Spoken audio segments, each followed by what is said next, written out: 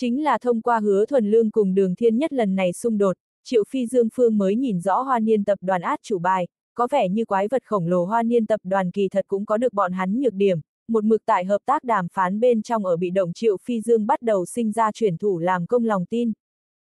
Từ một điểm này tới nói, hứa thuần lương chẳng những không có cho trường hưng gây tai họa ngược lại có công. Triệu Phi Dương sau đó giải được hứa thuần lương cùng đường thiên nhất ở giữa tranh chấp, thậm chí kinh động đến cục thành phố lãnh đạo, cái này chứng minh hứa thuần lương sau lưng cũng có bối cảnh. Vì chuyện này hắn chuyên môn hướng Cao Tân Hoa hỏi thăm một chút, Cao Tân Hoa uyển chuyển biểu thị hứa lão tại Đông Châu danh khí rất lớn, Đông Châu rất nhiều lãnh đạo đều tìm hắn nhìn qua bệnh, kỳ thật Cao Tân Hoa cũng không có làm rõ ràng tình trạng. Triệu Phi Dương cúp điện thoại, lo lắng lấy gần nhất Hoa Niên tập đoàn Phó Tổng đoàn Viễn Hồng muốn tới Đông Châu sự tình, đường Kinh Luân chỉ là phụ trách khảo sát, Đoạn Viễn Hồng mới phụ trách đàm phán, biết người biết ta mới có thể trăm trận trăm thắng.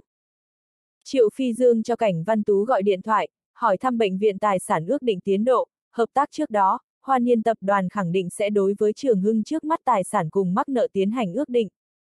Triệu Phi Dương cũng tiến hành bản thân ước định, nếu như song phương sai sót không lớn, liền chứng minh Hoa Niên tập đoàn vẫn là lo liệu lấy khách quan thái độ, nếu như sai sót quá lớn, khẳng định phải dựa vào lý lẽ biện luận. Cảnh Văn Tú báo cáo nói đại khái còn cần thời gian một tuần mới có thể hoàn thành công việc này, công tác của nàng tiến độ để Triệu Phi Dương cảm thấy không vui, Triệu Phi Dương nói cho hắn biết ba ngày sau đoạn Viễn Hồng liền muốn đến Đông Châu, nói bóng gió chính là trong ba ngày nàng nhất định phải hoàn thành tài sản ước định công việc. Cảnh Văn Tú cách điện thoại đều có thể cảm giác được Triệu Phi Dương không vui, nàng cuống quyết hướng Triệu Phi Dương cam đoan, trong ba ngày nhất định sẽ hoàn thành nhiệm vụ. Triệu Phi Dương nói câu vất vả liền đã cúp điện thoại, có chút mệt mỏi nằm tại chủ trong ghế. Cảnh Văn Tú cũng không phải là cái lý tưởng giúp đỡ, sở dĩ dùng nàng đơn giản là coi trọng bối cảnh sau lưng của nàng quan hệ, nếu như không phải nàng đại ca Cảnh Văn Tuấn ủng hộ, Trường Hưng cũng sẽ không thuận lợi cầm xuống khu công nghệ cao chữa bệnh dùng địa.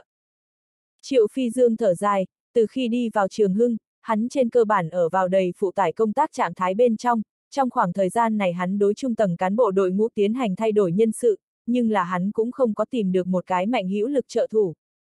Đi qua hắn một lần tướng Cao Tân Hoa coi là có thể nể trọng đối tượng, nhưng là Cao Tân Hoa trong công tác khiếm khuyết kích tình, hắn thậm chí có thể phát giác được Cao Tân Hoa đối với mình qua loa cùng lười biếng. Cao Tân Hoa cũng không phải là không có năng lực, mà là khiếm khuyết cải cách bốc đồng cùng động lực, đương một người không có có sự nghiệp tâm, người rất khó đối với hắn có quá nhiều kỳ vọng. Triệu Phi Dương nhắm mắt lại, mấy cái phó viện trưởng khuôn mặt thay nhau trong đầu xuất hiện. Chuông điện thoại di động đánh gãy hắn suy nghĩ, đây là một đoạn đặc biệt khúc Dương cầm thiên không thành, Triệu Phi Dương không cần nhìn dãy số liền biết là ai gọi điện thoại tới. Do dự một chút mới tiếp thông điện thoại, trong ống nghe truyền tới một ôn nhu giọng nữ, tâm tình không tốt. Triệu Phi Dương nở nụ cười, làm sao người biết? Ta cảm ứng đến. Triệu Phi Dương trong lòng dâng lên một dòng nước ấm, người ở nơi nào? Người quá khẩn trương, hẳn là hảo hảo buông lòng một chút, không trở ngại ngươi công tác. Không đợi Triệu Phi Dương nói dứt lời nàng liền đem điện thoại phủ lên.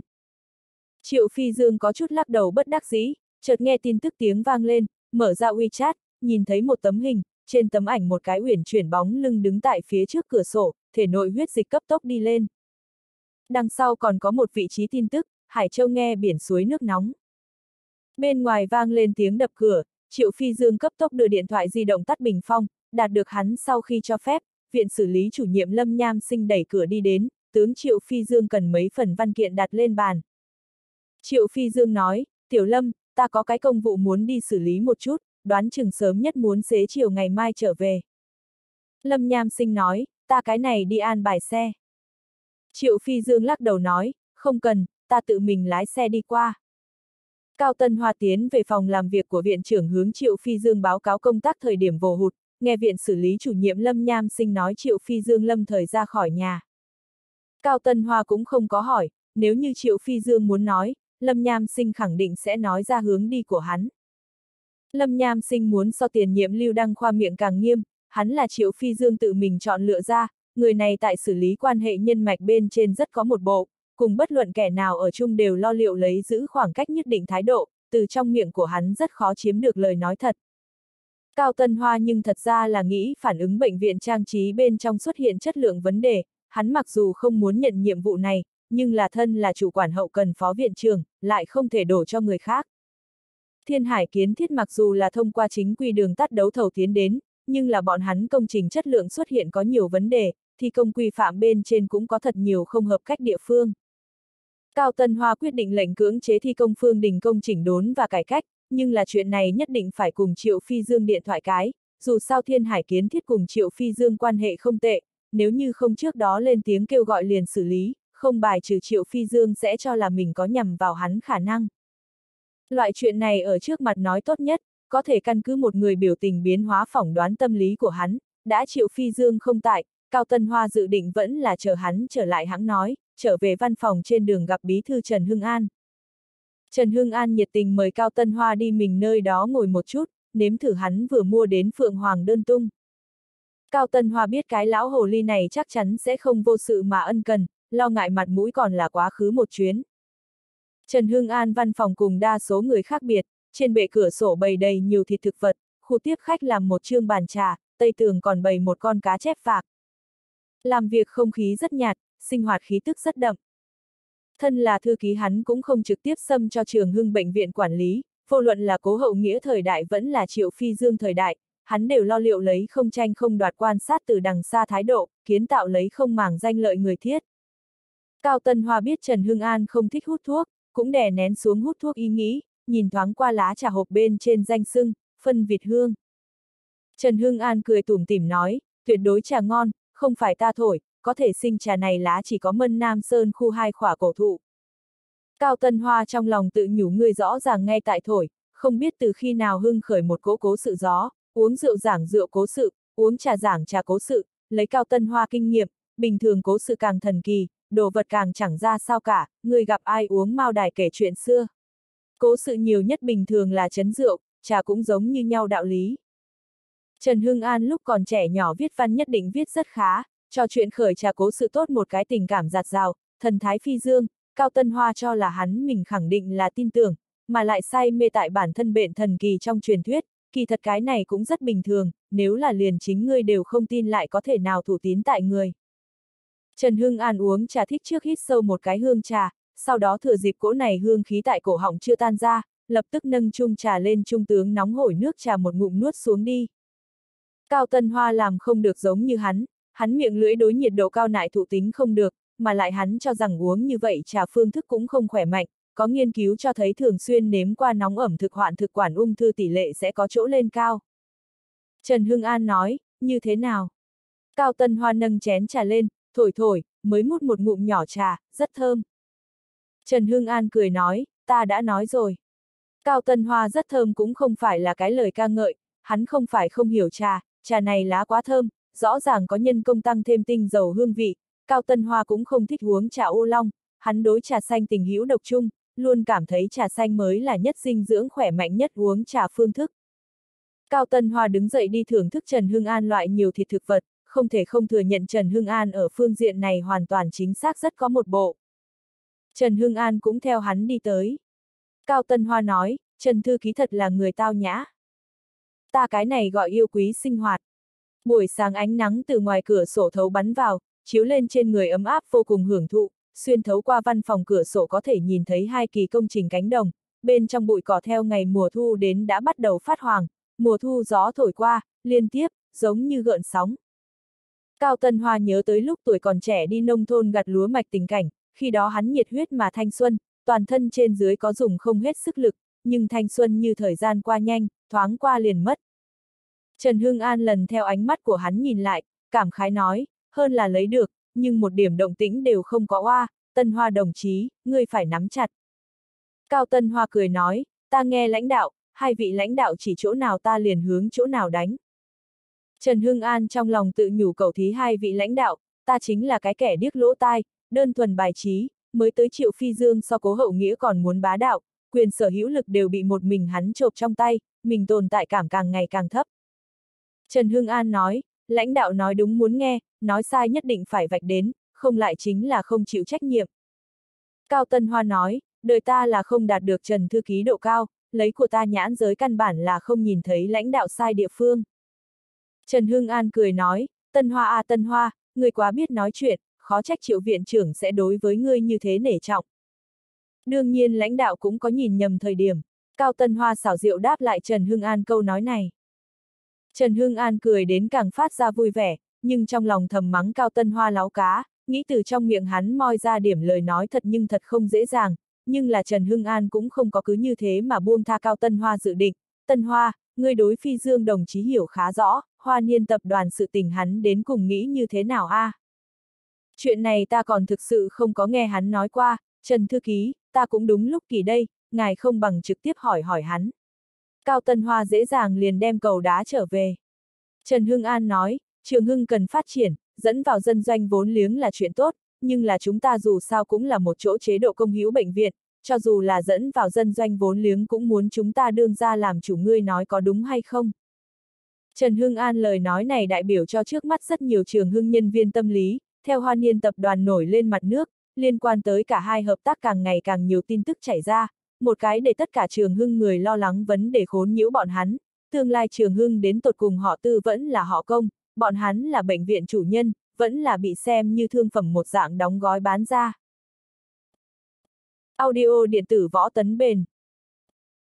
Trần Hưng An nguyên vốn cho là mình có thể an an ổn ổn hỗn đến về hưu, thế nhưng là theo mới viện trưởng Triệu Phi Dương đến không lâu, hắn liền ý thức được không thể nào, hắn chạy không khỏi đi, hắn nhiệm kỳ bên trong tất sẽ đối mặt với một trận đánh cờ. Trận này đánh cờ có thể sẽ phát sinh ở trường hưng cùng hoa niên tập đoàn ở giữa, có thể sẽ phát sinh ở lãnh đạo cùng quần chúng ở giữa, cũng có thể là phát sinh ở chính đảng ở giữa. Hắn không muốn tham gia, nhưng là sắp đến cải cách để hắn không thể không tham gia, công tư hợp doanh, cái này từ xuất hiện vẫn tranh luận không ngừng nan để vậy mà lại xuất hiện tại trường hưng, xuất hiện tại hắn nhiệm kỳ bên trong. Hắn làm việc nguyên tắc là không cầu công lao chỉ cầu không thất bại, nhưng khi sự phát triển của thời đại tướng Trường Hưng đặt ở chỗ ngã ba thời điểm, trên chiếc xe này mỗi người đều tướng đứng trước lựa chọn. Không có ai biết Trường Hưng về sau có thể hay không dọc theo phương hướng chính xác hành xử xuống dưới, khi tiến vào giao lộ trước đó, người có thể chứa làm cái gì đều không có phát sinh, tiếp tục nước chảy bèo trôi, cũng có thể giống một số người như thế kịp thời xuống xe, bất đắc dĩ là, Trường Hưng nhất định là Trần Hưng An sau cùng một chạm, hắn chỉ có thể ở trên chiếc xe này ngồi vào trạm cuối cùng. Trần Hưng An cũng không phải là hiện tại mới phát hiện vấn đề, sớm tại Triệu Phi Dương tướng Phó Viện trưởng nghiêm hồi ý từ Trường Hưng bước đi, hắn liền đã ý thức được vị này Trường Hưng người cầm lái đang theo lấy chính hắn cố định phương hướng kiên định đi tới. Trần Hưng An vẫn luôn đang quan sát, Cao Tân Hoa cũng tại hắn quan sát phạm vi bên trong, hắn phát hiện Cao Tân Hoa mặc dù nhận Triệu Phi Dương trọng dụng, nhưng là cũng không có giống những người khác như thế hết sức, hơi chút suy nghĩ liền đoán được ảo diệu bên trong. Cao Tân Hoa nhất định giống như chính mình lo lắng cái gì. Có lẽ bài xích loại này kiên quyết tiến thủ cải cách, có lẽ lo lắng trở thành triệu phi dương tiến lên trên đường pháo hôi. Cao Tân Hoa khám phá Trần Hưng An ý đồ, mặc dù hắn đối triệu phi dương cách làm không dám gật bừa, nhưng là ở những người khác trước mặt vẫn là nhất quán giữ gìn triệu phi dương. Trần Thư Ký, ngài có phải hay không quá lo lắng, triệu viện trưởng chỉ là cùng hoa niên tập đoàn hợp tác, cũng không phải đem chúng ta bán đi. Nói như là đã điểm phá, Trần Hưng An cũng sẽ không có chuyển loan mặt giác tất yếu, ta nghe được một tin tức, trong thành phố đang suy nghĩ tướng Trường Hưng làm chữa bệnh thể chế cải cách thí điểm. Cao Tân Hoa nói, mấy năm trước không thì có thuyết pháp này sao? Trần Hưng An lắc đầu, lần này không giống, quá khứ có cố hậu nghĩa ở phía trước chống đỡ, hắn là sẽ không hy sinh rộng rãi Trường Hưng người lợi ích, cố hậu nghĩa cũng đề xướng cải cách, nhưng là hắn cải cách là tại tại chỗ thể chế không đổi điều kiện tiên quyết. Căn cứ Trần Hưng An hiểu rõ đến tình huống, Triệu Phi Dương đã hướng trong thành phố đưa ra hình thức đầu tư cổ phần bệnh viện tư tưởng. Tương lai hình thức đầu tư cổ phần bệnh viện là từ Trường Hưng cùng Hoa Niên tập đoàn hợp tác một tòa hiện đại tổng hợp bệnh viện, địa điểm ở vào khu công nghệ cao, chính phủ cung cấp chữa bệnh kiến thiết dùng địa, đến tiếp sau đầu tư nên chủ yếu từ Hoa Niên tập đoàn để hoàn thành, Trường Hưng trương mục căn bản không có dư thừa tiền đầu nhập tòa này tân y viện. Nếu là hình thức đầu tư cổ phần liền sẽ có một cái cổ phần tỷ lệ phân phối vấn đề, nếu như chính phủ chiếm đa số, như vậy thì là trường hưng đương ra làm chủ, nếu như hoa niên tập đoàn nắm giữ phần lớn cổ phần, như vậy thì là hoa niên tập đoàn làm chủ đạo, trước mắt đã minh xác, chính phủ tại tài chính bên trên sẽ không cho cho quá nhiều ủng hộ. Trần Hưng An nói, nghe nói lần này Tân Y Viện sẽ lấy hoa niên tập đoàn đầu tư làm chủ. Cao Tân Hoa nhẹ gật đầu, hắn cũng nghe nói, mà lại chỉ cần hợp tác thành công, chắc chắn lấy loại phương thức này, khu công nghệ cao chính phủ đã không ràng buộc cung cấp chữa bệnh kiến thiết dùng địa, không có khả năng tiếp tục đuổi thêm đầu tư. Trường Hưng hạng mục tại khu công nghệ cao trọng yếu, nhưng không phải trọng yếu nhất, khu công nghệ cao đối bọn hắn bồi dưỡng cường độ đã rất lớn. Trường Hưng tự thân lại không bỏ ra nổi tiền đến, cho nên mới bệnh viện chủ yếu đầu tư chỉ có thể từ hoa niên tập đoàn đến cung cấp. Trần Hưng An nói, người có hay không nghĩ tới, nếu như hoa niên tập đoàn chiếm đa số cổ phần, Trường Hưng tại Tân Y Viện sẽ ở vào một cái như thế nào vị trí. Còn có một vấn đề, hoa niên tập đoàn có tiền, khu công nghệ cao chính phủ có địa, chúng ta Trường Hưng có cái gì? Lấy cái gì nhập cổ phần? Chúng ta cuối cùng chiếm hữu tỷ lệ là nhiều ít. Trước mắt còn tại ước định, công việc cụ thể từ cảnh văn tú đồng chí phụ trách. Ước định cái gì? Bọn hắn ngay tại ước định chúng ta trường hưng bệnh viện chỉ toàn tài sản. Tại sao muốn ước định bệnh viện chỉ toàn tài sản? Có phải hay không muốn đem chúng ta trường hưng hết thảy chuyển hóa làm cổ phần? Cao Tân Hoa không phải không nghĩ tới, nhưng là hắn từ đầu đến cuối cho rằng, trường hưng bản bộ hết thảy sẽ còn duy trì không thay đổi, Triệu Phi Dương cải cách chi hỏa không biết nấu đến trên người của bọn hắn. Trần Hưng An để trong lòng hắn trầm xuống, Triệu Phi Dương hẳn là sẽ không như thế cấp tiến A. Bệnh viện chỉ toàn tài sản, Trường Hưng những năm này kinh doanh tình trạng cũng không tốt, chỉ toàn tài sản sẽ không vượt qua 300 triệu. Cao Tân Hoa làm ra phán đoán như thế là có căn cứ, hắn nhìn qua ngân hàng đối Trường Hưng ước định báo cáo. Trần Hưng An nói, Tân Hoa đồng chí, Trường Hưng bất luận cái gì biến động đều quan hệ đến hơn 2.000 tên nhân viên phúc lợi, nhất định phải thận trọng A. Trong miệng hắn 2.000 người bao quát về hưu công nhân viên chức. Cao Tân Hoa nói, Trần Thư Ký, ngài những lời này cùng triệu viện trưởng nói qua không có. Trần Hưng An nói, ta không biết phi dương đồng chí chân chính ý nghĩ, ta chỉ hy vọng cải cách không muốn cầm toàn thể nhân viên lợi ích đi đánh cờ, một khi xúc phạm nhân viên bản thân lợi ích, hậu quả khó mà lường được. Cao Tân Hoa ý thức được, Trần Hưng An là muốn thông qua mình hướng Triệu Phi Dương truyền lời, lão hồ ly này còn không muốn cùng Triệu Phi Dương phát sinh trực tiếp xung đột, phải cùng trước mắt hợp tác điều lệ cũng không sáng tỏ có quan hệ. Trần Hưng An chỉ là suy đoán, Triệu Phi Dương cũng không có minh xác biểu thị trường Hưng Bệnh viện cũng sẽ bị ước định định giá đưa vào cổ phần. Cao Tân Hoa cho rằng Triệu Phi Dương lá gan không đến mức như thế lớn, nước có thể nâng thuyền cũng có thể lật thuyền, chính như Trần Hưng An nói, một khi xúc phạm nhân viên bản thân lợi ích, hắn thời khắc nguy cơ đã đến. Liên quan tới trường hưng tương lai đủ loại truyền ngôn cũng đã lặng yên lan tràn, thậm chí bao gồm Nguy Sơn đảo phân Việt, rất nhiều nhân viên y tế cũng đang thảo luận bọn hắn về sau họ công vẫn là họ tư vấn đề.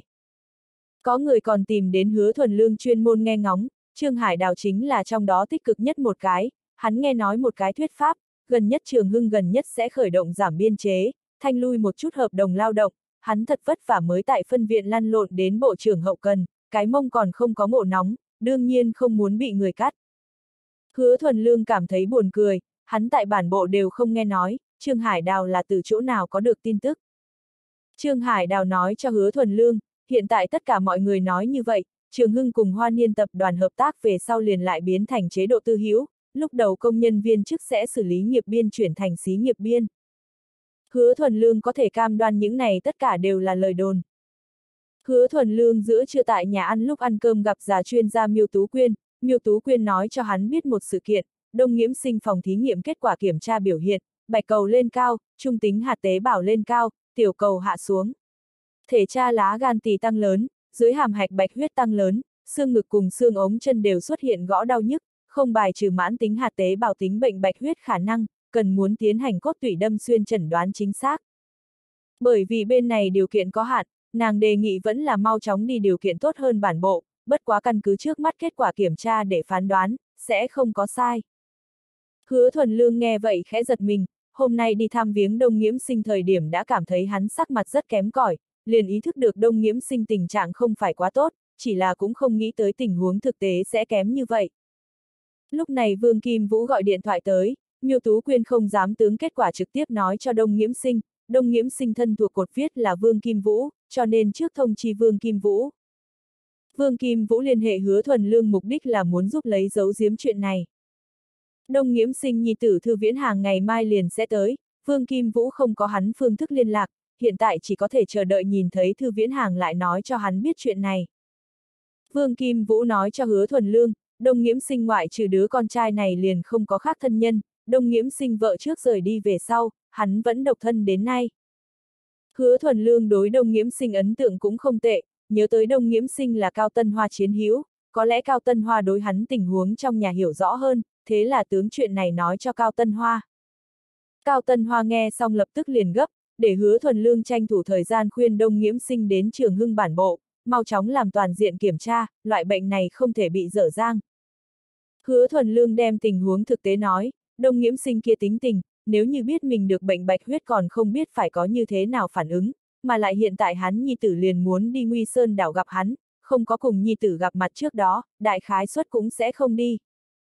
Cao Tân Hoa nghĩ nghĩ, cũng đồng ý tạm thời đối đông nghiễm sinh giấu giếm chuyện này, mình bây giờ bởi vì công trình sự tình đi không được, hắn tranh thủ ngày mai tiến về Nguy Sơn đảo một chuyến, hỗ trợ khuyên nhủ đông nghiễm sinh.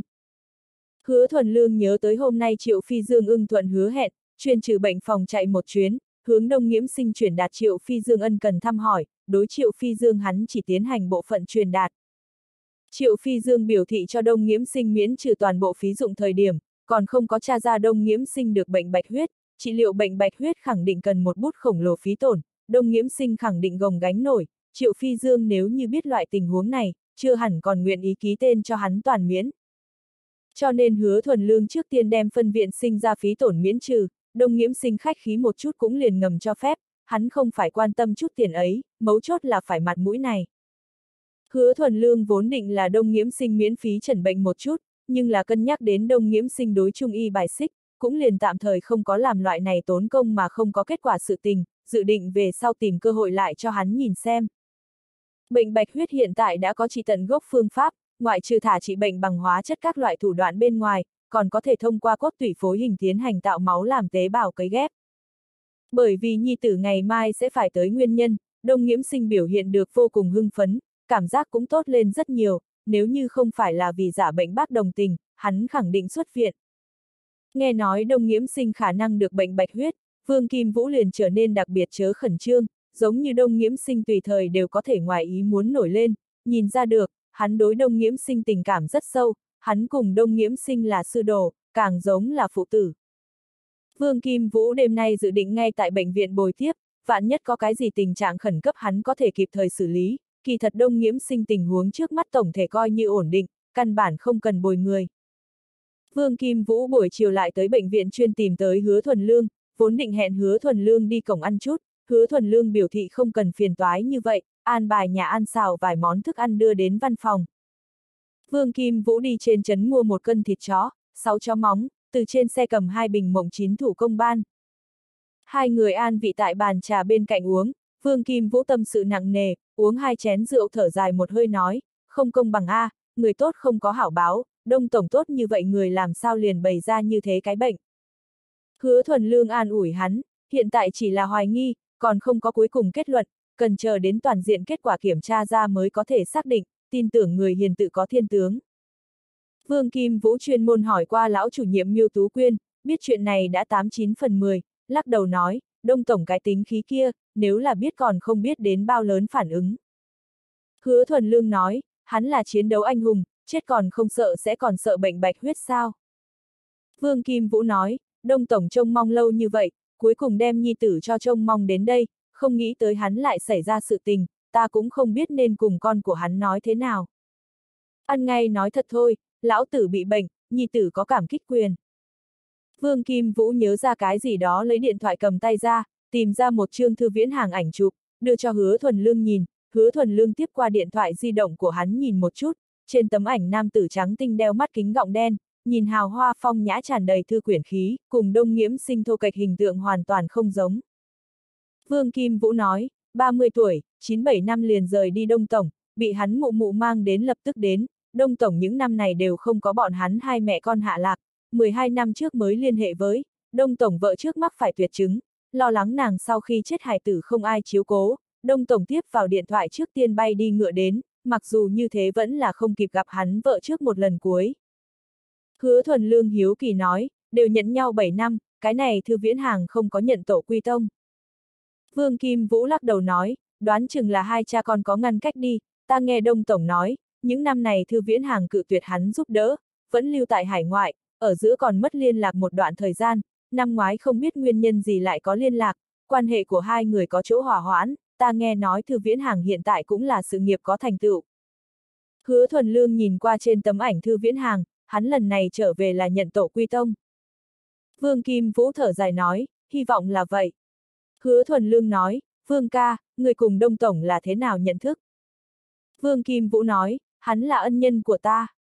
Kỳ thật hắn liền là năm đó vị hiểm hộ đông nghiễm sinh mà hy sinh điền tây chiến hữu chất tử, tại hắn bá phụ hy sinh về sau, đông nghiễm sinh liền gánh vác lên chiếu cố bọn hắn một nhà trách nhiệm, cho tới bây giờ. Vương Kim Vũ phụ thân về sau trở thành một vị tập độc cảnh sát, tại hắn 5 tuổi lúc hy sinh, mẫu thân hắn sau đó không lâu tái giá, đông nghiễm sinh dứt khoát đem hắn mang theo trên người, cung cấp hắn đi học, nuôi dưỡng thành người, hắn sau khi tốt nghiệp đại học liền đi thẳng tới đông nghiễm sinh bên người công việc, có thể nói Vương Kim Vũ một mực đem đông nghiễm sinh xem như phụ thân đối đãi. Đông nghiễm sinh được bệnh bạch huyết, nội tâm bị đả kích lớn nhất chính là Vương Kim Vũ, hắn vẫn không cách nào quên biết được phụ thân hy sinh vào cái ngày đó, cực độ thương tâm lại khóc không được, một mình hắn chạy tới cây trà trong vườn, tại trong mưa to ôm cây kia cổ lão cây trà, liền như ôm lấy phụ thân thân thể khôi ngô, hắn dùng hết thân thể tất cả lực lượng, đều không cảm giác được phụ thân ấm áp. Trời tối, hắn vừa lạnh vừa đói, thậm chí nghe được sói đói chu lên, hắn không muốn trở về, vẫn là ôm cây kia cây trà, bởi vì hắn cảm thấy buông ra chi về sau phụ thân liền cũng không trở về nữa hy vọng. Liền như thế hắn tại trong mưa thiếp đi, khi hắn thanh lúc tỉnh lại, ghé vào một cái khoan hậu kiên cố trên sống lưng.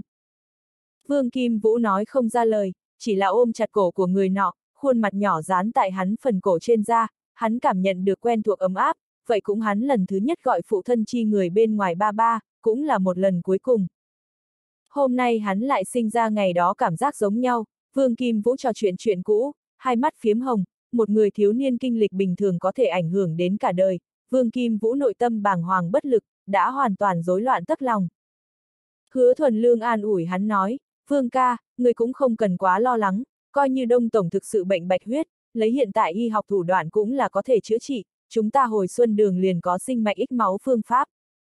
Vương Kim Vũ lắc đầu nói, Đông Tổng không tin Trung Y, chân trái của hắn cũng là bởi vì Trung Y trì hoãn, cho nên ngươi tốt nhất đừng ở trước mặt hắn nhắc lên Trung Y sự tình.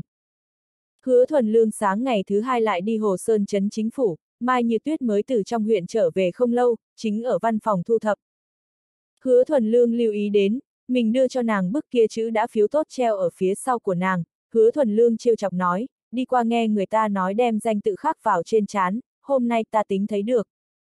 Mai như tuyết chừng mắt liếc hắn một cái nói, ngươi chính là trong mồm chó nhà không ra ngà voi, ta đây không phải biểu đạt đối ngươi tác phẩm tôn trọng nha.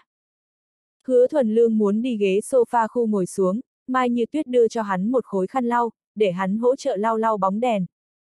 Hứa thuần lương nói, loại này việc vặt còn cần chấn trưởng đại nhân tự mình động thủ. Mai như tuyết nói, buổi chiều vệ sinh lớn kiểm tra, ta phải làm gương tốt, đem bình thường thanh lý không đến vệ sinh góc chết giải quyết một cái. Hứa thuần lương tướng bóng đèn trà sát một lần, Mai như tuyết để hắn chứa nóng vội từ trên ghế xuống tới, tiếp nhận khăn lau đãi sạch sẽ về sau, lại đưa cho hắn.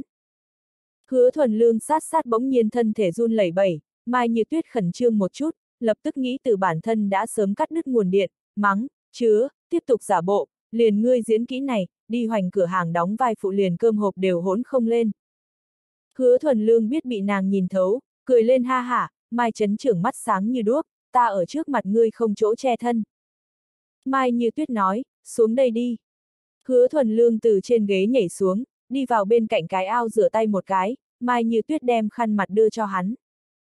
Hứa thuần lương một bên xoa tay một bên đem mình ý đồ đến nói cho nàng, kỳ thật hắn không nói Mai như tuyết cũng biết.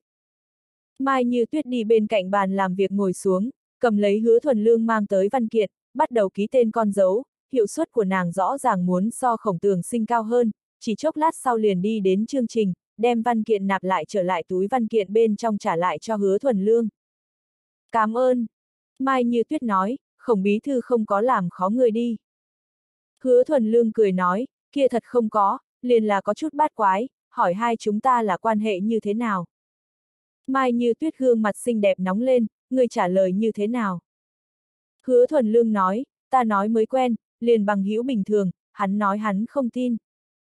Mai như tuyết nói, hắn thật đúng là có đủ nhàn tâm. Đứng dậy cho hứa thuần lương rót một chén trà. Hứa thuần lương phát hiện lần này lá trà là cùng Trương Nhất Bản cùng khoản, cố ý nói, Trương Nhất Bản đưa đến. Mai như tuyết nhẹ gật đầu, lập tức liền ý thức được hứa thuần lương khẳng định là tại Trương Nhất Bản trong văn phòng gặp được, hứa thuần lương sức quan sát thật sự là quá mạnh, dạng này người nếu là tại thể chế bên trong cũng là một tay hảo thủ. Cách xa hắn một chút, tiểu tử kia không giống người tốt. Hứa thuần lương cho nàng một cái lời khuyên. Mai như tuyết nói, người khác đều không phải là người tốt, khắp thiên hạ chỉ một mình ngươi là người tốt. Hứa thuần lương nói, ngươi cảm thấy ta không phải người tốt. Mai như tuyết nhìn qua hắn, ngươi đừng hỏi ta à, điểm ấy tự mình hiểu lấy ngươi cũng không có.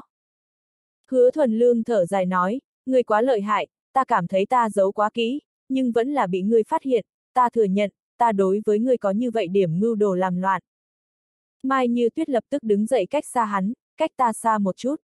Nhưng trong lòng có chút muốn cười, loại lời này còn có thể quang minh chính đại nói ra, hứa thuần lương thật đúng là không giống bình thường.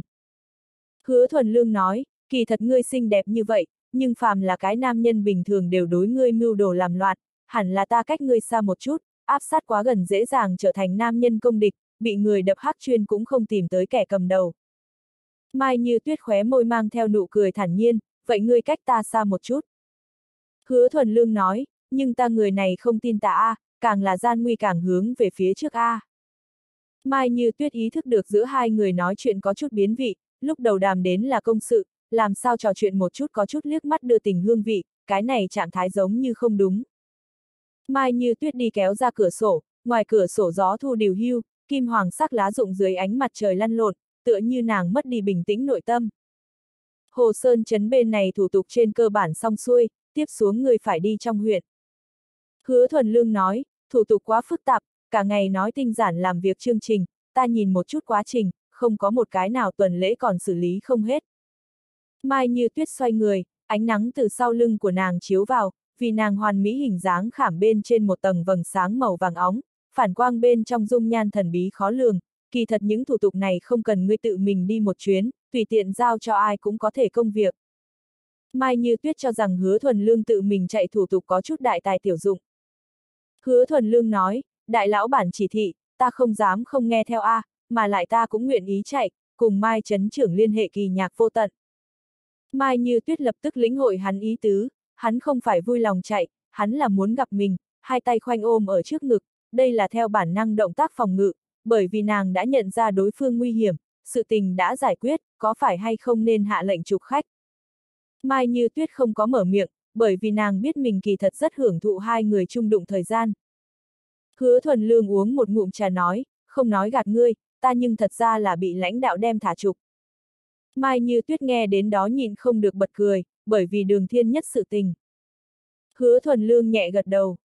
Mai Như Tuyết đã đoán được, từ khi biết được đường thiên nhất là hoa niên tập đoàn tổng giám đốc nhi tử, liền có chút bận tâm hứa thuần lương sẽ gặp phải trường hưng xa lánh, hoa niên tập đoàn cùng trường hưng sắp hợp tác sớm đã không phải bí mật, hứa thuần lương đem trường hưng kim chủ đánh, chuyện này khẳng định sẽ cho hắn tạo thành nhất định ảnh hưởng. Mai Như Tuyết nói, không nhìn ra người tâm tình chịu ảnh hưởng. Hứa thuần lương cười nói, tái ông mất ngựa sao biết không phải phúc, mất bên đông được bên tây. Lúc nói chuyện, ánh mắt không có hảo ý nhìn qua Mai Như Tuyết. Mai Như Tuyết có chút chịu không được ánh mắt của hắn, vừa vặn lúc này có người tới thông chi nàng đi họp. Hứa thuần lương đứng dậy cáo từ, cách trước khi đi nói cho nàng đông nhiễm sinh nhiễm bệnh tin tức, Mai Như Tuyết biểu thị các loại mở xong sẽ phải đi bệnh viện thăm viếng một chút. Hứa thuần lương trở về bệnh viện, vừa vặn nhìn thấy Vương Kim Vũ mở ra đường hổ tiến đến, hắn đoán hẳn là đông nhiễm sinh nhi tử đến, thế là chủ động nghênh đón. Đường xe hổ tại bãi đỗ xe dừng lại, một âu phục dày da nam tử đẩy cửa đi xuống, vóc người trung đẳng, màu da trắng nõn, đeo mắt kính gọng đen, lộ ra hào hoa phong nhã, hắn chính là đông nghiễm sinh nhi tử thư viễn hàng. Vương Kim Vũ khóa kỹ xe làm cái mời động tác, hứa thuần lương đã đi tới. Vương ca, vị này chính là thư tiên sinh sao? Vương Kim Vũ cười hướng thư viễn hàng giới thiệu hứa thuần lương. Thư viễn hàng nhìn qua hứa thuần lương chủ động đưa qua tới tay cũng không làm ra đáp lại, chỉ là nhàn nhạt nhẹ gật đầu, sau đó cất bước hướng phòng bệnh đi đến. Hứa thuần lương duỗi ra tay liền dừng lại trong không khí, Vương Kim Vũ hướng hắn nháy nháy mắt, vỗ vỗ bờ vai của hắn, ý là để hắn nhiều lý giải, tiểu tử này từ lên đảo bắt đầu liền không có qua sắc mặt tốt. Nếu như không phải xem ở đông nghiễm sinh trên mặt mũi, hứa thuần lương mới lười nhắc nhiệt tình như vậy chủ động, kết quả mặt nóng dán cái mông lạnh, đổi thành bình thường đã sớm nổi giận, hắn nguyên bản còn dự định bồi tiếp cùng đi, bởi vì thư viễn hàng thái độ lạnh lùng cũng đã mất đi hứng thú, quay người trở về văn phòng. Vương Kim Vũ có thể lý giải hứa thuần lương hành vi, thư viễn hàng đối với mình cũng là thái độ này, bày ra tất cả mọi người thiếu tiền hắn mặt thối, hứa thuần lương khó chịu có thể đi, hắn không thể. Vương Kim Vũ bồi tiếp thư viễn hàng đi vào trước phòng bệnh, cho tới bây giờ còn không có đem đông nhiễm sinh bệnh tình nói cho hắn biết, càng nghĩ vẫn là từ bác sĩ nói ra thỏa đáng nhất. Đẩy ra cửa phòng bệnh, nhìn thấy ngay tại treo nước đông nhiễm sinh. Đông nhiễm sinh nội tâm vô cùng kích động, nhìn thấy nhi tử thời điểm, kém chút không có nhào tới, nhưng lý trí lại khống chế lại hành vi của hắn, hắn biết nhi tử đối với mình không có sâu như vậy tình cảm, nằm ở trên giường nhìn qua nhi tử, thiên ngôn vạn ngữ hóa thành hai chữ, đến rồi. Thư viễn hàng nhẹ gật đầu, đầu tiên nhìn một chút đầu giường tấm thẻ, nhíu mày một cái nói, đau nhức gió. Đông nghiễm sinh gật đầu nói, bệnh cũ, cơ hồ hàng năm đều sẽ phạm. Thư viễn hàng xích lại gần nhìn nhìn mặt hắn sắc, sau đó lại kiểm tra mí mắt của hắn, nhấc lên đông nghiễm sinh quần áo vì hắn tiến hành bắt mạch. Bình thường tính tình quật cường đông nghiễm sinh tại nhi tử trước mặt ngoan đến cùng như mèo nhỏ, liền câu lời cũng không dám nhiều lời, sợ đắc tội nhi tử. Kẻ trong cuộc thì mê kẻ bàng quan thì tỉnh, Vương Kim Vũ từ Thư Viễn Hàng trong động tác nhìn ra một chút mánh khóe, chẳng lẽ Thư Viễn Hàng là bác sĩ? Liên quan tới Thư Viễn Hàng tư liệu bọn hắn nắm giữ được ít càng thêm ít, chỉ biết là hắn về sau đi châu Úc học đại học, cụ thể chuyên nghiệp không rõ, trước khi tới đây, hắn là tại một nhà nghiên cứu cơ cấu công việc, giống như cũng không là bác sĩ. Thư Viễn Hàng gõ gõ đông nghiễm sinh xương cốt khớp nối, đông nghiễm sinh cố nén đau nhức. Có đau hay không? Đông nghiễm sinh lắc đầu, cái này tính là gì? Lúc trước lão tử trên chiến trường thời điểm thân thể bị viên đạn đánh ra mấy cái động đều không kêu một tiếng. Thư viễn hàng lạnh lùng nói, bây giờ không phải là ngươi cậy mạnh thời điểm, nói, có đau hay không? Đông nghiễm sinh như là bị lão sư gian dạy học sinh tiểu học một dạng, có chút. Hắn cũng làm không thanh nhi tử tình huống như thế nào. Thư viễn hàng lấy cớ đi trước cái toilet, đem vương kim vũ hô lên. Hai người tới cuối hành lang, Thư Viễn Hàng tiếp cận Vương Kim Vũ hai mắt, hắn đến cùng bị bệnh gì? Vương Kim Vũ nói, đau nhức gió. Thư Viễn Hàng nói, quốc gia các người y học trình độ thật sự là quá rơi ở phía sau. Vương Kim Vũ nghe hắn lời này có chút khí không thuận, cái gì gọi là quốc gia các ngươi, thật đúng là đem bản thân xem như người ngoại quốc rồi. Coi như người ngoại quốc, Đông Nam Á chữa bệnh trình độ liền rất cao sao. Thư Viễn Hàng nói, dẫn ta đi gặp giường ngủ bác sĩ, ta có lời muốn hỏi hắn. Vương Kim Vũ đối với cái này không có có gì nghị, từ bác sĩ nói cho hắn biết chân tướng càng tốt hơn, cũng không phải lo lắng thư viễn hàng thương tâm, nhìn dáng vẻ của hắn cũng không giống thương tâm bộ dáng, mang theo thư viễn hàng đi tới phòng thầy thuốc làm việc, tìm được lão chủ nhiệm Miêu Tú Quyên. Nghe Vương Kim Vũ giới thiệu thư viễn hàng thân phận về sau, Miêu Tú Quyên đem bệnh lịch đưa cho thư viễn hàng. Thư viễn hàng nhìn một chút phụ thân kết quả kiểm tra, khép lại bệnh lịch nói, như là đã biết hắn có thể là bệnh bạch huyết, vì cái gì còn muốn giấu giếm hắn. Miêu Tú Quyên ăn ngay nói thật, một là không có tiến hành cốt tủy đâm xuyên kiểm tra, hai là cân nhắc đến bệnh nhân biết được chân thực bệnh tình phản ứng. Thư viễn hàng cho dù là đối diện miêu tú Quyền vị này lão chủ nhiệm cũng không có biểu hiện ra chút nào tôn trọng, phòng thí nghiệm kiểm tra cùng người bệnh triệu chứng đều hết sức rõ ràng, người không phải cân nhắc người bệnh phản ứng, là không dám nhận gánh trách nhiệm. Miêu Tú Quyên mặc dù tốt tính tình cũng nhìn không được người trẻ tuổi kia tự dưng chỉ trích, chuyên nghiệp bên trên sự tình ta tự có phán đoán, không cần ngươi đến khoa tay múa chân. Chuyên nghiệp, liền ngươi phương án trị liệu đến xem, ta không có phát hiện cái gọi là chuyên nghiệp tính.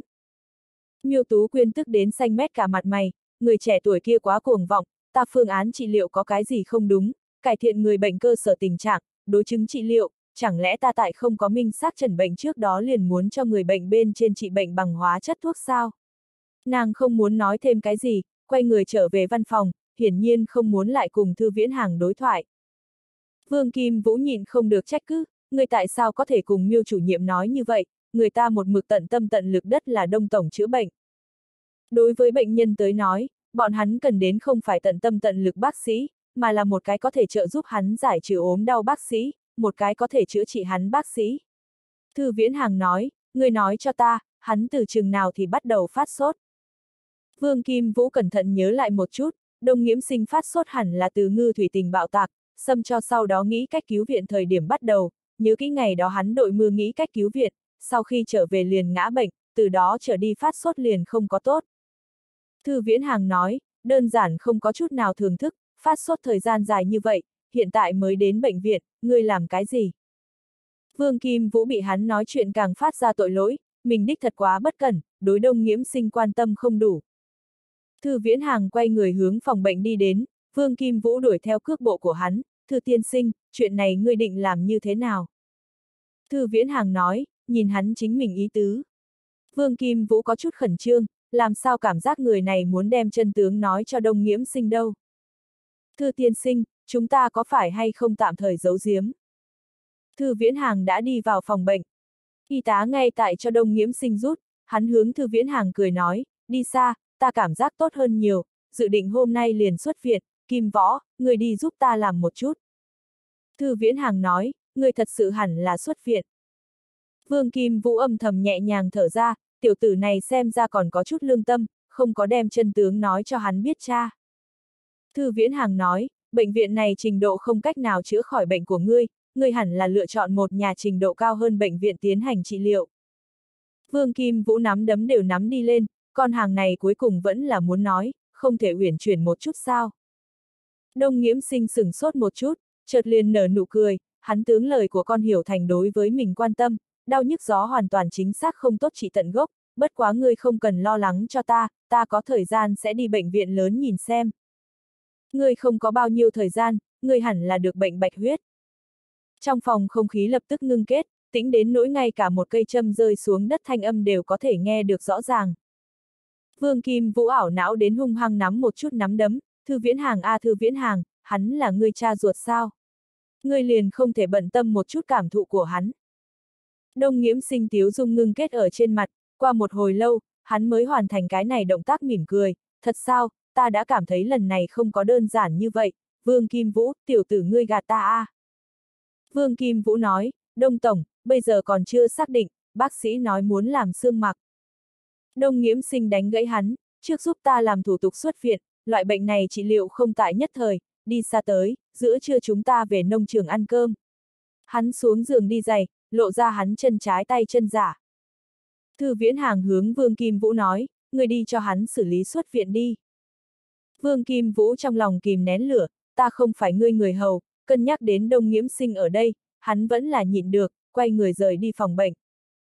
Đông nghiễm sinh từ trên tủ đầu giường cầm lấy thuốc lá đốt, thư viễn hàng lẳng lặng nhìn qua hắn, hút thuốc có hại cho sức khỏe. Đông nghiễm sinh hít một hơi thuốc lá, chậm chậm phun ra một đoàn xương mù nói, bằng vào ta tình huống hiện tại giống như cũng không ảnh hưởng toàn cục A. Thư viễn hàng không nói chuyện, chỉ là lẳng lặng nhìn qua phụ thân của mình, giống nhau thường ngày như vậy lạ lắm. Đông nghiễm sinh nói, lúc đầu ta hôm qua liền muốn xuất viện tới, về sau nghe nói ngươi qua đây, cho nên ta liền muốn ở thêm một ngày, ta có phải hay không rất ngây thơ a, à, muốn thông qua loại phương thức này tranh thủ ngươi quan tâm. Thư Viễn Hàng nói, người đều sẽ có yếu ớt thời điểm, đều muốn đạt được người khác quan tâm. Đông Nghiễm Sinh nhìn hắn một cái, nhi tử đang ở trước mắt, chẳng biết tại sao lại cảm giác so với quá khứ càng thêm lạ lắm, từ ánh mắt của con trai bên trong cũng không nhìn thấy quan tâm cùng ôn nhu, nét mặt của hắn là công thức tính, tựa như một gã bác sĩ nhìn qua phổ thông người bệnh. Ngươi là bác sĩ, hỏi ra câu nói này thời điểm, Đông Nghiễm sinh ý thức được mình đối với nhi tử thật không thể giải thích. Thư Viễn Hàng nói, ta đại học đọc đến viện y học. Đông Nghiễm sinh nhẹ gật đầu, đều không nói với ta. Giống như không cần phải vậy. Đông Nghiễm sinh cảm khái nói, đúng vậy a, là lựa chọn gì học y. Thư Viễn Hàng hai mắt bên trong bắn ra một chút tức giận quang mang, bởi vì mẫu thân của ta được bệnh bộc phát nặng, ta trơ mắt nhìn xem nàng chết lại bất lực. Đông nghiễm sinh tâm đột nhiên co quắp một chút, phảng phất bị người dùng lưỡi lê đâm vào trái tim chỗ sâu, còn không tính xong, lưỡi lê tiếp tục tại nội tâm của hắn rảo động lên. Đây là nội tâm của hắn vĩnh viễn đau nhức, 12 năm trước liên hệ hắn cũng không phải là hắn vợ trước, mà là nhi tử, thư viễn hàng nói cho hắn biết mẫu thân bị bệnh cấp tính, cần một khoản tiền cứu mạng. Đông nghiễm sinh không có lập tức cho hắn hợp thành tiền, hắn hoài nghi là một trận âm mưu, ra ngoài cẩn thận hắn về sau tự mình bay tới Tân Thành, chờ đến lúc đó vợ trước bởi vì không có đạt được kịp thời nghĩ cách cứu viện mà qua đời, hắn vĩnh viễn không cách nào quên nhi tử khi đó tràn ngập ánh mắt cừu hận, nếu như hắn có thể trước tiên hợp thành ra khoản tiền kia, có lẽ vợ trước còn có thể cứu, chỉ là có lẽ thôi. 12 năm, nhi tử ngày đó bi phẫn không hiểu ánh mắt từ đầu đến cuối giày vò lấy hắn. Đông nghiễm sinh cảm giác sâu sắc ái náy, hắn nghĩ đền bù nhi tử, nhưng là vợ trước tang lễ về sau, nhi tử liền đi không tử giã, từ đây bặt vô âm tín.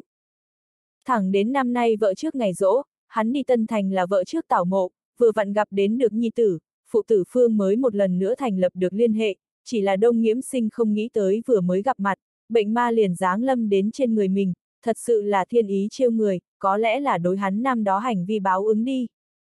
Đông nghiễm sinh nói, người lần này qua trước khi đến có phải hay không sớm liền biết được ta phải bệnh bạch huyết. Thư viễn hàng lắc đầu nói, ta không biết, người sở dĩ mời ta trở về, là không phải là bởi vì ngươi đã sớm biết mình được bệnh bạch huyết. Đông nghiễm sinh lớn tiếng nói, ta không biết, hắn không là tức giận, mà là lo lắng bị nhi tử hiểu lầm. Thư viễn hàng nói, ta học được là ngực ngoại khoa, không phải huyết dịch khoa, ta cứu không được ngươi. Ta không nghĩ tới để ngươi cứu ta, ta cũng chưa từng nghĩ tới muốn cho ngươi tạo thành phiền phức, ta chỉ muốn gặp ngươi một lần, ta. Ta không nghĩ tới, đông nghiễm sinh cảm giác mình liền muốn khóc, không phải đối tật bệnh e ngại, hắn liền chết còn không sợ, làm sao lại sợ một trận bệnh, nhưng là hắn ý thức được nhi tử xuyên tạc chính mình ý tứ. Thư viễn hàng lạnh nhạt nói, ngươi không cần giải thích, xuất viện đi, nơi này đối bệnh tình của ngươi không có chút nào trợ giúp. Nghe nói đông nghiễm sinh muốn xuất viện, hứa thuần lương đi một chuyến nằm viện chỗ, ở nơi đó gặp được ngay tại làm thủ tục Vương Kim Vũ, Vương Kim Vũ đầy bụng bực tức, hắn đối thư viễn hàng thật sự là bó tay rồi, liền chưa thấy qua máu lạnh như vậy người. Hứa thuần lương nghe hắn nói xong, phản lại cảm thấy thư viễn hàng có lẽ không hề giống biểu hiện được máu lạnh như vậy, chỉ ít hắn đề nghị đông nghiễm sinh lập tức xuất viện, tìm kiếm tốt hơn trị liệu. Vương Kim Vũ thở dài nói, ngươi là không nhìn thấy hắn đối đông tổng thái độ, tựa như đối một người xa lạ, tốt xấu là hắn cha ruột a. À. Hứa thuần lương nói, các nhà đều có nỗi khó xử riêng, hắn lựa chọn họ thư liền chứng minh hắn đối đông tổng tình cảm rất nhạt, nội tâm đứng tại mẫu thân phía bên kia. Vương Kim Vũ nhịn không được nói, ta nhìn hắn đúng đúng không phải không phân. Ban đầu ở Đông Nghiễm sinh thung lũng thời điểm lựa chọn phản bội, mang theo nhi tử gả cho một cái ngựa đến hoa thương, về sau lại bị ném bỏ, nhanh thời điểm chết mới nhớ tới liên hệ Đông Nghiễm sinh. Đông Nghiễm sinh bất kể hiểm khích lúc trước tự mình bay tới Tân Thành, vì nàng xử lý thân hậu sự, có thể nói hết lòng quan tâm giúp đỡ, những năm này, hàng năm vợ trước ngày dỗ hắn đều sẽ đi Tân Thành tảo mộ, từ không gián đoạn. Hứa thuần lương cho rằng nhìn từ điểm này đông nghiễm sinh đối với hắn vị kia vợ trước còn có cảm tình, về phần bọn hắn phụ tử ở giữa không phải là càng không tới phiên ngoại nhân đi bình phán. Hứa thuần lương ký tên cho đông nghiễm sinh nằm viện trong lúc đó sinh ra tiền thuốc men toàn bộ miễn phí, làm thủ tục thời điểm, nhận được đông nghiễm sinh điện thoại hướng hắn biểu đạt cảm tạ. Vừa mới đưa tiễn đông nghiễm sinh, Mai Như Tuyết liền gọi điện thoại tới, biểu thị chờ một lúc nàng cùng khổng bí thư cùng đi bệnh viện thăm viếng đông nghiễm sinh, hứa thuần lương nói cho nàng đông nghiễm sinh đã xuất viện. Đón xe trên đường trở về, thư viễn hàng không nói một lời, trong xe bầu không khí ngột ngạt như nước đọng, đông nghiễm sinh rơi xuống cửa sổ, một cỗ gió lạnh từ bên ngoài thổi vào. Thư viễn hàng cánh tay duỗi tới, một lần nữa tướng cửa sổ cho thăng lên đi lên. Đông nghiễm sinh nói, nghĩ hô hít một hơi không khí mới mẻ. Đề nghị ngươi vẫn là cẩn thận một chút, nói không chừng có thể sống lâu mấy năm. Lái xe Vương Kim Vũ nhíu mày, tiểu tử này câu nói kia không xuôi tai nói câu nào. Đông Nghiễm Sinh nói, ta cả một đời đều tùy tiện, đáng giá. Thư Viễn Hàng nói, trên thế giới này giống như người tiêu sái người không nhiều. Đông Nghiễm Sinh nghe được nhi tử đối với mình chào phúng, gật đầu nói, người cả một đời rất ngắn, lo trước lo sau còn có ý gì. Thư Viễn Hàng nói, liền gia đình đều không để ý người là tiêu sái vẫn là lãnh huyết đâu. Đông nghiễm sinh không nói chuyện, điện thoại di động của hắn vừa đúng vang lên, là khổng tường sinh đánh tới, tiếp thông điện thoại, khổng bí thư A, ha ha, tạ ơn quan tâm, ta không sao, thân thể rất tốt, yên tâm đi, ngài yên tâm, hai ngày nữa chờ ta triệt để bình phục, ta mời ngài tới nông trường chơi, không cần, ngàn vạn không cần, ta ngày mai khả năng đi Đông Châu. Đông nghiễm sinh cúp điện thoại, nhìn thấy nhi tử lạnh lùng bên trong mang theo ánh mắt trào phúng, hắn là tại ghét bỏ mình dối trá sao. Vương Kim Vũ nói, thư tiên sinh, nơi này chính là hiển hồng nông trường phạm vi. Thư viễn hàng ánh mắt nhìn về phía ngoài cửa sổ, phong cảnh không tệ, nhưng là có chút ướt lạnh. Đông Nghiễm Sinh nói, người tại Tân Thành ngốc đã quen, khả năng cần thích ứng một đoạn thời gian. Thư Viễn Hàng nói, vẫn là quê quán tốt. Đông Nghiễm Sinh mừng thầm trong lòng, dù sao nơi này mới là hắn ra đời địa phương, huyết mạch truyền thừa là không cách nào cải biến, thích nơi này. Ngài hiểu lầm, ta chỉ phải là Tân Thành. Vương Kim Vũ nói, Thư Tiên Sinh, nơi này mới là quê hương của ngươi A. Thư Viễn Hàng nói, mẫu thân ở mới là quê quán, người ta tại cái này khái niệm bên trên lý giải khác biệt. Đông Nghiễm Sinh nói, Viễn Hàng, người kết hôn sao? Hắn cảm thấy có chút hổ thẹn, đối với nhi tử tình trạng mình vậy mà hoàn toàn không biết gì cả. Thư Viễn Hàng nhẹ gật đầu. Có hài tử sao? Thư Viễn Hàng lại gật đầu một cái. Đông Nghiễm Sinh ức chế không nổi nội tâm kích động, hắn đã đương ra ra, mặc dù hắn chưa bao giờ thấy qua con của mình tức, cháu của mình, nhưng là bọn hắn đông ra đã có đời thứ ba, nghĩ đến nhi tử dòng họ, trong lòng của hắn nhiệt tình lại cấp tốc làm lạnh xuống dưới. Thư Viễn Hàng nói, bọn hắn cũng không biết ngươi tồn tại. Vương Kim Vũ thực sự nghe không nổi nữa, người này là đến báo thù sao? Câu nào đả thương người hắn chọn câu nào nói. Thư tiên sinh, chúng ta người Trung Quốc giảng cứu trăm thiện hiếu làm đầu. Đông Nghiễm Sinh lại nói, không biết cũng tốt, người nhất định có lo nghĩ của mình có đúng hay không. Thư Viễn Hàng nói, không có lo nghĩ của hắn, ai cũng hy vọng con cái của mình lấy mình làm vinh. Đông Nghiễm Sinh bên trong lòng đang dỉ máu, mình là trong mắt mọi người anh hùng, người chung quanh trong mắt cường giả, nhưng hắn lại là nhi tử trong lòng sỉ nhục, nhi tử cứ như vậy ở ngay trước mặt chính mình không chút kiêng kỵ nói ra. Vương Kim Vũ đã vô cùng phẫn nộ, Đông Tổng là chúng ta toàn thể hiển hồng trong lòng người anh hùng. Hắn đem xe ngừng tốt, Thư Viễn Hàng xuống xe, đứng tại trước biệt thự quan sát hiển hồng nông trường toàn cảnh, nói khẽ, một ngàn người trong mắt liền có một ngàn cái Hamlet, mỗi người đều có mình phán đoán thiện ác tiêu chuẩn. Đông Nghiễm Sinh dùng ánh mắt ngăn lại Vương Kim Vũ, để hắn đưa nhi tử đi tỉ mỉ chuẩn bị xong gian phòng. Vương Kim Vũ thậm chí không có giúp Thư Viễn Hàng cầm dương hành lý, Thư Viễn Hàng mình kéo lấy dương hành lý cùng hắn đi tới khách phòng. Vương Kim Vũ trở tay khép cửa phòng lại, người vừa rồi không nên nói như vậy, hắn dù sao cũng là phụ thân của ngươi. Thư Viễn Hàng nhìn qua Vương Kim Vũ, ngươi thật giống như không có tư cách đối quan hệ giữa chúng ta khoa tay múa chân. Vương Kim Vũ oán hận gật đầu nói, đúng, ta không có tư cách, nhưng là ngươi cũng không có tư cách chỉ trích hắn, hắn không hề có lỗi với chỗ của ngươi.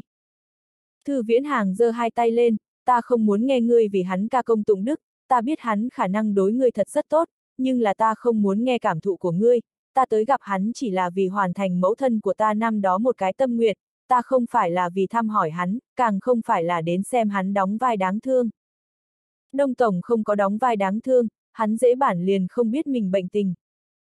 Ngươi cho rằng ta sẽ tin tưởng, hắn hẳn là sớm đã biết mình được bệnh bạch huyết đi, cực lực mời ta trở về nguyên nhân, là không là bởi vì việc này. Không phải. Thư Viễn Hàng cười khẩy, hắn là ta sinh lý học bên trên phụ thân, bệnh bạch huyết trước mắt hữu hiệu nhất phương pháp trị liệu chính là tạo máu làm tế bào cấy ghép, tiếp xuống, các người có phải hay không dự định để cho ta đi làm cốt tủy phối hình. Trong mắt hắn, ta có lẽ chỉ là một vị hiếm có thuốc hay. Vương Kim Vũ tức giận xông tới bắt lấy cổ áo của hắn, gần từng chữ, đem ngươi cho ta thu hồi đi, ngươi trước khi đến, Đông Tổng căn bản cũng không biết bệnh tình của hắn, càng không có nghĩ qua để ngươi trở lại cứu hắn, hắn một mực đem ngươi xem so sinh mệnh của mình quan trọng hơn, hắn không có ngươi tưởng tượng đến ích kỷ như vậy. Thư Viễn Hàng không sợ nhìn qua Vương Kim Vũ, ta là người trưởng thành, ta có phán đoán của mình. Ngươi là tự cho là đúng hỗn đản. Thư Viễn Hàng nhắc nhở hắn nói, không nên bị các ngươi đông tổng nghe được, nếu như bị hắn nghe được, nói không chừng biết lái trừ ngươi. Ta không quan tâm, ta cảnh cáo ngươi, ta không cho phép bất luận kẻ nào tổn thương đông tổng. Vương Kim Vũ cuối cùng vẫn khống chế được lửa giận của mình, hắn buông ra thư viễn hàng.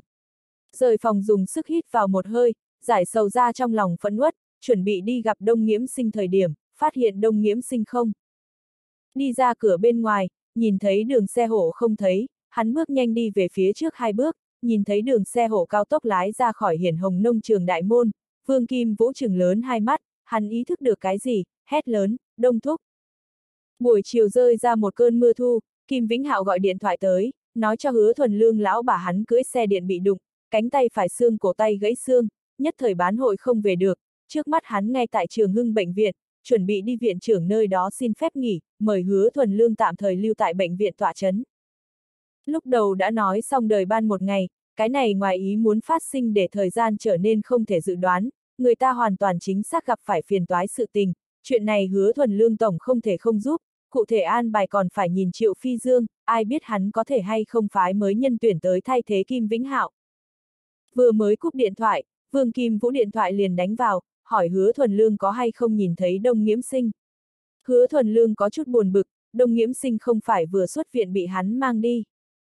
Vương Kim Vũ đem tình huống thuyết minh sơ qua một chút, hứa thuần lương thế mới biết đông nghiễm sinh không rên một tiếng lái xe rời đi nông trường, hiện tại Vương Kim Vũ phát động nông trường người chính đang khắp nơi tìm hắn, tìm không thấy chiếc xe kia, gọi điện thoại điện thoại cũng dập máy. Hứa thuần lương để Vương Kim Vũ không cần quá khẩn trương, đông nghiễm sinh trời sinh tính rộng rãi, không phải nghĩ không ra người, khả năng biết được mình được bệnh bạch huyết, trong lúc nhất thời tâm tình không tốt, cho nên nghĩ một người yên lặng một chút, hắn bên này cũng sẽ phát động mọi người hỗ trợ tìm một chút. Hứa thuần lương cúp điện thoại, lập tức tìm tới Trương Hải Đào, để hắn hỗ trợ tìm người. Theo lý thuyết Nguy Sơn đảo bên trên chỉ có một cỗ Land Rover Range Rover, tìm một người khó tìm, tìm một chiếc xe còn không dễ dàng. Quả nhiên, rất nhanh liền có người tại Thạch Lương Sơn Bắc sườn núi Thạch Lương thôn phát hiện chiếc kia đường xe hổ, Đông Nghiễm Sinh cũng không trong xe, có người suy đoán Đông Nghiễm Sinh khả năng lên núi, Vương Kim Vũ cảm thấy khả năng không lớn, bởi vì bọn hắn không có phát hiện lên núi dấu chân, mặc dù như thế vẫn là phân ra một bộ phận người đi trên núi tìm kiếm. Hứa Thuần Lương nghe nói tin tức về sau, cũng quyết định từ nam sườn núi lên núi, ngọn núi này mặc dù độ cao so với mặt biển không cao, nhưng là bởi vì trên núi cây rừng đông đảo, lại thêm trời mưa nguyên nhân nghĩ tìm một người cũng không dễ dàng như vậy, thêm một người nhiều một phần lực. Hứa thuần lương thay xong quần áo chuẩn bị lên núi thời khắc, Mai Như Tuyết gọi điện thoại tới, hỏi hắn đông nghiễm sinh đến cùng xảy ra chuyện gì tình huống, hứa thuần lương nói chuyện, nàng ngựa bên trên biểu thị mình cũng qua đến giúp đỡ. Hứa thuần lương vốn định khuyên nàng chớ cùng lấy thụ phần này tội, nhưng Mai Như Tuyết biểu thị cùng hắn tại Nam Sườn núi Sơn Khẩu tụ hợp. Hứa thuần lương đi vào Sơn Khẩu thời điểm, Mai Như Tuyết mang theo chấn chính phủ mấy người đã đến, nàng cho rằng loại thời điểm này nhiều cái người liền nhiều hơn một phần khả năng, Đông Nghiễm Sinh chẳng những là vị khả kính anh hùng càng là bọn hắn nguy sơn đảo tinh thần biểu tượng, nếu là hắn xảy ra chuyện ngay tại chỗ ảnh hưởng sẽ rất lớn. Hứa thuần lương bên này cũng có 8 người, Trương Hải đào đem bảo vệ khoa tất cả đều mang đến, còn nắm một con sói chó, kỳ thật đầu này không có trải qua chuyên nghiệp huấn luyện lang khuyển không được nhiều đại tác dụng. Thời gian đã là 5 giờ rưỡi chiều, sắc trời đã ảm đạm xuống, mọi người quyết định lập tức lên núi, từ nam sườn núi lên núi có hai con đường, hứa thuần lương để Trương Hải đào bọn hắn tuyển một đầu, mình thì gia nhập Mai Như Tuyết đội ngũ.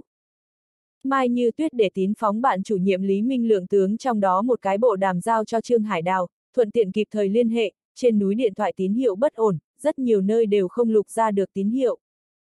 Lục soát cứu hành động vừa mới bắt đầu tiến hành, tuyên truyền khoa trương nhất bản liền vô ý bị chật mắt cá chân, đau đến nhe răng nhếch miệng, hứa thuần lương giúp hắn đơn giản kiểm tra một chút, xương cốt không có chuyện gì, nhưng nhất thời bán hội là không có cách nào lên núi, mấy người thương lượng một chút, quyết định từ Lý Minh Lượng cùng một tên khác làm việc trước hộ tống trương nhất bản xuống núi.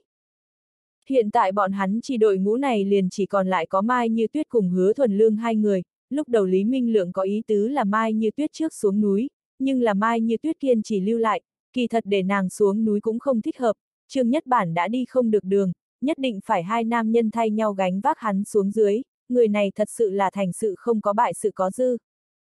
Một lần nữa chuẩn bị sau khi xuất phát, hứa thuần lương liên hệ một chút Trương Hải Đào, Trương Hải Đào bên kia trước mắt cũng không có phát hiện gì. Lại gọi điện thoại cho Vương Kim Vũ, Vương Kim Vũ đã từ bắc sườn núi bỏ tới giữa sườn núi, cho tới bây giờ còn không có phát hiện đông nghiễm sinh dấu chân, hắn cho rằng đông nghiễm sinh đại khái suất không có lên núi. Hứa thuần lương cúp điện thoại thời điểm, trời đã tối, mai như tuyết mở ra đèn pin, sáng như tuyết trùm sáng xuyên thấu qua mưa phùn chiếu hướng về phía trước, lông châu một dạng mưa thu dùng trắng sáng quỹ tích lấp kín chùm sáng. Hứa thuần lương nhắc nhở nàng cẩn thận dưới chân. Mai như tuyết nói, đông tổng không giống như là nghĩ không ra người, vì sao lại đột nhiên đi không tử giã. Hứa thuần lương nói, có thể là nghĩ một người lẳng lặng. Mai như tuyết nói, hai cha con cửu biệt trùng phùng không phải nên cao hứng sao. Hứa thuần lương nói, buồn vui đan sen, nội tâm chập trùng lớn hơn. Hắn lớn tiếng nói, đông thúc. Hứa thuần lương thanh âm bị núi gió thổi thất linh bát lạc, trong lòng thầm than, mình nhặt lại tu luyện cũng có hơn mấy tháng, đáng tiếc tiến triển chậm chạp, nội lực một lát là không cách nào lấy được tiến cảnh, còn tốt thời đại này cao thủ không nhiều. Mai như tuyết bỗng nhiên bắt lấy cánh tay của hắn, chỉ vào sau lưng, hứa thuần lương quay người nhìn lại, đã thấy một cái thân ảnh màu đen chính hướng lấy vị trí của bọn hắn phi tốc tới gần, xa xa nhìn lại như cùng một con ghé qua ở giữa rừng dã thú, nhìn kỹ tựa như là một người, bởi vì hắn leo lên tốc độ quá nhanh, cho nên mới sẽ sinh ra tao ngộ dã thú ảo giác. Mai như tuyết thay đổi đèn pin hướng bóng đen kia chiếu đi, đối phương dùng tay che khuất chùm sáng, trầm giọng nói, là ta. Hứa thuần lương làm sao cũng không nghĩ tới người tới lại là Thư Viễn Hàng, Thư Viễn Hàng đến Thạch Lương Sơn nhất định là vì tìm kiếm phụ thân hắn đông nghiễm sinh, nhìn từ điểm này, trong lòng hắn vẫn là có đông nghiễm sinh vị trí. Mai Như Tuyết chưa từng gặp qua Thư Viễn Hàng, ấn tượng đầu tiên là người này khẳng định có quá dài kỳ ngoài trời vận động kinh nghiệm, không phải hắn leo lên tốc độ sẽ không như thế nhanh. Thư Viễn Hàng rất nhanh liền đuổi kịp cước bộ của bọn hắn, cũng không có dừng lại ý tứ, nhìn hứa thuần lương một chút, ngay cả chào hỏi cũng không đánh tiếp tục tiến lên, rất nhanh lại đem hai người bọn họ bỏ lại đằng sau. Hứa thuần lương nếu như không phải là vì chiếu cố mai như tuyết hẳn là có thể cùng thư viễn hàng so liều một phen cước lực, nhưng bây giờ không nhất thiết phải thế. Mai như tuyết nhỏ giọng nói, hắn chính là đông tổng nhi tử. Hứa thuần lương nhẹ gật đầu, luôn cảm thấy người này toàn thân trên dưới lộ ra cổ quái, nghe Vương Kim Vũ nói, đông nghiễm sinh đi không tử giã chính là người này tạo thành, hẳn là nghe được bọn hắn phát sinh xung đột lúc đối thoại. Chừng 7 giờ tối, tất cả lục soát cứu người viên đều đi vào đỉnh núi hội hợp, mọi người không thu hoạch được gì, không có người phát hiện đông nghiễm sinh tung tích, dưới núi tại Thạch Lương thôn chung quanh lục soát người cũng giống như nhau kết quả. Hứa thuần lương cũng không có trong đám người tìm tới thư viễn hàng, hắn hỏi một chút Phương Kim Vũ, Phương Kim Vũ nhắc lên thư viễn hàng liền đến khí, nói cho hứa thuần lương mình liền không thấy được hắn, nếu như hắn tới, chứng minh hắn nhiều ít còn có chút nhân tính. Mọi người hiện trường thương lượng một chút, quyết định riêng phần mình xuôi theo đường cũ xuống núi, tại trên đường xuống núi tiếp tục lục soát, từ tình trạng trước mắt đến xem đông nghiễm sinh đại khái suất không tại trên ngọn núi này, bằng không mọi người náo ra động tĩnh lớn như vậy hắn khẳng định nghe được, trừ phi hắn trốn ở một nơi nào đó không muốn gặp người. Nam đường dốc đường tương đối dốc đứng, hứa thuần lương đề nghị Mai Như Tuyết đi theo đại bộ đội từ phía bắc đi, Mai Như Tuyết kiên chỉ cùng hắn một đường, trở về con đường, bọn hắn tận lực lựa lấy không có trải qua địa phương lục soát, đi vào mã đề tuyển thời điểm, hơi chút nghỉ ngơi, Mai Như Tuyết phát hiện phụ cận dấu chân, vừa rồi bọn hắn từ mã đề tuyển bên trái trải qua, khoảng cách có chừng hơn 10 mét, bởi vì nhìn thấy phụ cận không ai liền không có tới, đương nhiên liền càng sẽ không lưu ý đến chân ấn. Dấu chân này khẳng định không phải bọn hắn lưu lại, dù sao vừa rồi không có đi qua nơi này, Trương Hải Tân bọn hắn cũng không có trải qua đi đoạn đường này tuyến, mà lại bọn hắn nhiều người, nơi này chỉ có hai hàng dấu chân, hẳn là thuộc về hai người. Trong đó một nhóm dấu chân rất có đặc thù, một con sâu một con cạn, hứa thuần lương đánh giá ra dấu chân chủ nhân hẳn là chân có mau bệnh, cho nên mới sẽ lưu lại sâu cạn không đồng nhất dấu chân, mà lại sâu là chân phải, cạn chính là chân trái, phù hợp đông nghiễm sinh tàn tật đặc thù. Mai như tuyết chỉ vào mặt khác một đôi dấu chân nói, đây là thư viễn hàng, ta vừa mới lưu ý qua vết chân của hắn. Hứa thuần lương nhẹ gật đầu, như thế nói đến thư viễn hàng cũng nhất định phát hiện đông nghiễm sinh dấu chân. Hai người lần theo dấu chân hướng về phía trước đi đến, truy lùng hơn 20 mét, dấu chân không có vào bụi cỏ, càng đi về phía trước mấy bước, chính là dốc đứng sườn dốc, hứa thuần lương nhìn thấy địa thế hiểm trở, muốn cho Mai Như Tuyết tại nguyên chỗ chờ đợi. Mai Như Tuyết nói, ta một người lưu tại nơi này ngươi yên tâm a. À. Nói xong mình có chút ngượng ngùng, cảm giác giống như tại hướng hắn nũng nịu giống như. Hứa thuần lương nói, quá đột ngột, phía dưới địa thế không rõ. Lúc này hắn mơ hồ nghe được có người tiếng kêu cứu, Mai Như Tuyết cũng nghe đến, hai người nghiêng tai lắng nghe, thanh âm hẳn là từ phía dưới truyền đến, là một người nam tử tiếng kêu cứu. Hứa thuần lương nhắc nhở Mai Như Tuyết cẩn thận, bọn hắn dọc theo dốc đứng sườn dốc chuyến về, tiếng kêu cứu cũng biến thành càng ngày càng rõ ràng, Mai Như Tuyết dùng đèn pin hướng thanh âm phát ra phương hướng chiếu đi, hoán đổi đến lấp lóe hình thức. Không lâu đối phương cũng dùng phương thức giống nhau đến hô ứng, Mai Như Tuyết nói, hẳn là liền ở phía dưới. Nàng đi về phía trước một bước, dưới chân trượt đi, thân thể trong nháy mắt đã mất đi cân bằng, phát ra một tiếng duyên dáng gọi to, một con hữu lực đại thủ, bắt lấy cánh tay của nàng, trở về một vùng. Mai như tuyết nhào vào một cái rộng lớn trong lồng ngực, hứa thuần lương một mực chú ý cử động của nàng, phát hiện nàng xuất hiện tình trạng, trước tiên ra tay cứu viện. Mai như tuyết giật nảy mình, lập tức ý thức được thân thể của mình bị hứa thuần lương một mực ôm vào trong ngực, mặc dù hai người đều mặc trang phục leo núi, nhưng nàng vẫn khống chế không nổi thẳng thắn nhịp tim. Hứa thuần lương nhìn qua con mắt của nàng. Mai như tuyết ngượng ngập nói, người thả ta ra. người không muốn sống nữa. Hứa thuần lương đợi nàng đứng vững mới buông nàng ra, dùng đèn pin chiếu xạ một chút phía trước, cách bọn họ không đến 2 mét địa phương liền có một đầu đứt gãy, vừa mới nếu như không phải hắn kịp thời bắt lấy Mai Như Tuyết, chỉ sợ Mai Như Tuyết liền trực tiếp rơi xuống. Mai Như Tuyết nhỏ giọng nói, tạ ơn. Hứa thuần lương nói, nói miệng không bằng chứng, quay đầu cho ta viết cái phiếu nợ. Mai Như Tuyết mắng, còn dự định ỉ lại vào ta rồi. Hứa thuần lương cẩn thận đi vào đứt gãy mang biên giới, mượn chùm sáng nhìn xuống dưới, phía dưới chính là vách núi, cúi đầu nhìn thời điểm, một vệt sáng từ đuôi đến đầu chiếu bắn lên, vừa vặn chiếu vào hứa thuần lương trên mặt. Hứa thuần lương bị chiếu lên trước mắt trắng bóng một mảnh, nhịn không được kêu lên, người nghiêng nghiêng điểm, mắt đều bị người chiếu bỏ ra.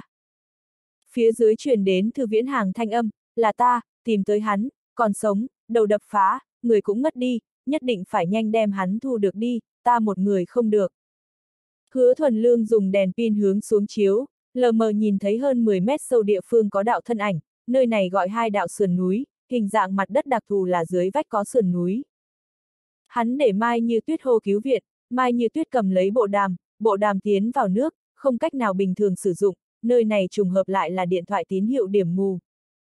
Hứa thuần lương nhìn nhìn điện thoại di động của mình cũng giống như vậy, hắn thở dài để Mai Như Tuyết nguyên địa chờ, mình trước bỏ đi xuống xem một chút tình huống.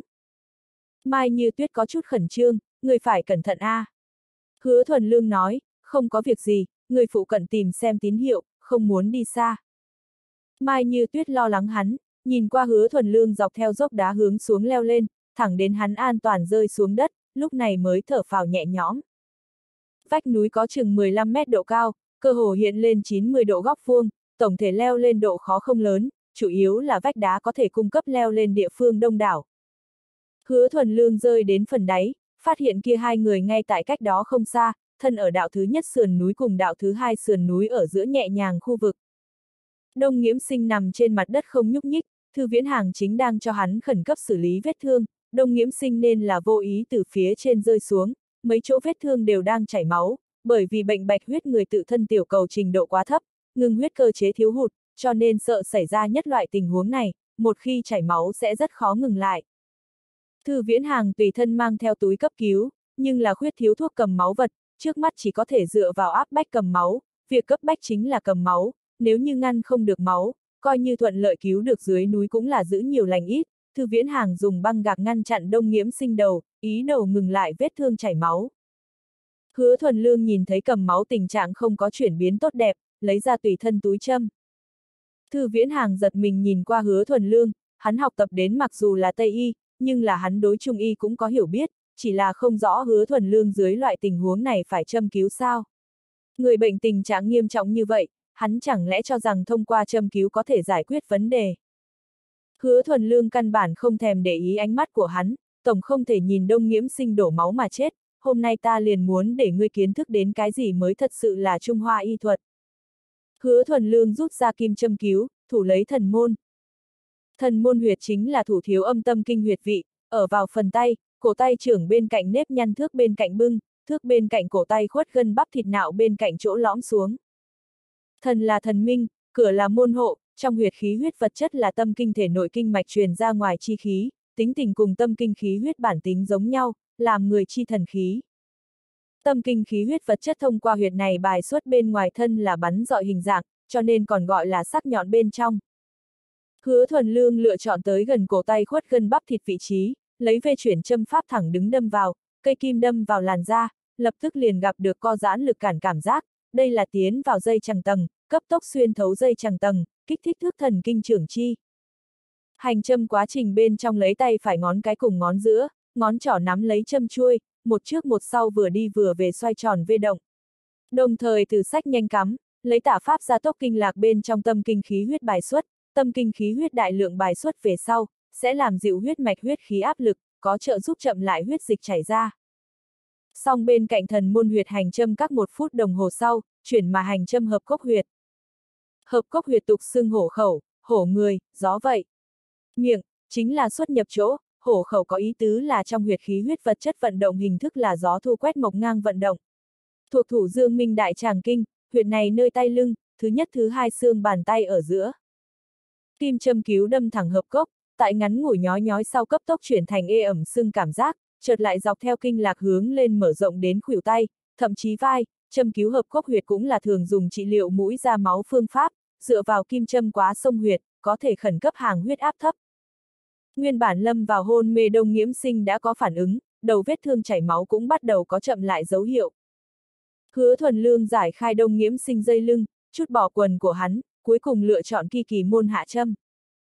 Kỳ người, thổ kỳ vậy, gánh vật chi khí vậy, cửa, xuất nhập chi môn hộ, tỷ thổ sản chất ở đây huyệt vận hành chuyển hóa, là huyết hải huyệt nước ẩm ướt vân khí chướng tán mang tới tập tục, đến kỳ kỳ môn về sau, tập tục biến thành mạnh mẽ chi thế cũng thổi mang tỷ thổ sản chất thuận theo mà đi, trong huyệt tỷ thổ sản chất như là bị thổ kỳ gánh vận mà ra.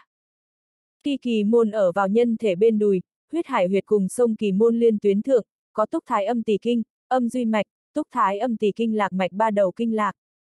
Hứa thuần lương kim châm kỳ kỳ môn mục đích là vì ngăn cản tỷ thổ sản chất chuyển hóa, đoạn dừng lại từ huyết hải huyệt tập tục, nước tới đất ngăn, tỷ thổ đã cố, chảy máu từ ngưng. Hứa thuần lương áp dụng nhanh đâm pháp thẳng đứng tiến châm, đột phá làn da cùng mỡ tầng, đến rõ ràng lực cản cảm giác khoát da thịt, ở đây da thịt trên dưới áp dụng chậm tiến mau ra bổ pháp. Châm cứu kỳ kỳ môn trị được liệu rất nhiều nhân thể tiêu chảy, như nữ nhân đau bụng kinh, công năng tính tình cung chảy máu, nam nhân mộng tinh, còn kiêm hữu khẩn cấp cầm máu công năng. Lúc này đông nhiễm sinh trên thân thể vết thương đã cầm máu, thư viễn hàng nếu như không phải tận mắt nhìn thấy, đơn giản không thể tin được người này chỉ bằng một cây kim châm cứu liền trợ giúp phụ thân ngừng lại chảy máu, cùng hắn tướng so với mình sử dụng băng bó cùng tăng áp lực cầm máu pháp đơn giản lâu phát nổ. Đông nhiễm sinh chậm rãi mở hai mắt ra, ta, không có việc gì. Hứa thuần lương nghe được Mai như tuyết lo lắng tiếng kêu cứu, nhìn đến vẫn là không có có thể liên hệ với những người khác, mưa càng lúc càng lớn. Thư viễn hàng nói, nhất định phải nhanh đem hắn đưa đến bệnh viện, nhiệt độ của người hắn rất cao. Hứa thuần lương ngẩng đầu nhìn vách núi, trước mắt đến xem chỉ có thể cõng đông nghiễm sinh leo đi lên. Thư viễn hàng nói, ta cõng hắn đi lên. Hứa thuần lương nhìn thư viễn hàng một chút, thư viễn hàng cũng không đến 1m75, đông nghiễm sinh thế nhưng là 1m82 to con, liền thư viễn hàng thân thể hẳn là quá cố hết sức. Hứa thuần lương nói, ta tới đi, người có giày thường sao? Thư viễn hàng nhẹ gật đầu, hắn vừa rồi kiến thức hứa thuần lương leo núi thân thủ, tuyệt không kém hơn mình, trên lực lượng hẳn là so với mình cũng mạnh lên không ít.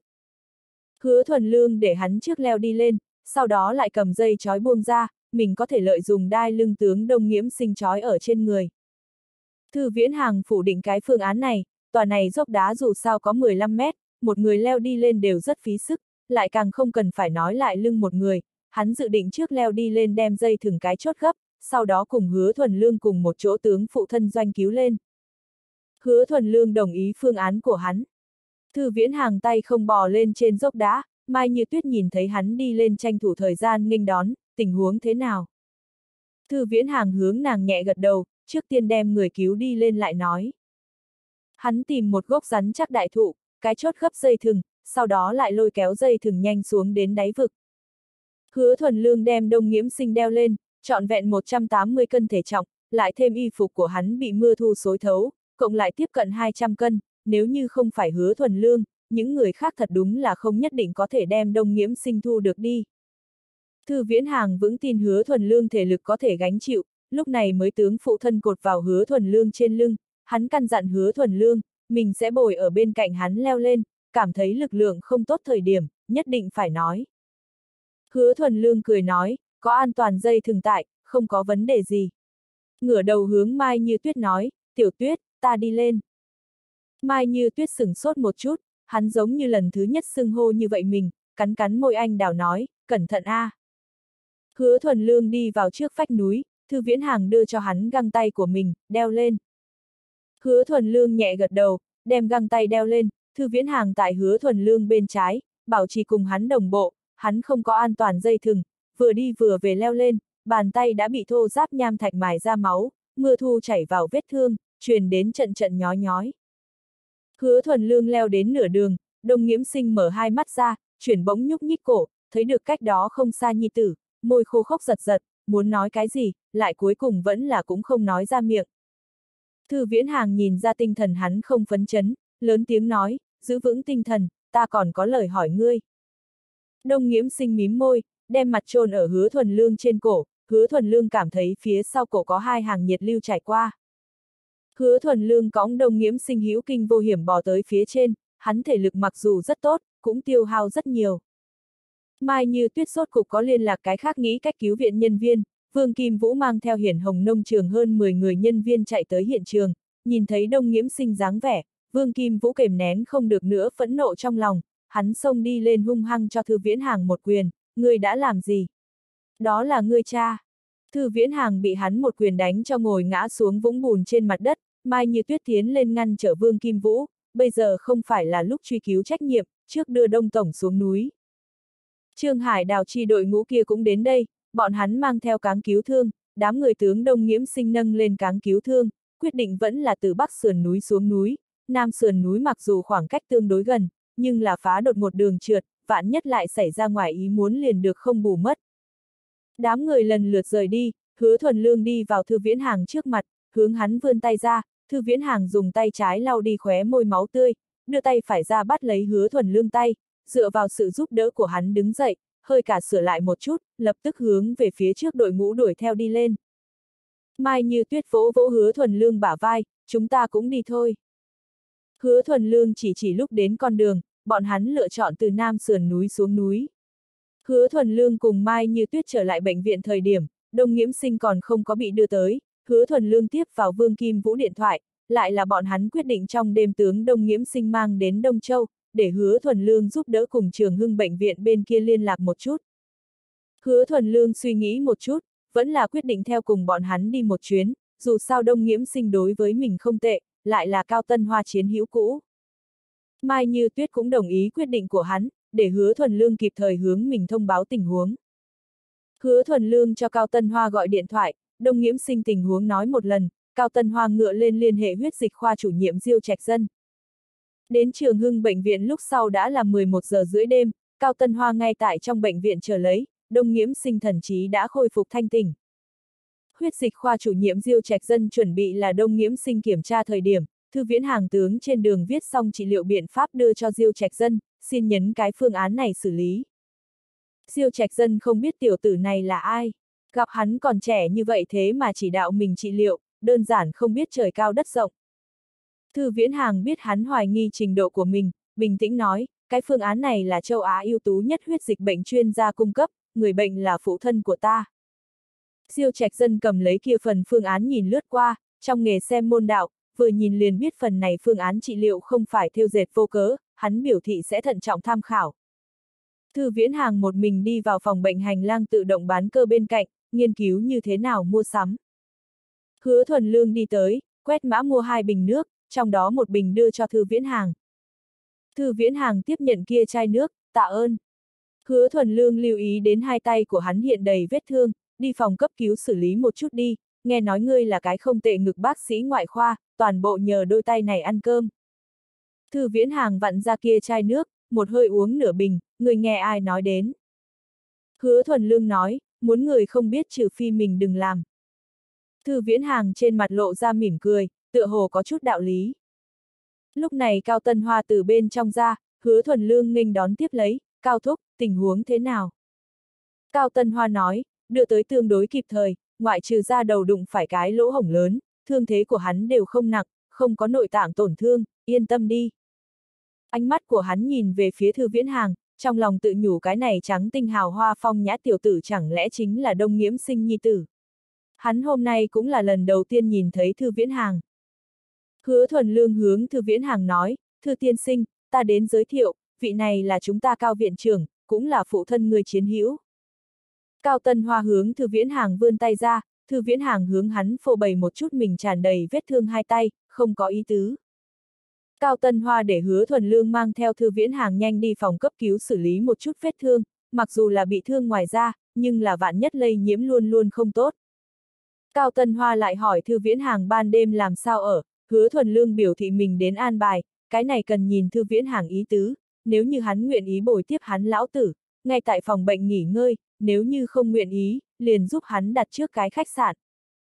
Cao Tân Hoa rời đi về sau, hứa thuần lương mang theo thư viễn hàng đi phòng cấp cứu chỗ sửa lại một chút vết thương, thư viễn hàng cũng không băng bó, chỉ là tiến hành đơn giản làm sạch vết thương trừ độc. Liền nhanh một chút giờ, còn nhận được Mai Như Tuyết tin tức, hứa thuần lương để nàng an tâm nghỉ ngơi, hết thảy cũng rất thuận lợi. Thời gian này, hứa thuần lương cũng không cần phải trở về lần đằng lão gia tử, trưng cầu một chút thư viễn hàng ý kiến, thư viễn hàng biểu thị hắn đêm nay vẫn là lưu tại bệnh viện. Dày vò lâu như vậy, tất cả mọi người chưa ăn cơm, hứa thuần lương hỏi hắn muốn hay không cùng một chỗ ăn một chút gì, thư viễn hàng khéo lời từ chối. Lúc này Vương Kim Vũ ra tìm hứa thuần lương, nhìn thấy thư viễn hàng cái mũi không phải cái mũi con mắt không phải con mắt, Vương Kim Vũ cho rằng đêm nay hết thảy đều là thư viễn hàng tạo thành, trước đây ở trên núi không có khống chế lại cảm xúc đánh hắn một quyền cũng là đáng đời. Vương Kim Vũ không có cùng Thư Viễn Hàng chào hỏi, Thư Viễn Hàng cũng không có phản ứng hắn, xoay người đi phòng bệnh. Vương Kim Vũ nhìn qua Thư Viễn Hàng bóng lưng giận không kềm được nói, nhìn một cái cái kia hùng dạng, nếu không phải xem ở đông tổng phân thượng, ta nhất định đánh tới hắn răng rơi đầy đất. Hứa Thuần Lương nói, ngươi không sợ già tấm về sau tìm ngươi tính sổ sách. Tính sổ sách coi như sổ sách, ta giận a. À. Hứa Thuần Lương đề nghị đi ăn một chút gì, Vương Kim Vũ cũng đang có ý này, Đông Châu sống về đêm còn rất đơn giản điều, đến cái giờ này, còn tại khai trương trên cơ bản chỉ có đồ nướng. Hai người đi bệnh viện phụ cận linh tỷ đồ nướng, hoàn cảnh không dám lấy lòng, khói mù lượn lờ, chính là nhiều người náo nhiệt. Nơi này thịt dê tương đối mới mẻ, đều là hiện cắt hiện mặc, bên ngoài mưa thu hạ không ngừng, đã có cuối thu hẳn ý. Vương Kim Vũ cùng hứa thuần lương đều không thích uống bia, loại địa phương này cũng không có gì tốt rượu, Vương Kim Vũ tuyển một bình bắc đại kho bộ yêu, cái giá này thế năng uống đến thuần lương rượu không nhiều. Hai người rót đầy một ly pha lê rượu đế, đụng một cái, một ngụm liền uống xong một nửa.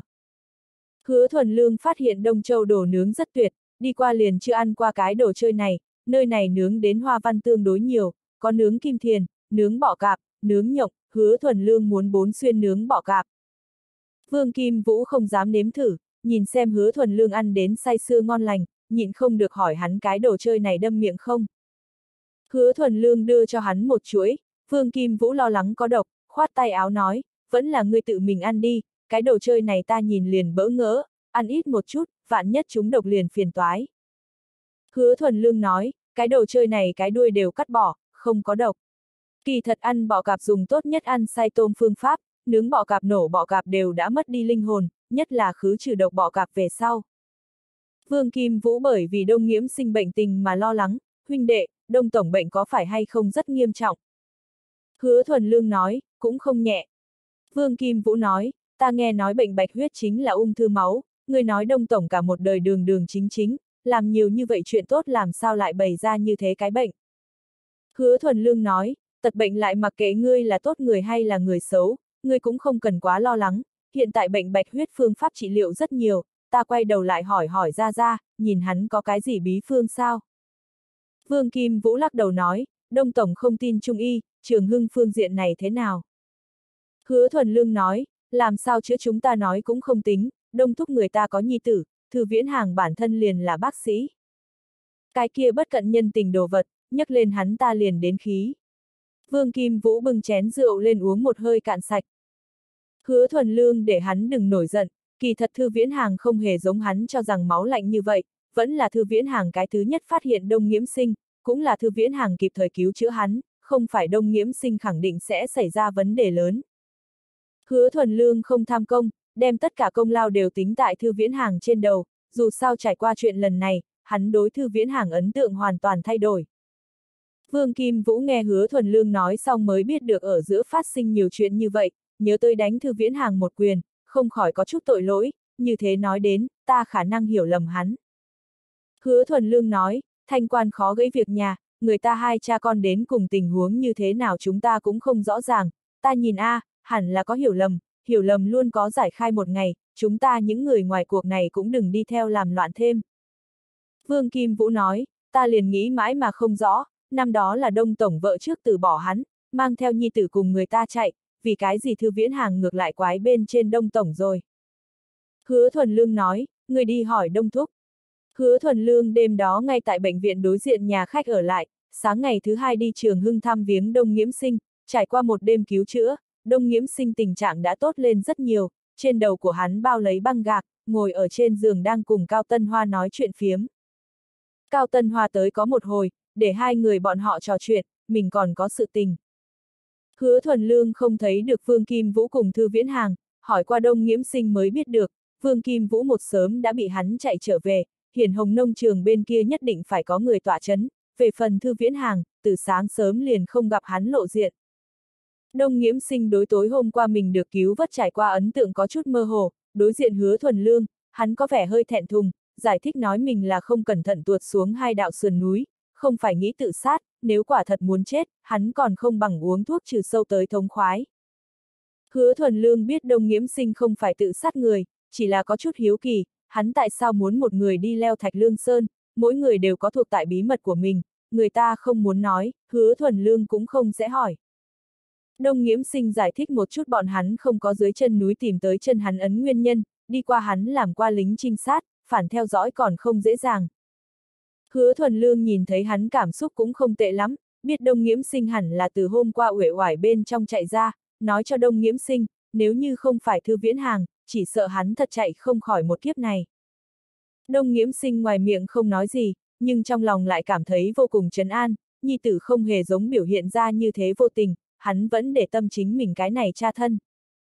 Hứa thuần lương để đông nghiễm sinh an tâm nghỉ ngơi, tại trường hưng hắn sẽ có được tốt nhất chiếu cố, trường hưng cũng sẽ cung cấp tốt nhất chữa bệnh tài nguyên, nếu như hắn không yên lòng trường hưng chuyên gia trình độ, trường hưng có thể giúp một tay liên hệ trong nước đứng đầu nhất huyết dịch bệnh chuyên gia. Bởi vì biết đông nghiễm sinh bài xích trung y, hứa thuần lương cũng liền không có chủ động đề cập phương diện này sự tình, trung y cũng không phải vạn năng, tại trị liệu bệnh bạch huyết phương diện liền liền hắn cũng không có trăm phần trăm nắm chắc.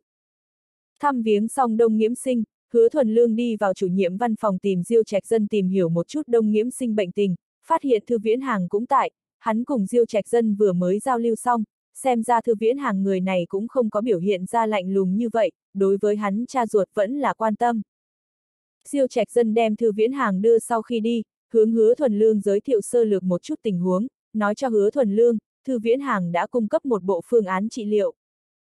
Căn cứ tình huống trước mắt đến xem, đông nhiễm sinh hẳn là cấp tính hạt tế bào tính bệnh bạch huyết, truyền thống phương pháp trị liệu chính là lợi dụng trị bệnh bằng hóa chất đem trong thân thể bạch cầu về không, sau đó tiến hành cốt tủy cấy ghép, một cái biện pháp khác chính là từ thể tạo máu làm tế bào cấy ghép. Đương nhiên hiện tại mới nhất chữa bệnh thủ đoạn còn có KT, chính là khảm hợp kháng nguyên thụ thể tê bạch huyết tế bào liệu pháp tiếng Anh viết tắt, là cái bia hướng trị liệu một loại, trước mắt Trường Hưng cũng không khai triển phương diện này trị liệu. Thư Viễn Hàng cung cấp phương diện này phương án trị liệu, vừa rồi hắn còn giúp trợ diêu trạch dân liên tuyến châu Á chứ danh huyết dịch bệnh chuyên gia Tiểu Lâm Quang hai tiến sĩ, thảo luận đông nhiễm sinh bệnh tình, cũng cấp ra đề nghị. Diêu trạch dân cảm khái nói, cái này Thư Viễn Hàng rất là không đơn giản, hắn đối y học kiến giải rất sâu, trình độ rất cao. Kỳ thật chân chính rung động đến hắn là Thư Viễn Hàng vòng bằng hữu Tiểu Lâm Quang hai là châu Á huyết dịch bệnh quyền uy, Diêu Trạch Dân từng tại Nagoya nghe qua hắn tọa đàm, đối với người này y thuật phi thường bội phục. Hai người nói chuyện thời điểm, viện trưởng Triệu Phi Dương gọi điện thoại tới, Triệu Phi Dương đã nghe nói đông nghiễm sinh sự tình, cho hứa thuần lương gọi cú điện thoại này chính là muốn kỹ càng tìm hiểu một chút hắn tình huống. Triệu Phi Dương cũng không nghĩ tới đông nghiễm sinh bệnh sẽ nghiêm trọng như vậy, lúc trước hứa thuần lương hướng hắn hồi báo thời điểm vẫn là đau nhức gió, này làm sao đột nhiên chuyển thành bệnh bạch huyết, bởi vì đau nhức gió nằm viện, tiền thuốc men hắn cũng liền cho miễn đi, nhưng là bệnh bạch huyết không giống. Triệu Phi Dương có chút hối hận chính mình lúc trước đem lời nói được quá vẹn toàn, vạn nhất đồng nghiễm sinh nghiêm túc làm sao bây giờ. Mình nếu là hết lòng tuân thủ hứa hẹn, khả năng này là cái hang không đáy, mình nếu là đổi ý, chẳng phải là nói không giữ lời. Hứa thuần lương nói cho Triệu Phi Dương dựa theo chỉ thị của hắn đã đem phân viện kia bộ phận phí tổn miễn trừ, về phần đi vào bản bộ về sau sinh ra phí tổn, hắn không có đề cập, đông nghiễm sinh sẽ tự hành gánh chịu. Triệu Phi Dương lúc này mới yên lòng lại, chứng minh hứa thuần lương đáy lòng vẫn là có ít, không có đem mình tất cả đều chuyển đạt, cái này cũng cho hắn một lời nhắc nhở, về sau nói chuyện nhất định phải có lưu chỗ trống, hắn mặc dù là trường hưng người đứng đầu, nhưng là cũng không phải là mọi chuyện cần thiết đều có thể làm nhà làm chủ, quyền lực trong tay vẫn là có hạn chế. Nếu như đông nghiễm sinh sinh ra mấy vạn mười mấy vạn phí tổn, hắn có thể bút lớn vung lên một cái hỗ trợ miễn trừ, nhưng là bệnh bạch huyết thế nhưng là cái hang không đáy, mấy chục hơn trăm vạn cũng có thể, may mắn hứa thuần lương không có đem hắn khoác lác y nguyên không thay đổi chuyển đạt đi qua, không phải liền lúng túng. Triệu Phi Dương nghe nói hứa thuần lương ngay tại huyết dịch khoa, để hắn tạm thời chớ đi, mình lập tức liền đi qua thăm viếng đông Nghiễm sinh. Mặc dù cùng đông Nghiễm sinh ở giữa hợp tác chưa thể đạt thành, nhưng là trường hưng nghĩ tại Nguy Sơn đảo đặt chân phát triển, cũng là muốn cùng người này chỗ tốt quan hệ. Hứa thuần lương đợi nửa giờ, Triệu Phi Dương tại viện xử lý chủ nhiệm Lâm Nham Sinh, Nguy Sơn đảo phân viện viện trưởng Kim Vĩnh Hạo cùng đi đến đây. Kim Vĩnh Hạo cũng có chút bất đắc dĩ, lão bà còn tại khoa chỉnh hình nằm viện, trở ngại chỗ chức trách, cũng không thể không xuất hiện, dù sao hắn là phân viện viện trưởng, đông nghiễm sinh lại là từ Nguy Sơn đảo bệnh viện đưa tới. Kim Vĩnh Hạo cũng không nghĩ tới chân trước rời đi bệnh viện, chân sau liền phát sinh chuyện như vậy, hắn cùng hứa thuần lương giao đưa một ánh mắt, hai người đều ngầm hiểu. Huyết dịch khoa chủ nhiệm Diêu Trạch Dân tự nhiên muốn đang bồi cùng liệt kê, lại đem đông nhiễm sinh bệnh tình báo cáo một lần, hắn cũng ý thức được đông nhiễm sinh là vị bệnh nhân vô cùng trọng yếu, từ tối hôm qua khẩn cấp nhập viện đến bây giờ, trước tới thăm lãnh đạo nối liền không dứt, hiện tại liền đại lão bản cũng đích thân tới. Cho nên Diêu Trạch Dân cũng chuyên môn bàn giao, đông nhiễm sinh gian phòng kia đừng lại an bài bệnh nhân của hắn, giường ngủ bác sĩ cùng hộ lý nhân viên nhất định phải chú ý thái độ. Bất kỳ xã hội nào đều làm không được tuyệt đối người người bình đẳng, bình thường người ở trong xã hội có thể thu hoạch tôn trọng cùng của cải của ngươi cùng địa vị xã hội kính trình chỉnh sửa so quan hệ. Triệu Phi Dương để cho người ta đưa lên lãng hoa cùng dinh dưỡng phẩm, thân thiết cùng đông nghiễm sinh nắm tay. Đông nghiễm sinh có chút ngượng ngùng, triệu viện trưởng, lần này ta sinh bệnh cho quý viện thêm phiền toái. Hắn phi thường rõ ràng triệu phi dương cùng mình cũng không có sâu như vậy giao tình, cũng minh bạch đối phương khách khí như thế nguyên nhân, nhưng là vẫn bị đối phương lễ ngộ cảm động, ai không sĩ diện. Triệu phi dương mỉm cười nói, Đông Tổng, chúng ta là lão bằng hữu A, người đến bệnh viện chúng ta, cũng biểu lộ người đối với chúng ta trường hưng tín nhiệm, ta đã an bài trường hưng hạng nhất chuyên gia đoàn đội là ngươi phục vụ, tin tưởng ngươi nhất định sẽ rất nhanh khôi phục khỏe mạnh. Đông Nghiễm Sinh nói, cảm tạ triệu viện, cảm tạ trường hưng, con người của ta không thế nào biết nói chuyện, về sau A, hiển hồng nông trường cùng trường hưng chính là huynh đệ đơn vị, chỉ cần dùng được ta đông nghiễm sinh địa phương, triệu viện một mực mở miệng. Triệu Phi Dương trước mặt mọi người giới thiệu một chút đông nghiễm sinh anh hùng lịch sử, để diêu trạch dân nhất định phải chiếu cố tốt vị này chiến đấu anh hùng. Hứa thuần lương phát hiện thư viễn hàng không ở nơi này, người này lại không biết trượt đi nơi nào, thật sự là không hiểu rõ con hàng này, rõ ràng quan tâm hắn cha, còn muốn cố ý giả ra chẳng hề để ý dáng vẻ. Triệu Phi Dương dừng lại không đến 10 phút đồng hồ liền rời đi, tùy hành nhân viên quá nhiều cũng bất lợi cho đông nghiễm sinh nghỉ ngơi. Đến đi ra bên ngoài Triệu Phi Dương hướng Kim Vĩnh Hạo nói, Lão Kim, tẩu tử thế nào? Kim Vĩnh Hạo nguyên lai tưởng rằng hắn không biết, không nghĩ tới hắn chủ động quan tâm chuyện này, có chút cảm động nói, không có việc gì, đã đánh tốt thanh nẹp, thua hai ngày dịch liền có thể xuất viện. Triệu Phi Dương chuyển hướng hứa thuần lương nói, lão Kim không dễ dàng a, à, nhi tử sang năm liền muốn tham gia thi cấp 3, lão bà lại ra tai nạn xe cộ, gia đình áp lực tất cả đều rơi vào hắn trên người một người, phân viện công việc ngươi về sau muốn bao nhiêu gánh chịu một chút. Kim Vĩnh Hạo lúc đầu muốn hướng Triệu Phi Dương đưa ra triệu hồi bản bộ chuyện công việc, nhưng hắn trước mặt mọi người kiểu nói này mình lại không tốt đề, biểu lộ có chút xấu hổ, nếu như tiếp tục đảm nhiệm cái này phân viện viện trưởng, đây không phải là còn phải đi ở trên đảo công việc. Hứa Thuần Lương nói, triệu viện xin yên tâm, ta sẽ nắm chắc phân viện công việc, quyết không để ngài thất vọng.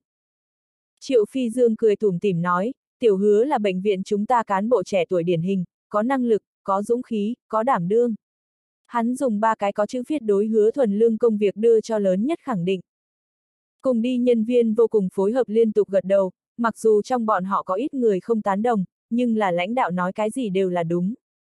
Triệu Phi Dương lại nói, Lão Kim, người cảm thấy tiểu hứa có thể đảm nhiệm bên kia công việc à? Kim Vĩnh Hạo nói, thuần lương đồng chí công việc thành tích rõ như ban ngày. Hắn bỗng nhiên lại nhìn đến hy vọng, dứt bỏ tư tâm, hứa thuần lương người này xác thực rất có năng lực, Nguy Sơn đảo cái kia cục diện rối rắm cũng chỉ có hắn mới có thể chơi đến chuyển, đây là đã chứng minh qua. Hứa thuần lương trong lòng tự nhủ ngươi nha vì rời đi Nguy Sơn đảo đã cái gì cũng không để ý, coi như dẫm lên ta cũng phải lên bờ, kỳ thật hứa thuần lương đã sớm có chuẩn bị tâm lý, triệu phi dương nhất thời bán hội là không muốn để cho mình trở về, hắn hiện tại không quan trọng, dù sao ở đâu công việc đều là giống nhau, Nguy Sơn đảo tương đối tự do, nơi đó còn có Mai Như Tuyết. Triệu Phi Dương nói, người về tới trước tạm thời đảm nhiệm phòng khám bệnh tổng chi bí thư đi, Trần Thư Ký đều đề nhiều lần, hắn phi thường thưởng thức ngươi. Kim Vĩnh Hạo tâm hoa nộ phóng, hắn không đủ trình độ Triệu Phi Dương cái tầng quan hệ này, nhưng là hắn cùng bí thư Trần Hưng An là ở tại một cái cư xá hàng xóm, hai người bình thường lui tới không ít, là hắn năn nỉ Trần Hưng An hỗ trợ đem mình triệu hồi bản bộ. Trần Hưng An hoàn toàn chính xác tại Triệu Phi Dương trước mặt đề cập qua mấy lần, nhưng mỗi lần đều không có đoạn dưới, lần này Triệu Phi Dương rốt cục đáp ứng. Phòng khám bệnh tổng chi trước thư ký cũng không thực quyền, nhưng là Kim Vĩnh Hạo không quan tâm, bản thân hắn cũng không có lòng cầu tiến gì, hắn lớn nhất hy vọng chính là trông nom việc nhà đình kinh doanh tốt, liền trước mắt mà nói, cái gì cũng không bằng nhi tử việc học trọng yếu. Triệu Phi Dương nói, người cùng tiểu hứa đem công việc giao tiếp một chút, tiểu hứa, biểu hiện tốt một chút a. À. Hứa thuần lương cười cười, với hắn mà nói không tính là gì chuyện xấu, Triệu Phi Dương đây coi như là cho mình thăng quan sao. Nói thăng quan đi, không có trực tiếp bổ nhiệm mình đương phân viện viện trưởng, nói không có thăng, để cho mình chủ trì phân viện công việc, đây chính là cho thực quyền không cho danh phận. Đây là Triệu Phi Dương am hiểu nhất xáo lộ, đi qua tại y tế chỗ thời điểm hắn cứ làm như vậy qua, đối hứa thuần lương tới nói đã không mới mẻ, loại này sáo lộ chính là cho miệng ngươi ăn nhưng là tuyệt không đem ngươi cho ăn no, để ngươi từ đầu tới cuối duy trì cảm giác đói bụng. Hứa thuần lương mê quyền trước lúc đầu cũng không nhiều lắm, bất quá hắn cảm thấy bên trong thể chế lục đục với nhau cũng phi thường thú vị, Triệu Phi Dương thật sự cho rằng có thể đem mình đùa bỡn tại chỉ trong bàn tay. Hắn là đem mình nghĩ quá thông minh vẫn là đem ta nghĩ đến quá đần. Triệu Phi Dương quả nhiên còn có hậu thủ, an bài nguyên phòng khám bệnh tổng chi bí thư Đàm Hải Yến tiến về phân viện đảm nhiệm bí thư, đương nhiên cái này một loạt điều binh khiển tướng là thông qua bí thư Trần Hưng An tuyên bố. Trần Hưng An nhìn ra Triệu Phi Dương tại hạ một bàn lớn cờ, tay của hắn đã rời khỏi mình chủ quản phạm vi bên trong. Nguy Sơn đảo phân viện xuất hiện một cái tương đối có ý tứ hiện tượng, không có chính viện trưởng, chỉ có một vị phó viện trưởng cùng một vị bí thư. Hoa niên tập đoàn đoạn Viễn Hồng đã đến Đông Châu, mà lại lần này hắn mang đến chuyên nghiệp tài sản ước định đoàn đội, đoàn đội vào ở Trường Hưng, bắt đầu đối Trường Hưng kinh doanh tình trạng tiến hành toàn diện ước định. Trường Hưng tất cả nhân viên đều có loại gió thổi báo rông bão sắp đến cảm giác, rất nhiều người thậm chí bắt đầu lo lắng, trong tay bát sắt có thể hay không biến thành sứ bát cơm, hơi không cẩn thận liền có ngã nát khả năng. Triệu Phi Dương tại viện tuần sẽ lên đặc địa cường điệu, hiện tại hết thảy chưa có kết luận, bọn hắn đồng dạng phái ra đoàn đội vào ở Hoa Niên tập đoàn, đối Hoa Niên tập đoàn kinh doanh tình trạng tiến hành điều tra. Song phương hợp tác tất nhiên muốn tại công khai trong suốt điều kiện tiên quyết tiến hành, muốn tại các cấp lãnh đạo bộ môn giám sát hạ tiến hành. Tại cuối cùng ước định báo cáo không có ra sân khấu trước đó, còn không cụ thể hợp tác phương án, tóm lại để mọi người yên tâm, bệnh viện sẽ căn cứ lấy công nhân viên chức lợi ích làm đầu, lấy trường hưng lợi ích làm đầu nguyên tắc, tuyệt không có khả năng tổn hại mọi người lợi ích. Triệu Phi Dương công khai tuyên bố cũng không đưa đến trấn an dân tâm tác dụng, trường hưng nội bộ y nguyên lòng người lưu động, đoạn thời gian gần nhất, hành phong ban cùng y tế chỗ khiếu nại tăng vọt, có chút vốn là thất bại, lại lo lắng tiền đồ chưa biết người đã bắt đầu phòng ngừa chu đáo, nghĩ biện pháp rời trường hưng. Triệu Phi Dương biết rõ bất luận cái gì biến đổi trước đó đều sẽ kinh lịch đau từng cơn, càng là loại thời điểm này càng là cần phải tỉnh táo cùng kiên nhẫn, hắn có thể thừa cơ quan sát người nào có thể dùng, người nào cần vứt bỏ. Hắn trong lý tưởng Trường Hưng là một cỗ phối hợp ăn ý chiến xa, chỉ cần hắn vung tay lên, tất cả nhân viên công đều sẽ đồng tâm hiệp lực hướng một cái phương hướng cố gắng. Chỉ là Triệu Phi Dương cũng không nghĩ tới đau từng cơn đến mức như thế chi sớm, thiên hải kiến thiết xảy ra chuyện, bởi vì trái với an toàn thao tác quy định, một vị khoa điện công tại 12 lầu trang trí bên trong điện giật tử vong. Làm cho người ta không nói được lời nào chính là, vị này khoa điện công không có khoa điện công chứng, căn cứ bọn hắn ký kết hợp đồng, chuyện này cùng Trường Hưng không có bất cứ quan hệ nào, Trường Hưng cũng là người bị hại.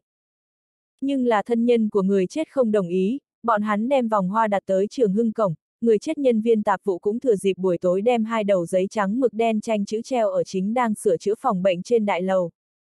Trước đây ít năm loại hiện tượng này rất phổ biến, bệnh viện người chết thường xuyên có thân nhân bệnh nhân nháo sự, đi bệnh viện bày vòng hoa thiết linh đường. Bởi vì khi đó pháp luật tương quan còn không kiện toàn, cho nên viện phương cũng là khiếu nại không cửa. Hiện tại những này đều thuộc về y náo hành vi, đã lập pháp quản lý, bệnh viện có pháp có thể theo, đối loại hành vi này không dễ dàng tha thứ, huống chi lần này đối phương náo sai đối tượng, là thi công phương an toàn quản lý xảy ra vấn đề, cùng Trường Hưng không có bất cứ quan hệ nào.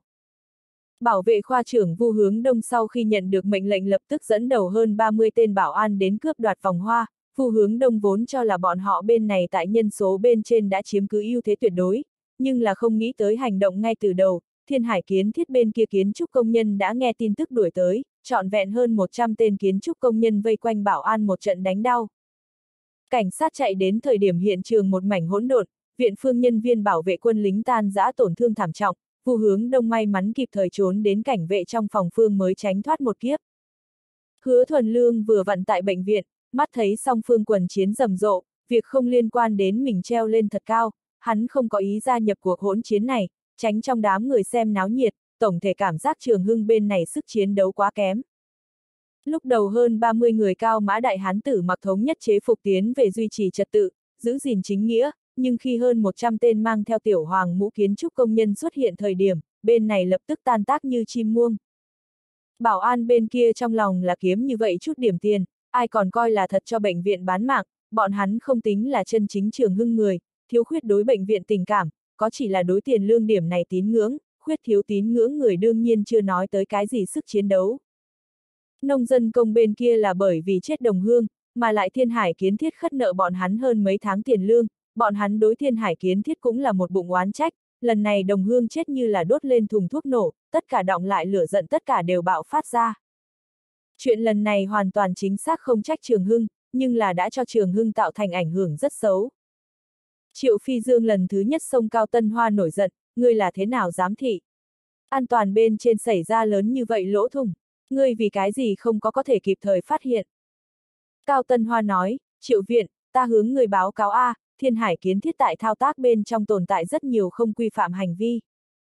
Triệu Phi Dương tức giận gõ lên cái bàn, phát hiện không quy phạm liền yêu cầu bọn hắn lập tức chỉnh đốn và cải cách, không muốn mọi việc đều muốn hướng ta báo cáo, bệnh viện nhiều chuyện như vậy, ta không có khả năng mỗi sự kiện đều chiếu cố đến, ta đem xây dựng cơ bản giao cho giá phụ trách, chính là muốn để ngươi giúp ta chia sẻ, ngươi có kinh nghiệm làm việc, có năng lực, đã phát hiện vấn đề liền phải kịp thời ngăn lại. Cao Tân Hoa mím môi, hắn thừa nhận đối với chuyện này mình đích thật có lỗi, không có trước tiên yêu cầu thi công phương đình công chỉnh đốn và cải cách, nhưng là hắn còn không phải là bởi vì cân nhắc đến Triệu Phi Dương cảm thụ. Thiên Hải kiến thiết là Triệu Phi Dương khâm định thi công đơn vị, nếu như mình không thông qua Triệu Phi Dương phê chuẩn liền lệnh cưỡng chế Thiên Hải kiến thiết đình công, Triệu Phi Dương khẳng định sẽ cho là mình vượt quyền. Cao Tân Hoa một mực lo lắng sự tình vẫn là phát sinh, hắn cùng Triệu Phi Dương ở giữa sớm muộn cũng sẽ sinh ra kẽ nứt. Triệu Phi Dương sau khi nói xong cũng ý thức được lời nói của mình quá mức, thở dài nói, ta không phải nhằm vào ngươi, ta chẳng qua là cảm thấy loại chuyện này lúc đầu nhưng để tránh cho, ta cũng có trách nhiệm. Cao Tân Hoa nói, kỳ thật chuyện này hoàn toàn là thiên hải kiến thiết trách nhiệm, ta trước đó đã thiên hải kiến thiết đưa ra cảnh cáo, nhưng là bọn hắn vẫn không thể nhấc lên đầy đủ coi trọng, chúng ta hoàn toàn có thể nhằm vào trước mắt tổn thất tiến hành bắt đền. Triệu Phi Dương nhẹ gật đầu, phát cái miễn trách tuyên bố, làm sáng tỏ chuyện này, nhất định đừng cho quần chúng hiểu lầm. Cao Tân Hoa nói, đã an bài tuyên truyền khoa đi làm. Triệu Phi Dương nói, có thể liên lạc một chút đài truyền hình phương diện, còn có, trên mạng bè công trường hưng dư luận nhất định phải đè xuống, muốn để công chúng biết, chúng ta cũng là lần này an toàn sự kiện người bị hại, an toàn sự cố không phải chữa bệnh sự cố, trách nhiệm mới là thiên hải kiến thiết không phải chúng ta trường hưng. Cao Tân Hoa nói, ta đề nghị đối thiên hải kiến thiết công trình chất lượng tiến hành tra rõ, thanh trừ tất cả an toàn tai họa ngầm, khi tất yếu có thể căn cứ quy định giải trừ hợp đồng. Triệu Phi Dương khoát tay áo nói, người đi trước khống chế dư luận, những chuyện khác từng bước một tới. Cao Tân Hoa rời đi thời điểm, gặp Thiên Hải kiến thiết tổng giám đốc Điền Phương Cường, Điền Phương Cường cười cùng hắn lên tiếng chào, Cao Tân Hoa căn bản không có phản ứng hắn, thứ gì, ngoại trừ loại chuyện này còn cười được.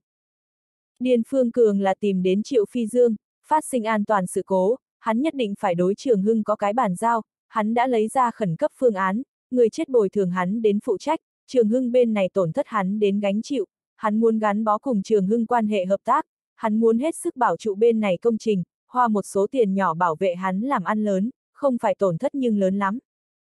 Cao Tân Hoa nội tâm tràn đầy phiền muộn, đi vào cửa chính nhìn thấy vòng hoa đã bị rút đi, trật tự chính đang khôi phục bên trong mấy cái xương mặt xương mũi bảo an ngay tại khuyên cách quần chúng vây xem, ủy khuất của bọn hắn cùng phẫn nộ tại lúc này tất cả đều phát tiết tại vô tội quần chúng trên thân, thái độ cứng nhắc lại ngang ngược. Cao Tân Hoa từ đó tìm được hứa thuần lương, hứa thuần lương muốn chạy trốn đã không còn kịp rồi, Cao Tân Hoa hướng hắn vẫy vẫy tay. Hứa thuần lương cười đùa tí từng đi vào Cao Tân Hoa trước mặt, Cao Việt, chỉ thị gì? Cao Tân Hoa tức giận nói, xem náo nhiệt không chê chuyện lớn có phải không? Hứa thuần lương nói, ta vừa vặn đi ngang qua, không nghĩ tới hai bên liền đánh nhau, ta còn không thấy rõ ràng, chiến đấu liền kết thúc. Cao Tân Hoa nói, người trong nhà đánh nhau cũng không đi lên hỗ trợ. Hứa thuần lương nói, chức năng phân công khác biệt, lại nói ta cũng không có lĩnh kia phần tiền lương. Cao Tân Hoa nhẹ gật đầu, tiểu tử này tự hiểu rõ, thật xông đi lên hỗ trợ đánh nhau mới là kẻ hồ đồ đâu. Hứa thuần lương từ Cao Tân Hoa sắc mặt cũng có thể nhìn ra hắn tâm tình bây giờ cực độ ác liệt, xây dựng cơ bản là hắn phân quản phạm vi, xảy ra chuyện lớn như vậy, Cao Tân Hoa khẳng định phải gánh chịu một chút trách nhiệm.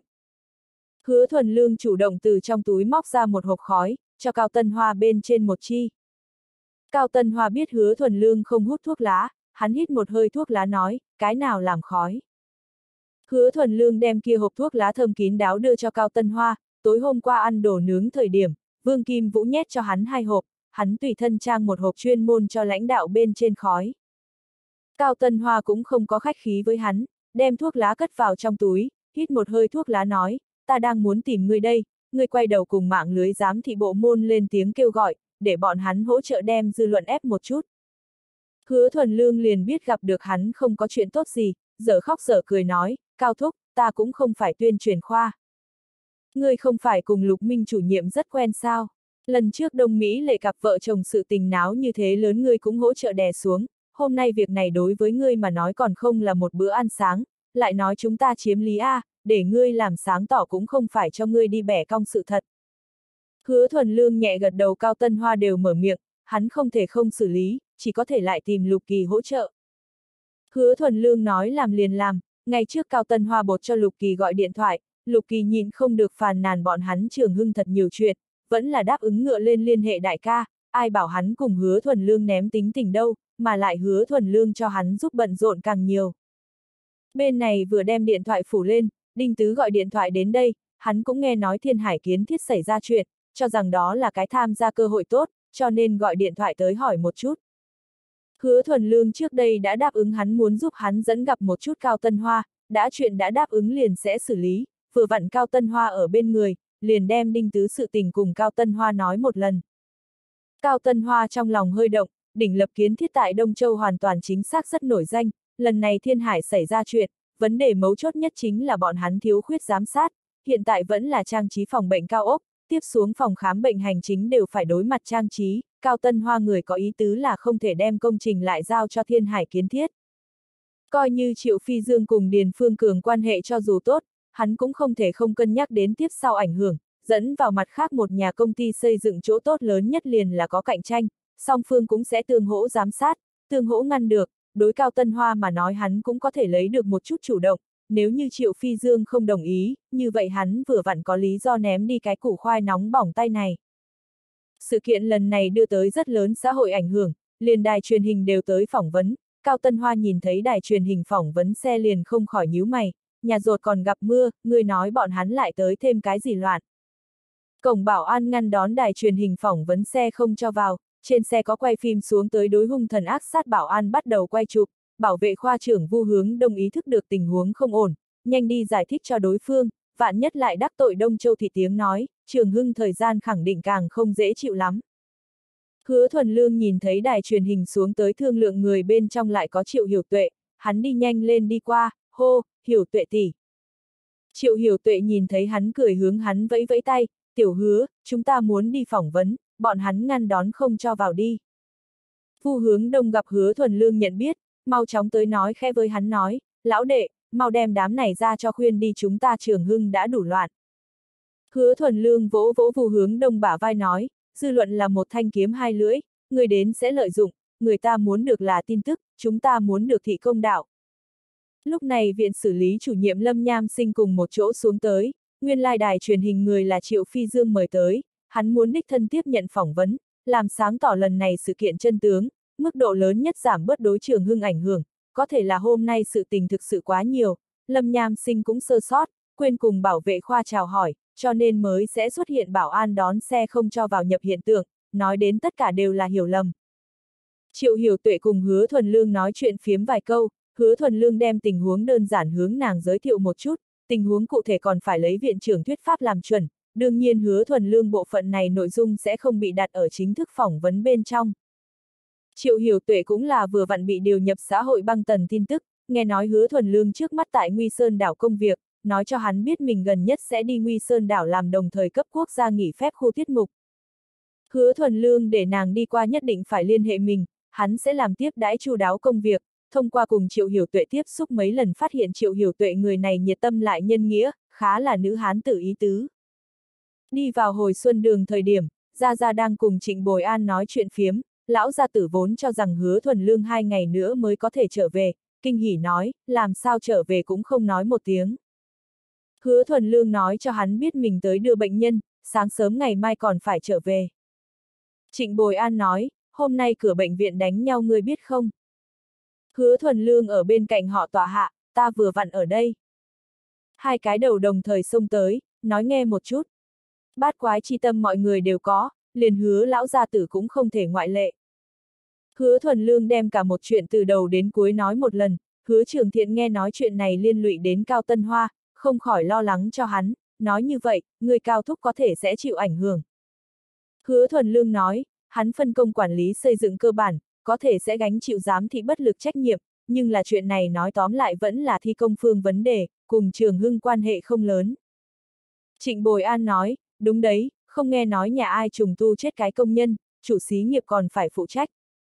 Hứa Thuần Lương nói, vậy cũng phải nhìn hợp đồng làm sao ký, nếu như không có trước đó minh xác trách nhiệm, chủ xí nghiệp cũng là muốn nhận gánh trách nhiệm.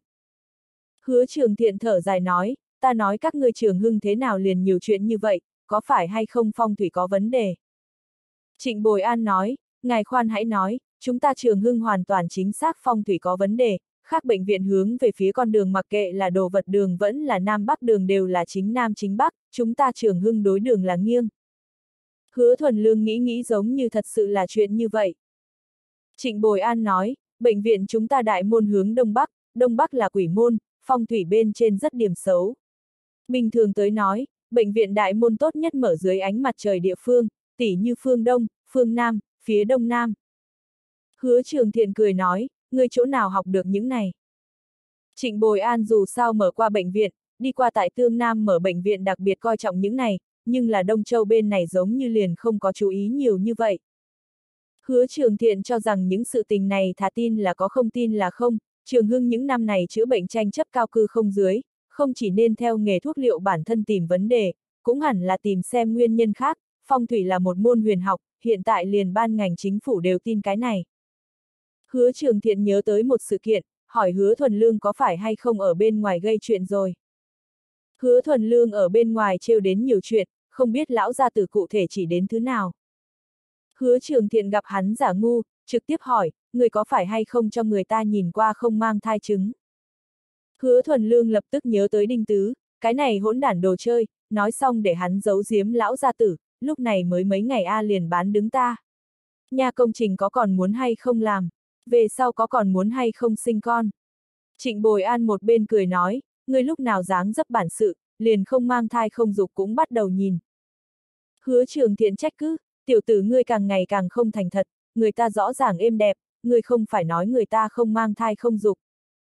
Hứa thuần lương có chút căm tức, đinh tứ a đinh tứ, ngươi dám cáo ta hắc trạng, chọc giận ta, để ngươi đoạn tử tuyệt tôn. Trịnh Bồi An nói, hắn tại sao muốn làm như vậy? Hứa trường thiện nói, còn không phải nhìn nhân ra dung mạo xinh đẹp. Hứa thuần lương lúc này mới cảm giác có chút không đúng lắm, mình giống như nghĩ sai đối tượng, đinh tứ kia thẹn lông mày cha mắt hùng dạng làm sao cũng cùng xinh đẹp không liên lạc được một khối. Ái cha cha, làm sao đem hoa trục nguyệt đem quên đi, ngày đó mình đem hoa trục nguyệt đùa giỡn một phen, khẳng định là nàng đến tìm nợ bí mật. Trịnh Bồi An nói, có bao nhiêu xinh đẹp, loại chuyện tốt này ta thế nào liền chưa từng gặp qua. Hứa trường thiện nói, ngươi ngậm miệng, chớ cùng lấy ngắt lời. Trịnh Bồi An nói chêm chọc cười chính là muốn giúp lấy hứa thuần lương giải vây, kết quả bị hứa lão gia tử khám phá mục đích, cười nói, đến siết, ta không nói lời nào tổng được rồi, có ảnh chụp sao? Hứa trường thiện nói, nhưng ngươi được lắm đấy, nói người ta bên trong có thất tình chi trí, ngoài có sáu rót chi cảm, âm dương tăng theo cấp số nhân lại sông đảm nhiệm không đủ, ta để ngươi chép y điển, là vì để ngươi một ngày kia có thể tế thế cứu nhân, không phải để ngươi giả danh lừa bịp. Hứa thuần lương thái độ thành khẩn, ra ra yên tâm, ta cam đoan về sau sẽ không lại phạm. Hứa trường thiện đương nhiên không bỏ được trọng trách bảo bối cháu trai, thở dài nói, còn tốt, vị cô nương kia thông tình đạt lý, người ta nếu là cùng ngươi so đo, chúng ta cái này hồi xuân đường khẳng định phải danh dự bị hao tổn, đối chính ngươi cũng không chỗ tốt gì ngươi còn không có làm nghề y tư cách a. Vạn nhất bị cáo, chẳng phải là tiền đồ hủy hết, làm nghề y chính là nghiêm cẩn sự tình, liên quan đến hắn tính mạng người, không mở ra được nửa điểm trò đùa. Hứa thuần lương nói, nàng ngài nhưng tuyệt đối đừng tin, nàng chính là người bị bệnh thần kinh. Trịnh Bồi An đi theo gật đầu nói, cho nên nói người trẻ tuổi nhất định phải có tự điều khiển lực, không thể nhìn thấy người ta xinh đẹp liền động ý đồ xấu, bất quá lòng thích cái đẹp mọi người đều có, lần sau không thể chiếu theo lệ này nữa là được rồi. Hứa trường thiện chừng mắt liếc hắn một cái, ta giáo huấn cháu trai đến phiên ngươi chen miệng vào. Trịnh Bồi An nói, ta chính là kỳ quái, thuần lương ánh mắt cao như vậy, dạng gì mỹ nữ có thể để cho hắn động phàm tâm. Chẳng lẽ so mai như tuyết xinh đẹp hơn? Kia thật không có. Hứa trường thiện đối mai như tuyết ấn tượng vô cùng tốt, hắn lấy một tấm danh thiếp đưa cho hứa thuần lương, hứa thuần lương tiếp nhận xem xét, phía trên quả nhiên là hoa trục nguyệt danh tự, danh hiệu là Lan Tinh công ty giải trí phó tổng giám đốc. Hứa thuần lương quét một chút mã hai chiều, kết quả là xí nghiệp WeChat, chỉ có thể dựa theo số điện thoại di động biên tập một cái tin nhắn ngắn cho Hoa Trục Nguyệt phát tới. Hoa Tổng, ta hảo tâm giúp ngươi, làm người phải hiểu được cảm ơn, không thể lấy oán trả ơn a. À. Hoa Trục Nguyệt rất nhanh liền phát tới tin tức, ngươi không hiểu rõ ta, đời ta thích nhất lấy oán trả ơn. Hứa thuần lương đem cái tin tức này cho ra ra nhìn, lão gia tử nhìn thoáng qua cũng hổ đồ, lấy oán trả ơn. Hứa thuần lương nói, còn không phải sao, nàng tinh thần không bình thường, nhìn ta dáng dấp tuấn tiếu, cho nên liền thích ta, dây dưa ta, thủ đoạn này dùng bất cứ thủ đoạn nào, ngươi xem một chút, ta lúc này mới đi mấy ngày, nàng liền bắt đầu đánh ngài chủ ý, cái này gọi đường cong cứu quốc. Hứa trường thiện để cháu trai cho làm mơ hồ, người nói là nàng thích ngươi. Hứa thuần lương dõng giặc gật gật đầu nói, thích nữ nhân của ta nhiều, vấn đề là ta không phải cái người tùy tiện. Trịnh Bồi An trong lòng giúp đỡ tiếp một câu lời nói, tùy tiện không phải người, tiểu tử này cũng không phải cái thứ tốt, liền ông nội đều lắc lư. Hứa trường thiện nhìn Trịnh Bồi An một chút. Trịnh Bồi An chỉ có thể đi theo gật đầu, thuần lương nhân phẩm phương diện không thể chê. Thế nào cảm giác lời nói này đến có chút trái lương tâm đâu. Tiểu tử này mánh khóe quá nhiều, Trịnh Bồi An ở trong xã hội sờ soạng lần mò nhiều năm như vậy đều mặc cảm. Hứa trường thiện nói, ta cảm thấy mai như tuyết nhà đầu kia không tệ, người cùng với nàng thế nào. Trịnh Bồi An cũng rất tò mò, ánh mắt nhìn về phía hứa thuần lương. Hứa thuần lương nói, ta còn trẻ, không nghĩ tới sớm như vậy liền yêu đương, ta bây giờ nghĩ đem chủ yếu tinh lực đặt ở sự nghiệp bên trên. Hứa trường thiện vui mừng nhìn qua cháu trai đứa nhỏ này thật sự là càng ngày càng tiền đồ, có thể loại suy nghĩ này đã làm cho khen ngợi. Trịnh Bồi An ngoài cuộc tỉnh táo, trong cuộc u mê, người này là đang lừa dối lão gia tử đâu, Trịnh Bồi An giúp đỡ nói, cũng không thể vào xem sự nghiệp không muốn tình yêu, hai tay đều muốn bắt, hai tay đều muốn cứng rắn. Hứa trường thiện rất là tán thành, đúng, hai tay đều muốn bắt, chớ học ngươi chính thúc, cả ngày liền nghĩ kiếm tiền, kết quả tiền không có kiếm nhiều ít, nàng dâu tìm không có. Quá đâm tâm trịnh bồi an trong lòng tự nhủ lão gia tử ta nhưng làm ngài đích thân nhạc phụ nhìn a, ta nói chuyện có thể hay không bận tâm một chút cảm thụ của ta. Hứa thuần lương vỗ vỗ trịnh bồi an bả vai, trịnh thúc, tốt cơm không sợ muộn, kỳ thật ngài đang tuổi lớn, ngày tốt lành ở phía sau đâu. Trịnh bồi an liên tục gật đầu, lời này ta thích nghe, trở về sau ta làm ngươi cô phụ, ta chỉ định thương ngươi. Hứa thuần lương căn dặn lão gia tử, về sau phải tất yếu cẩn thận, hoa trục nguyệt nữ nhân kia tinh thần không bình thường, tuyệt đối đừng nghe nàng nói hưu nói vượn. Bọn hắn chính trò chuyện đâu, Lục Kỳ gọi điện thoại tới, hẹn hắn ban đêm cùng nhau ăn cơm. Lục Kỳ cho hắn giúp nhiều như vậy bận bịu, hứa thuần lương đương nhiên không thể để cho Lục Kỳ an bài, kiên quyết yêu cầu phải tự mình tới. Cúp điện thoại về sau cho Đinh Tứ đánh qua, để hắn gần nhất bớt thời gian đi bệnh viện tìm Cao Tân Hoa một chuyến nói chuyện công trình sự tình. Đinh Tứ thiên ân vạn tạ, hứa thuần lương lại biểu thị đêm nay dự định mời Cao Viện ăn bữa cơm. Đinh Tứ bên kia lập tức minh bạch, không bao lâu liền phát khách sạn cùng số phòng tới, Mân Nam Hải Tiên thành 888 gian phòng. Con hàng này ở trong xã hội sờ soạng lần mò nhiều năm như vậy, mặc dù trình độ không cao, nhưng là ngộ tính không kém, nên làm cái gì trong lòng của hắn phi thường rõ ràng, thiên hạ không có cơm trưa miễn phí, đừng nhìn hứa thuần lương tuổi trẻ, người ta tâm cơ cổ tay đều hơn xa mình, đinh tứ sớm đã tâm phục khẩu phục. Vì cái gì chọn lựa Mân Nam Hải Thiên Thành, không chỉ bởi vì hắn cùng nơi đó có nghiệp vụ quan hệ, càng bởi vì Cao Tân Hoa ở đến cách nơi đó rất gần, Đinh Tứ đã sớm đem Cao Tân Hoa nhà ngủ ở chỗ nào nghe được rõ ràng. Hứa thuần lương không nói gọi hắn, hắn đương nhiên sẽ không mặt dạn mày dày đi, giúp đỡ an bài tốt là được rồi. Hứa thuần lương đem địa chỉ cùng thời gian phát cho Lục Kỳ, thuận tiện khách khí một chút, để Lục Kỳ đem đại ca hắn kêu lên, cảm tạ hắn nhiều lần hỗ trợ, lúc đầu hứa thuần lương cũng không có trông cậy vào hắn tới, nhưng Lục Kỳ hồi phục nói đại ca hắn ban đêm vừa vặn có rảnh. Hứa thuần lương ý thức được bữa cơm này nhất định phải đem Cao Tân Hoa kêu lên, thứ nhất là an ủi cái kia khỏa thụ thương tâm, thứ hai người ta lục minh cấp bậc còn tại đó, Cao Tân Hoa cũng từng nhiều lần biểu thị muốn đại biểu trường hưng cảm tạ một chút. Cao Tân Hoa hoàn toàn chính xác tâm tình không tốt, hôm nay viện tuần sẽ lên lại bị Triệu Phi Dương điểm danh phê bình, mặc dù Triệu Phi Dương sớm cùng hắn thông khí, biểu thị phê bình chỉ là đi cái đi ngang qua sân khấu, toàn bộ bệnh viện đều biết quan hệ bọn hắn tốt, nếu như không tượng trưng tính cho hắn điểm trừng phạt, như vậy công việc sau này sẽ không tốt khai triển. Triệu Phi Dương bên kia có chảy nước mắt chảm mã tắc ý tứ, Cao Tân Hoa đáp ứng mặc dù thống khoái nhưng là trong lòng rất không thoải mái, dẫn đến sự kiện này nguyên nhân căn bản là ngươi Triệu Phi Dương, ta là thay ngươi cõng nồi, ta từ tiến trường hưng lấy làm việc bốn bể yên tĩnh, nhưng là từ sau khi ngươi tới, ta liền như dẫm trên băng mỏng, lần này là việc nhỏ, nếu như về sau gặp được phiền đâu. Ngươi Triệu Phi Dương còn không phải cái thứ nhất đem ta đẩy đi ra tế cờ A.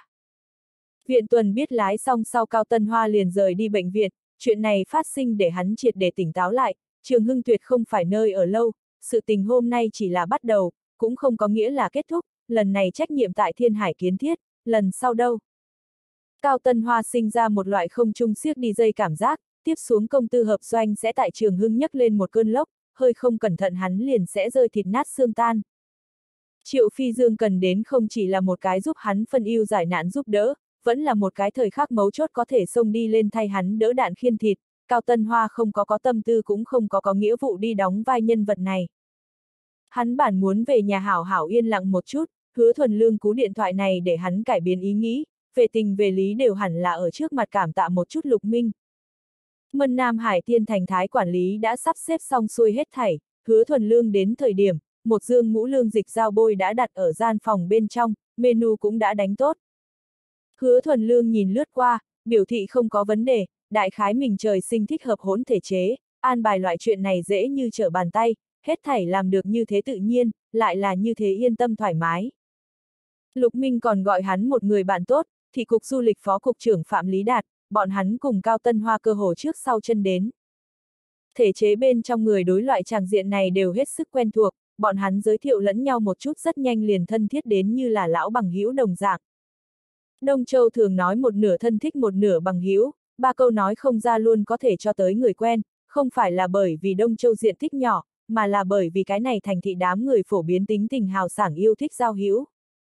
Lục Minh cùng Lục Kỳ hai huynh đệ dáng dấp không hề giống, Lục Kỳ lại cao lại tráng, Lục Minh có chút mập lùn, phi thường nhiệt tình cùng hứa thuần lương bắt tay nói, tiểu hứa, ta nhưng nghe tiểu kỳ nhắc lên ngươi tốt nhiều lần. Hứa thuần lương cười nói, chủ yếu là ta luôn luôn phiền phức Minh ca. Lục Minh cười nói, nhà mình huynh đệ khách khí cái gì? Cao Tân Hoa mời Lục Minh ngồi thủ vị, Lục Minh vội vàng khoát tay, Cao Viện, ngài đức cao vọng trọng, cái này thủ vị nhất định phải ngươi đến ngồi. Phạm Lý Đạt nói, Cao Viện ngồi thủ vị, không phải chúng ta đều phải đứng. Cao Tân Hoa nhìn qua đám người tuổi trẻ này, trong lòng âm thầm cảm thán, ra, Lục Minh cùng Phạm Lý Đạt mới ngoài 30 đều là phó sử, chính mình cũng hơn 50 mới lăn lộn đến phó phòng, chừng 2 năm nữa, những người tuổi trẻ này cấp bậc bên trên liền muốn vượt qua mình. Tướng cùng cấp bậc, mọi người còn dựa theo tuổi tác sắp xếp, nhưng là nếu như ở đây có một vị chính sử, tỷ như Triệu Phi Dương, kia thủ vị khẳng định liền phải Triệu Phi Dương đến ngồi, Cao Tân Hoa cái này thủ vị quả quyết là không ngồi yên. Cao Tân Hoa ngồi xuống về sau, Lục Minh cùng Phạm Lý Đạt mới ngồi xuống, Hứa Thuần Lương cùng Lục Kỳ phân biệt sát bên hai người ngồi xuống, hứa thuần lương để phục vụ viên mang thức ăn lên khui rượu. Mọi người xem xét dùng rượu liền biết chiêu đãi tiêu chuẩn không thấp, Phạm Lý Đạt nói, ngũ lương dịch bên trong dao bôi cảm giác tốt nhất, tiểu hứa hiểu rượu a. À. Hứa thuần lương cười nói, ta cũng không hiểu nhiều lắm, nghe nói Minh ca không thích uống tương hương rượu, cho nên ta liền chọn lấy tự nhận là rượu ngon nhất, ta luôn luôn cho rằng, rượu ngon chính là dùng để cùng hảo bằng hữu cùng một chỗ chia sẻ. Lục Minh nói, nhân sinh lớn nhất khoái hoạt chính là chia sẻ, vui một mình không bằng vui chung, người cùng tiểu kỳ đồng học tình cảm thực là không tồi a. À. Hắn cùng Phạm Lý Đạt liền là đồng học. Lục Kỳ biểu thị mình là hứa thuần lương học trưởng, nói xác thực là cùng trường đồng học. Ba chén uống rượu xong, mọi người tương hỗ mời rượu, Lục Minh trước kính Cao Tân Hoa. Cao Tân Hoa nói, Lục chủ nhiệm, hẳn là ta kính ngươi a, trường hưng sự tình ngươi nhưng cho chúng ta giúp đại ân. Lục Minh cười nói, rượu này nhất định phải ta đến kính, ta kỳ thật cũng không cho trường hưng hỗ trợ cái gì, tịnh hóa mạng lưới hoàn cảnh, lo liệu công bằng chính nghĩa vốn là là trách nhiệm của ta, coi như không có tiểu hứa cái tầng quan hệ này, chúng ta cũng sẽ đả kích những cái kia có ý khác mạng lưới bình xịt, quét sạch bọn hắn lời đồn, sự thật chứng minh, trường hưng chịu nổi khảo nghiệm. Cao Tân Hoa thầm khen Lục Minh biết nói chuyện, khó trách người ta tuổi còn trẻ liền có thể lên làm phó phòng, thời đại thay đổi, hiện tại thể chế bên trong càng ngày càng nhiều người trẻ tuổi mọc lên như nấm sông ra, mình già, tại dạng này vòng tròn bên trong đều có chút lạc hậu. Phạm Lý Đạt cũng cho Cao Tân Hoa mời rượu, Cao Tân Hoa cùng Cục Du lịch Tần Cục là chiến hữu, Phạm Lý Đạt nghe xong lại thêm vào hai chén, biểu thị nếu như biết liền đem Tần Cục cùng một chỗ mời tới, Tần Cục là hắn ân sư. Hứa Thuần Lương đứng dậy cho Lục Minh mời rượu, Lục Minh cũng đứng dậy, tiểu hứa A, ta nhưng nghe nói ngươi không ít anh hùng sự tích. Hứa Thuần Lương khiêm tốn nói, Minh ca, ta tính là gì anh hùng, nhiều nhất là cái mãng phu. Lục Minh cười nói, đơn thương độc mã liền đem SEVENSTAA làm cho ngừng kinh doanh chỉnh đốn, còn không phải anh hùng. Hứa thuần lương đoán được nên là Lục Kỳ nói đến, tranh thủ thời gian giải thích, sự kiện kia cùng mình không có bất cứ quan hệ nào, chỉ là trùng hợp gặp được. Lục Minh nói, hiện tại trên mạng truyền đi rất tà dị, cái gì cũng nói, có nói quán ba lão bản đắc tội với người có nói là cảnh sát đã kích phạm pháp hành vi, còn có nói nơi đó nháo quỷ. Hứa thuần lương bồi tiếp hắn uống hai chén rượu, lại cho hắn rót, cười nói, Minh ca bình thường công việc khẳng định rất nặng nề a. À. Lục Minh nói, nặng nề chưa nói tới, hiện tại trên mạng loại người gì cũng có, ngôn luận khó phân thật giả, còn có người nói kia thứ gì nhện con rơi đều là có người bỏ vào. Phạm Lý Đạt nói, bọn hắn làm sao không tung tin đồn nhảm nói ngũ độc giáo tiến công SEVENSTAA. Mấy người đều nở nụ cười, Cao Tân Hoa nói, thật coi là võ hiệp A. Ngũ độc giáo, còn cái bang đâu? Lục Kỳ nói, các người còn đừng không tin, chúng ta trước đó bắt mấy tên chính là cùng môn, cùng môn chính là cái bang.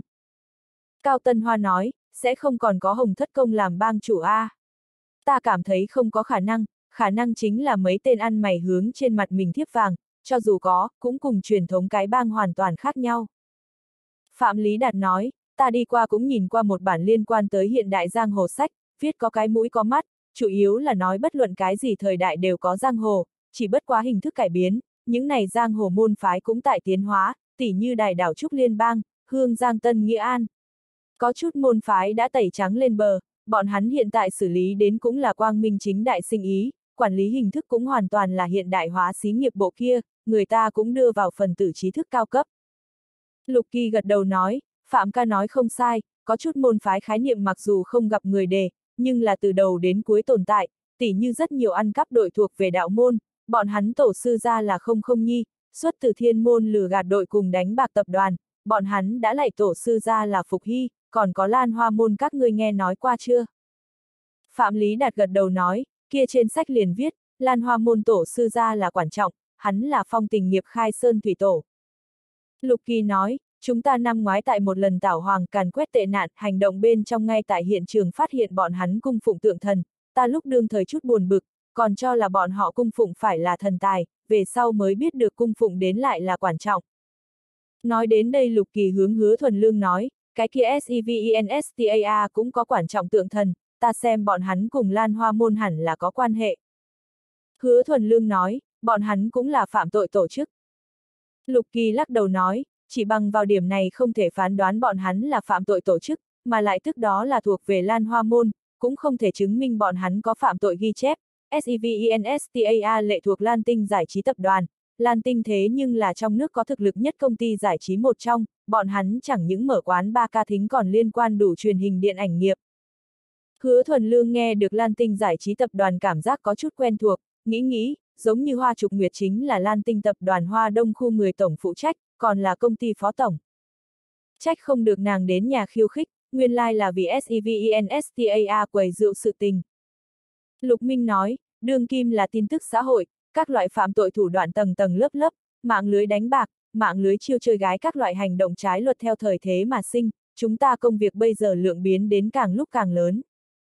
Cao Tân Hoa nói, nhờ có có các ngươi a, không phải mạng lưới xã hội còn không phải loạn thành một bầy. Lục Minh nói, chúng ta thường nói mạng lưới cũng không phải là phạm pháp chi địa, cũng không phải nói một chút được rồi, có ít người cầm cái gọi là ngôn luận tự do đương ngụy trang, cho là mình tại trên mạng thích nói như thế nào liền nói thế nào, những người này nếu là không thêm quản thúc, bọn hắn liền sẽ trở thành mạng lưới bình xịt mạng lưới ác ôn. Lục Kỳ nói, anh ta nói không sai, hiện tại mạng lưới phạm tội rất có vượt qua truyền thống phạm tội tình thế, đổ về đi 10 năm còn thường xuyên có trộm túi tiền, cản đường cướp bóc, hiện tại những này vụ án từng năm giảm bớt. Phạm Lý Đạt cười nói, hiện tại đi ra ngoài ngoại trừ người già ai còn mang túi tiền A. Tất cả mọi người là điện tử thanh toán, vừa an toàn vừa thuận tiện. Cao Tân Hoa trong lòng tự nhủ ta còn mang túi tiền, mặc dù điện tử thanh toán hoàn toàn chính xác thuận tiện, nhưng là ta không thích dùng, Phạm Lý Đạt để hắn có chút thất lạc, mình bất chi bất giác bị về đến giả năm quần thể chúng. Hứa thuần lương nói, ta liền mang túi tiền, trong túi không mang theo điểm tiền mặt luôn cảm thấy không nỡ, vạn nhất bị cúp điện làm sao bây giờ. Lục Kỳ cười nói, người công việc bây giờ địa điểm tại Nguy Sơn Đảo, mang túi tiền là rất có cần phải, hắn trước đây không lâu đi qua một lần Nguy Sơn Đảo, Nguy Sơn Đảo cho hắn ấn tượng hay là vô cùng lạc hậu. Lục Minh nói, tùy thân mang tiền mặt nhưng thật ra là cái thói quen tốt, ta mặc dù làm an ninh mạng, nhưng là ta cũng không để sướng quá độ điện tử thanh toán, dứt bỏ vấn đề an toàn không nói, nếu như mạng lưới phát sinh trục trặc, hoặc là giống tiểu hứa nói đến bị cúp điện, đến lúc đó coi như nửa bước khó đi, phương diện này không phải là không có tiền lệ, năm trước Hokkaido lớn mất điện thời điểm, tất cả siêu thị thanh toán hệ thống đều hứng chịu tới ảnh hưởng, khi đó làm sao bây giờ? Tiền mặt giao dịch ưu thế liền thể hiện ra. Cao Tân Hoa nói, truyền thống tiền tệ giao dịch hệ thống tồn tại nhiều năm như vậy, là trải qua lịch sử kiểm nghiệm khẳng định có giá trị tồn tại, cá nhân ta đối điện tử thanh toán, trên mạng mua sắm cầm phản đối thái độ, từ khi có trên mạng mua sắm, offline thực thể cửa hàng tiếng kêu than dậy khắp trời đất, ta tuổi trẻ lúc ấy, mỗi đến chủ nhật, hoài hải trên đường chật như nêm cối, các đại thương trận khách hàng doanh môn, tất cả mọi người ra ngoài tiêu phí mua sắm giải trí, cái nào giống bây giờ, người trẻ tuổi đều chẹt trong nhà. Chỉ cần cho hắn một bộ điện thoại là được, mua quần áo mua qua Internet, ăn cơm thức ăn ngoài, mua qua Internet hủy đi nhiều ít truyền thống ngành nghề. Hộ trụ cột không rào hoạt, nước chảy bất hủ, nếu như chỗ có người tuổi trẻ đều chẹt trong nhà, dựa vào mạng lưới sinh hoạt, ta nhìn chúng ta dân tộc này cũng liền không có tiền đồ. Phạm Lý Đạt nói, Cao Viện trưởng nói rất có đạo lý, nhưng là ngài không để ý đến một sự kiện, điện tử thương vụ giết chết truyền thống thương nghiệp đồng thời cũng sáng tạo ra một nhóm mới phát ngành nghề, chuyển phát nhanh nghiệp có phải hay không phát triển, nếu như đem tất cả thức ăn ngoài viên cộng lại hẳn là trong nước quy mô lớn nhất ngành nghề. Lục Minh nói, điện tử thương vụ cùng truyền thống thương nghiệp ai cũng có sở trường riêng, nhưng là như thế nào hỗ trợ lẫn nhau, tương hỗ thành tựu, cộng đồng phát triển là cái vấn đề, ta nghĩ liền những cái kia hành nghề người đều không có cả minh bạch. Lục Kỳ nói, ta nhìn khó, hiện tại cũng là tương hỗ tổn thương. Phạm Lý Đạt nghe nói hứa thuần lương trước mắt tại Nguy Sơn đảo phân viện công việc lập tức hứng thú, hiện tại Nguy Sơn đảo quốc gia nghỉ phép khu hạng mục đã chính thức quan tuyên, cũng là bọn hắn cục du lịch mấy năm này công tác trọng điểm. Trò chuyện khởi Nguy Sơn đảo tương lai quy hoạch, Phạm Lý Đạt trong lúc vô tình lộ ra đại hàng tập đoàn muốn tại Nguy Sơn đảo đầu tư trên nước chủ đề nhạc viên sự tình, trước mắt hạng mục đã bắt đầu luận chứng, hắn cũng không biết đại hằng cùng trường hưng ở giữa từng có qua cạnh tranh, người nói vô tâm người nghe hữu ý, hứa thuần lương cùng Cao Tân Hoa đều ý thức được đại hằng tập đoàn xem ra rơi xuống đất nguy sơn đảo đã thành kết cục đã định. Ở đây không người hút thuốc, Cao Tân Hoa cũng không tiện rút, hắn lấy cớ đi toilet đi ra ngoài hút thuốc thời điểm, tại hành lang gặp Triệu Phi Dương Triệu Phi Dương bên kia mở tiệc chiêu đãi đã kết thúc, đối phương là Hoa Niên tập đoàn Phó Tổng đoàn Viễn Hồng, một đám người vừa vặn từ 666 gian phòng ra. Ở chỗ này gặp được Cao Tân Hoa, Triệu Phi Dương cũng có chút ngoài ý muốn, hắn chủ động cùng Cao Tân Hoa lên tiếng chào hỏi, lão Cao, trùng hợp như vậy, người cũng tại A. Bình thường tại trường hợp công khai Triệu Phi Dương đều là xưng hô như vậy hắn, nhưng là hôm nay Cao Tân Hoa cảm giác có chút chói tai, hướng Triệu Phi Dương cười cười nói, cái này không chấp hành lãnh đạo nhiệm vụ, mời cục giám sát Internet lục chủ nhiệm ăn cơm nha. Triệu Phi Dương nghe nói là lục minh, trong lòng có kết giao ý tứ, nhưng là hôm nay loại trường hợp này cũng không thích hợp, hắn cùng đoạn viễn hồng còn có hoạt động. Triệu Phi Dương nói, người cũng không nói trước thông báo cho ta. Cao Tân Hoa nói, người rất khó khăn mời, hứa thuần lương thật vất vả mới mời đi ra, ta lo lắng cùng ngài nhật trình xung đột. Triệu Phi Dương trong lòng tự nhủ ngươi cũng không nói với ta, làm sao biết cùng ta nhật trình xung đột, hắn gật đầu nói, hôm nay ta liền không đi qua, hôm nào ta đến đơn độc an bài một chút. Triệu Phi Dương sợ khách nhân đợi lâu cũng không nhiều lời, bước nhanh đi vào thang máy. Lúc này Cao Tân Hoa lại nhìn thấy Bùi Lâm từ toilet đi tới, trong lòng có chút kỳ quái, đêm nay làm sao gặp được nhiều như vậy người quen. Bùi Lâm cùng Triệu Phi Dương là cùng nhau sao? Kỳ thật hắn trước tiên liền đoán được đáp án. Bùi Lâm nhìn thấy Cao Tân Hoa hơi kinh ngạc một chút, bất quá nàng lập tức cười hướng hắn đi tới, Cao Việt, trùng hợp như vậy a. À? Cao Tân Hoa nhẹ gật đầu, hắn đối với nữ nhân này tràn đầy đề phòng. chiều đãi mấy khách hộ, ta trên cơ bản đều ở nơi này an bài, cao viện cái nào cái gian phòng. Bùi lâm cha hỏi ý tứ chính là muốn giúp hắn an bài một chút. Cao Tân Hoa cười nói, bằng hữu mời khách, ngươi không biết. Bùi lâm cười nói, vậy chúng ta hẹn lại lần sau, ta còn có việc đi trước a. À. Nàng vào thang máy. Cao Tân Hoa hút xong nửa điếu thuốc, quay người đi trở về, trong lòng từ đầu đến cuối đang suy nghĩ chuyện này, sẽ không như thế xảo đi. Trên đường gặp khách sạn Thái Quản lý, Thái Quản lý cũng biết hắn ân cần cho hắn bên trên khói, Cao Tân Hoa cố ý nói, 666 gian phòng trướng có hay không kết. Thái Quản lý nhìn chung quanh một chút, Phương mới thấp giọng nói, Điền Tổng an bài. Cao Tân Hoa nói, Thiên Hải kiến thiết Điền Tổng.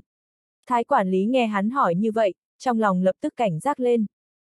Cao Tân Hoa cười nói, ta vốn định tính tiền tới, nghĩ không ra để hắn cho vượt lên trước. Thái quản lý cười nói, Cao Viện là giảng cứu người A. Hắn thấy Cao Tân Hoa muốn giúp lấy tính tiền đúng là bình thường, dù sao Triệu Phi Dương là cấp trên của hắn, đến bọn hắn loại này cấp bậc, chắc chắn sẽ không là mình tính tiền. Thái quản lý mở cửa làm ăn, khách nhân vào xem liền tất cả đều là của hắn thượng đế, hắn mới mặc kệ cuối cùng là ai tính tiền. Tỷ như Cao Tân Hoa ngồi 888 gian phòng, cũng không phải hắn dùng tiền ăn cơm, còn không phải đỉnh lập kiến thiết đinh tứ sớm sắp xếp xong xuôi. Thái quản lý bỗng nhiên ý thức được 666 cùng 888, một cái là thiên hải kiến thiết tính tiền, một cái là đỉnh lập kiến thiết tính tiền, một cái mời được là một thanh tay, một cái mời được là chủ quản xây dựng cơ bản phó viện trưởng, tất cả đều là trường hưng hệ, đoán chừng cũng là vì cùng một việc. Hiện tại kiến trúc ngành nghề so với bọn hắn ăn uống nghiệp còn muốn quyển, trông cậy vào người khác thưởng phần cơm ăn, phải có đương cháu trai giác ngộ. Thái quản lý hy vọng dạng này cháu trai càng nhiều càng tốt, cái này dạng càng nhiều người, mời khách tặng lễ liền càng tấp nập, việc buôn bán của hắn mới có thể càng ngày càng tốt. Thiên Hải kiến thiết hậu kỳ bổ cứu biện pháp vẫn là biểu hiện ra thành ý, tự mình cho người chết một khoản tiền, thuận lợi tướng không chứng vào cương vị biến thành ngoài ý muốn điện giật bỏ mình, khất nợ nông dân công tiền lương cũng kịp thời phát xuống. Người chết ra thuộc tố cầu được đến thỏa mãn đương nhiên sẽ không lại nháo, những nông dân kia công còn muốn chỉ vào thiên hải kiến thiết kiếm ăn, tiền lương bây giờ tất cả đều cấp cho tự nhiên cũng liền không có hỏa khí, trên thế giới này tuyệt đại bộ phận sự tình đều có thể thông qua tiền đến giải quyết. Bất lợi cho Trường Hưng lời đồn bị hữu hiệu quản khống, Trường Hưng Bệnh viện Viện trưởng Triệu Phi Dương tiếp nhận đài truyền hình phỏng vấn, cũng châm đối với chuyện này làm ra làm sáng tỏ. Một loạt nguy cơ quan hệ xã hội xử lý hay là vô cùng thành công, tướng đối bệnh viện ảnh hưởng bất lợi hạ xuống thấp nhất. Nhìn qua lần nữa khôi phục trật tự phòng khám bệnh đại sảnh, Triệu Phi Dương đánh đáy lòng nhẹ nhàng thở ra.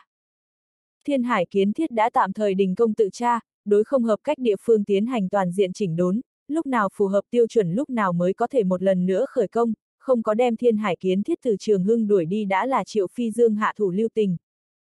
Cao Tân Hòa bồi tiếp Triệu Phi Dương từ công trường đi tới phòng khám bệnh đại sảnh, phòng khám bệnh đại sảnh cải tạo nguyên kế hoạch cũng tại trước cuối năm hoàn thành. Triệu Phi Dương dự định tại vốn có trên cơ sở lợi dụng kết cấu bằng thép dựng lên một cái hoàn toàn mới đại sảnh, thiết kế đã thông qua được luận chứng, nguyên bản hắn dự định tướng công trình giao cho Thiên Hải kiến thiết, có thể ra chuyện lần này cho nên, Triệu Phi Dương không thể không một lần nữa cân nhắc. Cao Tân Hoa hướng Triệu Phi Dương đề cử đỉnh lập kiến thiết, đổi thành đi qua, hắn mới sẽ không nhúng tay lựa chọn thi công phương sự tình, nhưng là sự cố sau khi phát sinh, hắn cải biến ý nghĩ, nhất định phải có hành động, không thể mù quáng nghe theo Triệu Phi Dương chỉ huy, hắn cũng cân nhắc đến xấu nhất một bước, có lẽ cách làm như vậy khả năng thu nhận Triệu Phi Dương bất mãn, cùng lắm thì không để cho mình phụ trách xây dựng cơ bản, đối với hắn mà nói, cầu còn không được. Triệu Phi Dương nghe xong Cao Tân Hoa đề nghị thế mà biểu thị tán đồng, môn trần cải tạo công trình bao quát phòng khám bệnh đại sảnh, truyền dịch thất, phòng cấp cứu, kế tiếp còn sẽ có phóng xạ lâu cùng hành chính ký túc xã. Mặc dù công trình tương đối vụn vặt, nhưng là tổng công trình lượng cũng không kém hơn phòng bệnh cao ốc cải tạo. Triệu Phi Dương cũng đồng ý trứng gà không thể thả tại một cái trong giỏ sách ý nghĩ, dẫn vào mặt khác một nhà công ty xây dựng, để cả hai tương hỗ giám sát, hình thành cạnh tranh cơ chế, cuối cùng thu lợi chính là Trường Hưng. Tại Cao Tân Hoa xem ra, Triệu Phi Dương hẳn là từ chuyện lần này bên trên đạt được giáo huấn, tới một mức độ nào đó cũng coi là đối với mình đền bù, không phải hắn mới sẽ không nghe theo đề nghị của mình. Triệu Phi Dương căn dặn Cao Tân Hoa công trình nhất định phải nhanh khởi động, Trường Hưng lạc hậu diện mạo cần phải nhanh một chút cải thiện. Hai người đối tối hôm qua chuyện ăn cơm không hẹn mà cùng lựa chọn né tránh, phảng phất tối hôm qua bọn hắn dễ bản chưa từng gặp mặt, ăn ý như cũ, nhưng là lẫn nhau trong lòng xuất hiện một không nói rõ lộ vẻ vết rách, Triệu Phi Dương người trước người sau đã rất ít xưng hô hắn là Tân Hoa ca. Cao Tân Hoa trở lại văn phòng, điều ra quy hoạch đồ lúc nghiên cứu, bí thư Trần Hưng An đến đây, gần nhất hắn tìm đến Cao Tân Hoa tần suất có chút cao. Cao Tân Hoa cảm giác một mực tại trường Hưng không có cái gì tồn tại cảm Trần Hưng An gần nhất trở nên sao động bất an, hắn tự hồ nghĩ trước khi về hưu làm những gì, từ mặt khác góc độ đến xem Triệu Phi Dương đi vào trường Hưng về sau một hệ liệt cử động đã xúc động rất nhiều người lợi ích. Chủ đề từ điện giật bỏ mình nông dân công bắt đầu, Trần Hưng An đánh một vòng, trở lại bọn hắn tài sản ước định bên trên. Tân Hoa đồng chí, người biết chúng ta nội bộ ước định kết quả sao? Cao Tân Hoa lắc đầu, nội bộ tài sản ước định là cảnh Văn Tú đang phụ trách, hắn thấy nội bộ ước định thuần túy là chơi đùa lung tung, vô luận người ước định nhiều ít người khác cũng sẽ không nhận nợ. Trần Hưng An nói, tài sản cố định 2, 5 ức, mắc nợ 4, 7 ức, chúng ta trường hưng tư không gán nợ A. Hắn một bên nói một bên lắc đầu. Cao Tân Hoa nghĩ đến kết quả này, trường hưng những năm này kinh doanh tình trạng không tốt, vẫn luôn là mắc nợ vận doanh. Muốn là như thế này làm hình thức đầu tư cổ phần, chúng ta trường hưng còn phải lại có tiền, thật đặc biệt nương trò cười. Hắn cảnh văn tú đến cùng là cái nào đầu, tính tình tốt Trần Hưng An không chịu được nổ lên nói tục. Cao Tân Hoa nói, hình thức đầu tư cổ phần bệnh viện chỉ là một cái tư tưởng, về sau có thể hay không áp dụng cũng không biết, bao gồm hay không chúng ta trường hưng bản bộ cũng không biết. Trần Hưng An nói, nếu như không bao gồm tại sao muốn làm tài sản ước định. Ta thật sự là náo không rõ cảnh văn tú là thế nào làm được ước định, tài sản cố định. Bệnh viện từ đầu tài sản chưa hề đều không phải là cái gì tài sản cố định, phòng bệnh cao ốc, chữa bệnh khí giới, những này đều không đáng tiền, đáng giá nhất là chúng ta nhân viên y tế. Một cái ưu tú chuyên gia bao nhiêu tiền, một cái thành thục chữa bệnh đoàn đội lại là bao nhiêu tiền. Cao Tân Hoa đối Trần Hưng An thuyết pháp này phi thường tán đồng, mặc dù hắn cũng không phải là chữa bệnh nhân sĩ chuyên nghiệp, nhưng là hắn cũng cho rằng bệnh viện hạch tâm tài sản là nhân viên y tế. Đã làm tài sản ước định, liền muốn toàn diện ước định, mà không phải chỉ ước định những cái kia không có sinh mệnh lực xi măng cục gạch cùng chữa bệnh thiết bị. Trần Hưng An nói, Tân Hoa A, người cũng là trường hưng lão nhân, nếu như trường hưng xảy ra vấn đề, trường hưng những nhân viên này làm sao bây giờ? Người có nghĩ tới không? Cao Tân Hoa cười nói, Trần Thư Ký, trường hưng có thể xảy ra vấn đề gì?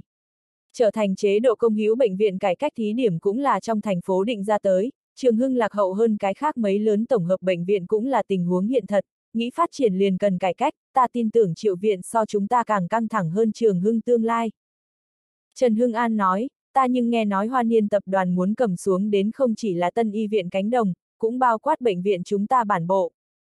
Cao Tân Hoa Kỳ thật cũng có cái này dự cảm, liền bọn họ cũng đều biết bệnh viện hạch tâm tài sản là nhân viên y tế, hoan niên tập đoàn không có khả năng không rõ kiến thiết một tòa tân y viện, lâu tốt đóng, khí giới dễ bán, nhưng là làm việc người không dễ tìm, đương nhiên có thể trọng kim thuê chuyên gia, nhưng là tổ kiến một cái thành thục chữa bệnh đoàn đội, cần phải bỏ ra giá lớn bao nhiêu, mọi người trong lòng đều có cân đòn.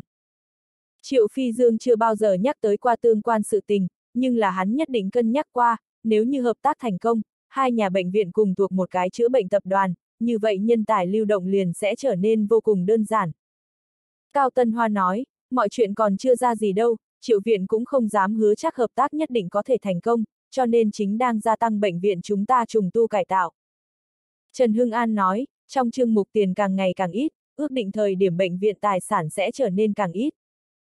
Cao Tân Hoa bên trong bắt đầu lo lắng, Trần Hưng An ở ngay trước mặt hắn nói lời đã càng ngày càng không cố kỵ, nếu như hắn cho là mình cùng Triệu Phi Dương là cùng một bọn, như vậy hắn nói câu nói này mục đích đúng là muốn thông qua mình truyền đến Triệu Phi Dương trong lỗ tai, nhưng xem ra Trần Hưng An lại hình như đang tranh thủ chính mình.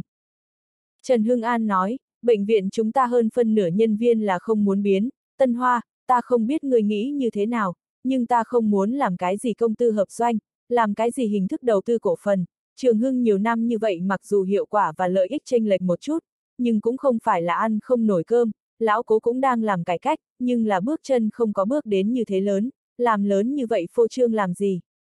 Dẫn vào dân doanh vốn liếng, ta muốn hỏi hỏi, người ta không kiếm tiền tại sao muốn đầu tư cho ngươi. Chúng ta dẫn vào đầu tư cũng là vì kiếm tiền nhiều hơn. Đã chính chúng ta liền có thể kiếm tiền, tại sao muốn phân cho bọn hắn? Cao Tân Hoa không cách nào cho ra đáp án bởi vì hắn cũng không biết Triệu Phi Dương mục tiêu cuối cùng nhất là cái gì.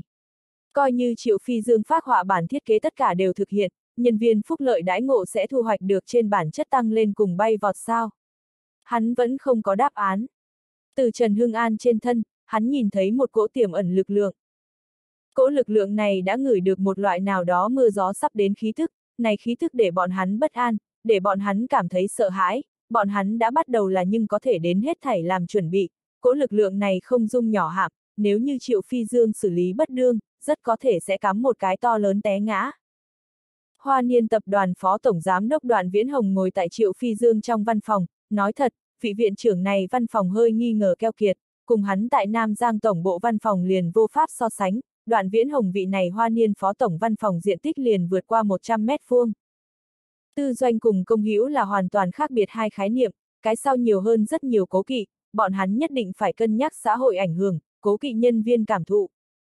Đoạn viễn hồng chậm rãi uống trà, tại chuyện hợp tác bên trên, hắn cho rằng phe mình hoàn toàn nắm giữ chủ động, Triệu Phi Dương là cái có khát vọng cán bộ trẻ tuổi, hắn nghĩ phát triển trường hưng, nhưng là quy hoạch cho dù tốt không có tài chính cũng chỉ có thể là đàm binh trên giấy, hoa niên tập đoàn có thể chờ một chút, nhưng là trường hưng đã đã đợi không kịp. Triệu Phi Dương nói, đoàn tổng, hai ngày này khảo sát cảm giác thế nào? Đoàn viễn hồng tướng chén trà buông xuống, mỉm cười nói, hai ngày này ta xem rất nhiều nơi, trường hưng bản bộ, hai kỳ công trường, khu công nghệ cao cánh đồng, còn có, hắn cố ý dừng lại một chút nói, ta cũng thuận tiện khảo sát các ngươi một chút đối thủ cạnh tranh, y khoa lớn phụ viện, trung tâm y viện, hắn không nhanh không chậm liệt kê, nhưng thật ra là thông qua loại phương thức này ám chỉ triệu phi dương, trường hưng là lựa chọn của bọn hắn, nhưng không phải là lựa chọn duy nhất. Triệu Phi Dương đã nhận ra đoàn viễn hồng mục đích, lạnh nhạt nói, đoàn tổng thu được ta để cho người ta chuyển giao tài liệu. Đoàn viễn hồng nói, nhận được.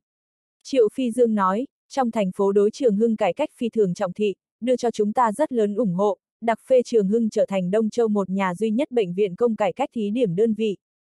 Triệu Phi Dương ý tứ cũng rất rõ ràng, chớ cùng ta trò chuyện cái khác bệnh viện, cái khác bệnh viện cho dù tốt cũng là công hữu chế, ngoại trừ trường hưng bên ngoài trong thành phố không có khả năng lại đẩy ra một nhà cải cách thí điểm đơn vị, vị kia lãnh đạo cũng không dám bốc lên như thế lớn hiểm. Như thế nào thí điểm? Chính là mò đá quá sông, bệnh viện công cải cách Đông Châu không có tiền lệ. Đừng tưởng rằng hoan niên trong tay có tiền, hiện tại lớn khỏe mạnh sản nghiệp phi thường lôi cuốn, tay cầm tư vốn chuẩn bị tham gia công ty lớn đại tập đoàn không phải số ít. Đoạn Viễn Hồng nói, Đông Châu lãnh đạo vẫn là có quyết đoán, tha thứ ta nói thẳng, trường hưng bệnh viện tình trạng trước mắt không thể lạc quan A. Bệnh viện chúng ta cơ bản bột không có bất cứ vấn đề gì, nếu như một lòng cầu ổn, chúng ta đều có thể kéo dài đi qua kinh doanh hình thức. Triệu Phi Dương là tại nói cho đoạn viễn hồng, người đừng tưởng rằng tay cầm tài chính liền có thể ở trước mặt ta đùa nghịch huy phong, lui một vạn bước, ta cùng lắm thì từ bỏ cải cách, trường hưng còn là dựa theo quá khứ hình thức kinh doanh, đối với chúng ta tới nói cùng lắm thì chậm dần một chút phát triển bước chân, nhưng là các người hoa niên tập đoàn qua thôn này cũng không có tiệm này. Đoạn Viễn Hồng cùng Triệu Phi Dương đã bàn bạc qua không ít lần, hai người mặt ngoài khách khí thế nhưng không ít động tâm cơ, loại này trong bông có kim đánh cờ thường xuyên trình diễn. Đạt thành sau cùng hợp tác trước đó, song phương đều sẽ mức độ lớn nhất đất là phe mình tranh thủ lợi ích, ai cũng không chịu tùy tiện nhượng bộ. Đoạn Viễn Hồng nói, triệu viện trưởng hiểu lầm ta ý tứ, biết người biết ta bách chiến bách thắng nha, chúng ta hợp tác thành lập hình thức đầu tư cổ phần bệnh viện về sau, chủ yếu vẫn là muốn đối diện Đông Châu địa khu chữa bệnh thị trường, ta nâng lên mấy nhà bệnh viện sẽ là chúng ta tương lai đối thủ chủ yếu, cho nên ta muốn trước tìm hiểu một chút nha. Triệu Phi Dương cười nói, đoàn tổng thật sự là kính nghiệp, có câu nói ta nói được ngươi khả năng không thích nghe, thông qua loại này khảo sát là không thể nào thăm dò Đông Châu chữa bệnh giới thực tế tình trạng, nếu như ngươi có cần hiểu rõ địa phương, có thể trực tiếp hỏi ta. Triệu viện trưởng thời gian quý giá, ta cũng không dám luôn luôn chậm trễ ngươi. Đoạn Viễn Hồng thông qua lần này đối thoại ý thức được Triệu Phi Dương quả nhiên không phải loại lương thiện, hắn rõ ràng tại nói mình là cái ngoài nghề, nghĩ tại Đông Châu chữa bệnh giới đặt chân rời đi hắn Triệu Phi Dương là vạn vạn không được. Đoạn Viễn Hồng mỉm cười quan sát đến vị này tuổi trẻ chính sử cấp cán bộ, trong lòng cho hắn cài lên cuồng vọng tự đại lại dã tâm bừng bừng mũ. Triệu Phi Dương nói, đoàn tổng quá lo lắng chúng ta song phương đều đang cố gắng tương hướng mà đi, tranh thủ sớm ngày đạt thành hợp tác, ta đã sớm nói, sẽ vì hoan niên tập đoàn khảo sát cung cấp đủ khả năng hết thảy tiện lợi điều kiện. Đoạn Viễn Hồng nói, đường tổng bên kia chờ lấy chúng ta ước định báo cáo, hiện tại liên quan tới bản bộ ước định công việc đã tiến hành đến trên cơ bản không sai biệt lắm, hiện tại còn thừa lại một chỗ cần khảo sát ước định một chút, mong rằng triệu viện giúp cho phối hợp. Không có vấn đề.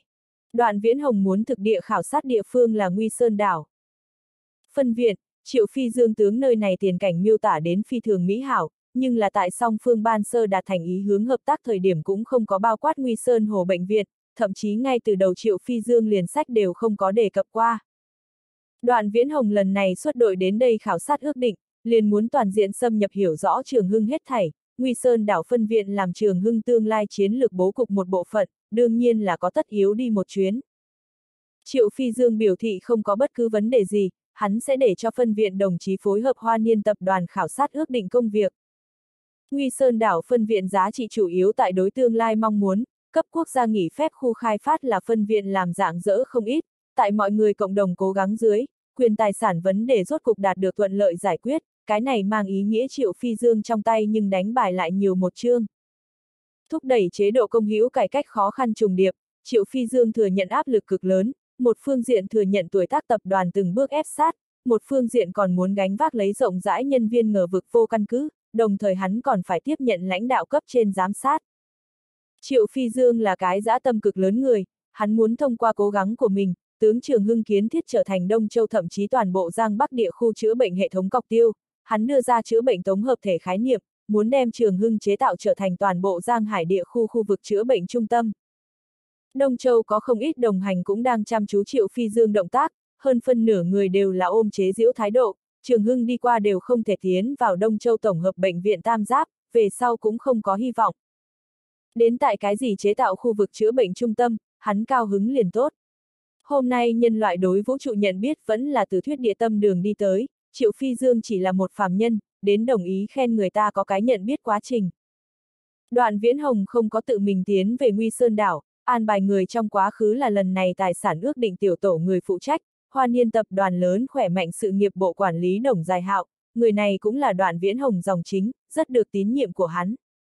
Triệu Phi Dương nguyên bản còn suy nghĩ có phải hay không bồi đoạn Viễn Hồng đi một chuyến, về sau nghe nói đoạn Viễn Hồng không đi, hắn đương nhiên cũng không có hứng thú gì đi qua, binh đối binh tướng đối với tướng, dưới tay hắn cũng không phải không ai, hắn tướng tiếp đãi khảo sát ước định tổ nhiệm vụ giao cho phân viện tân nhiệm bí thư Đàm Hải Yến.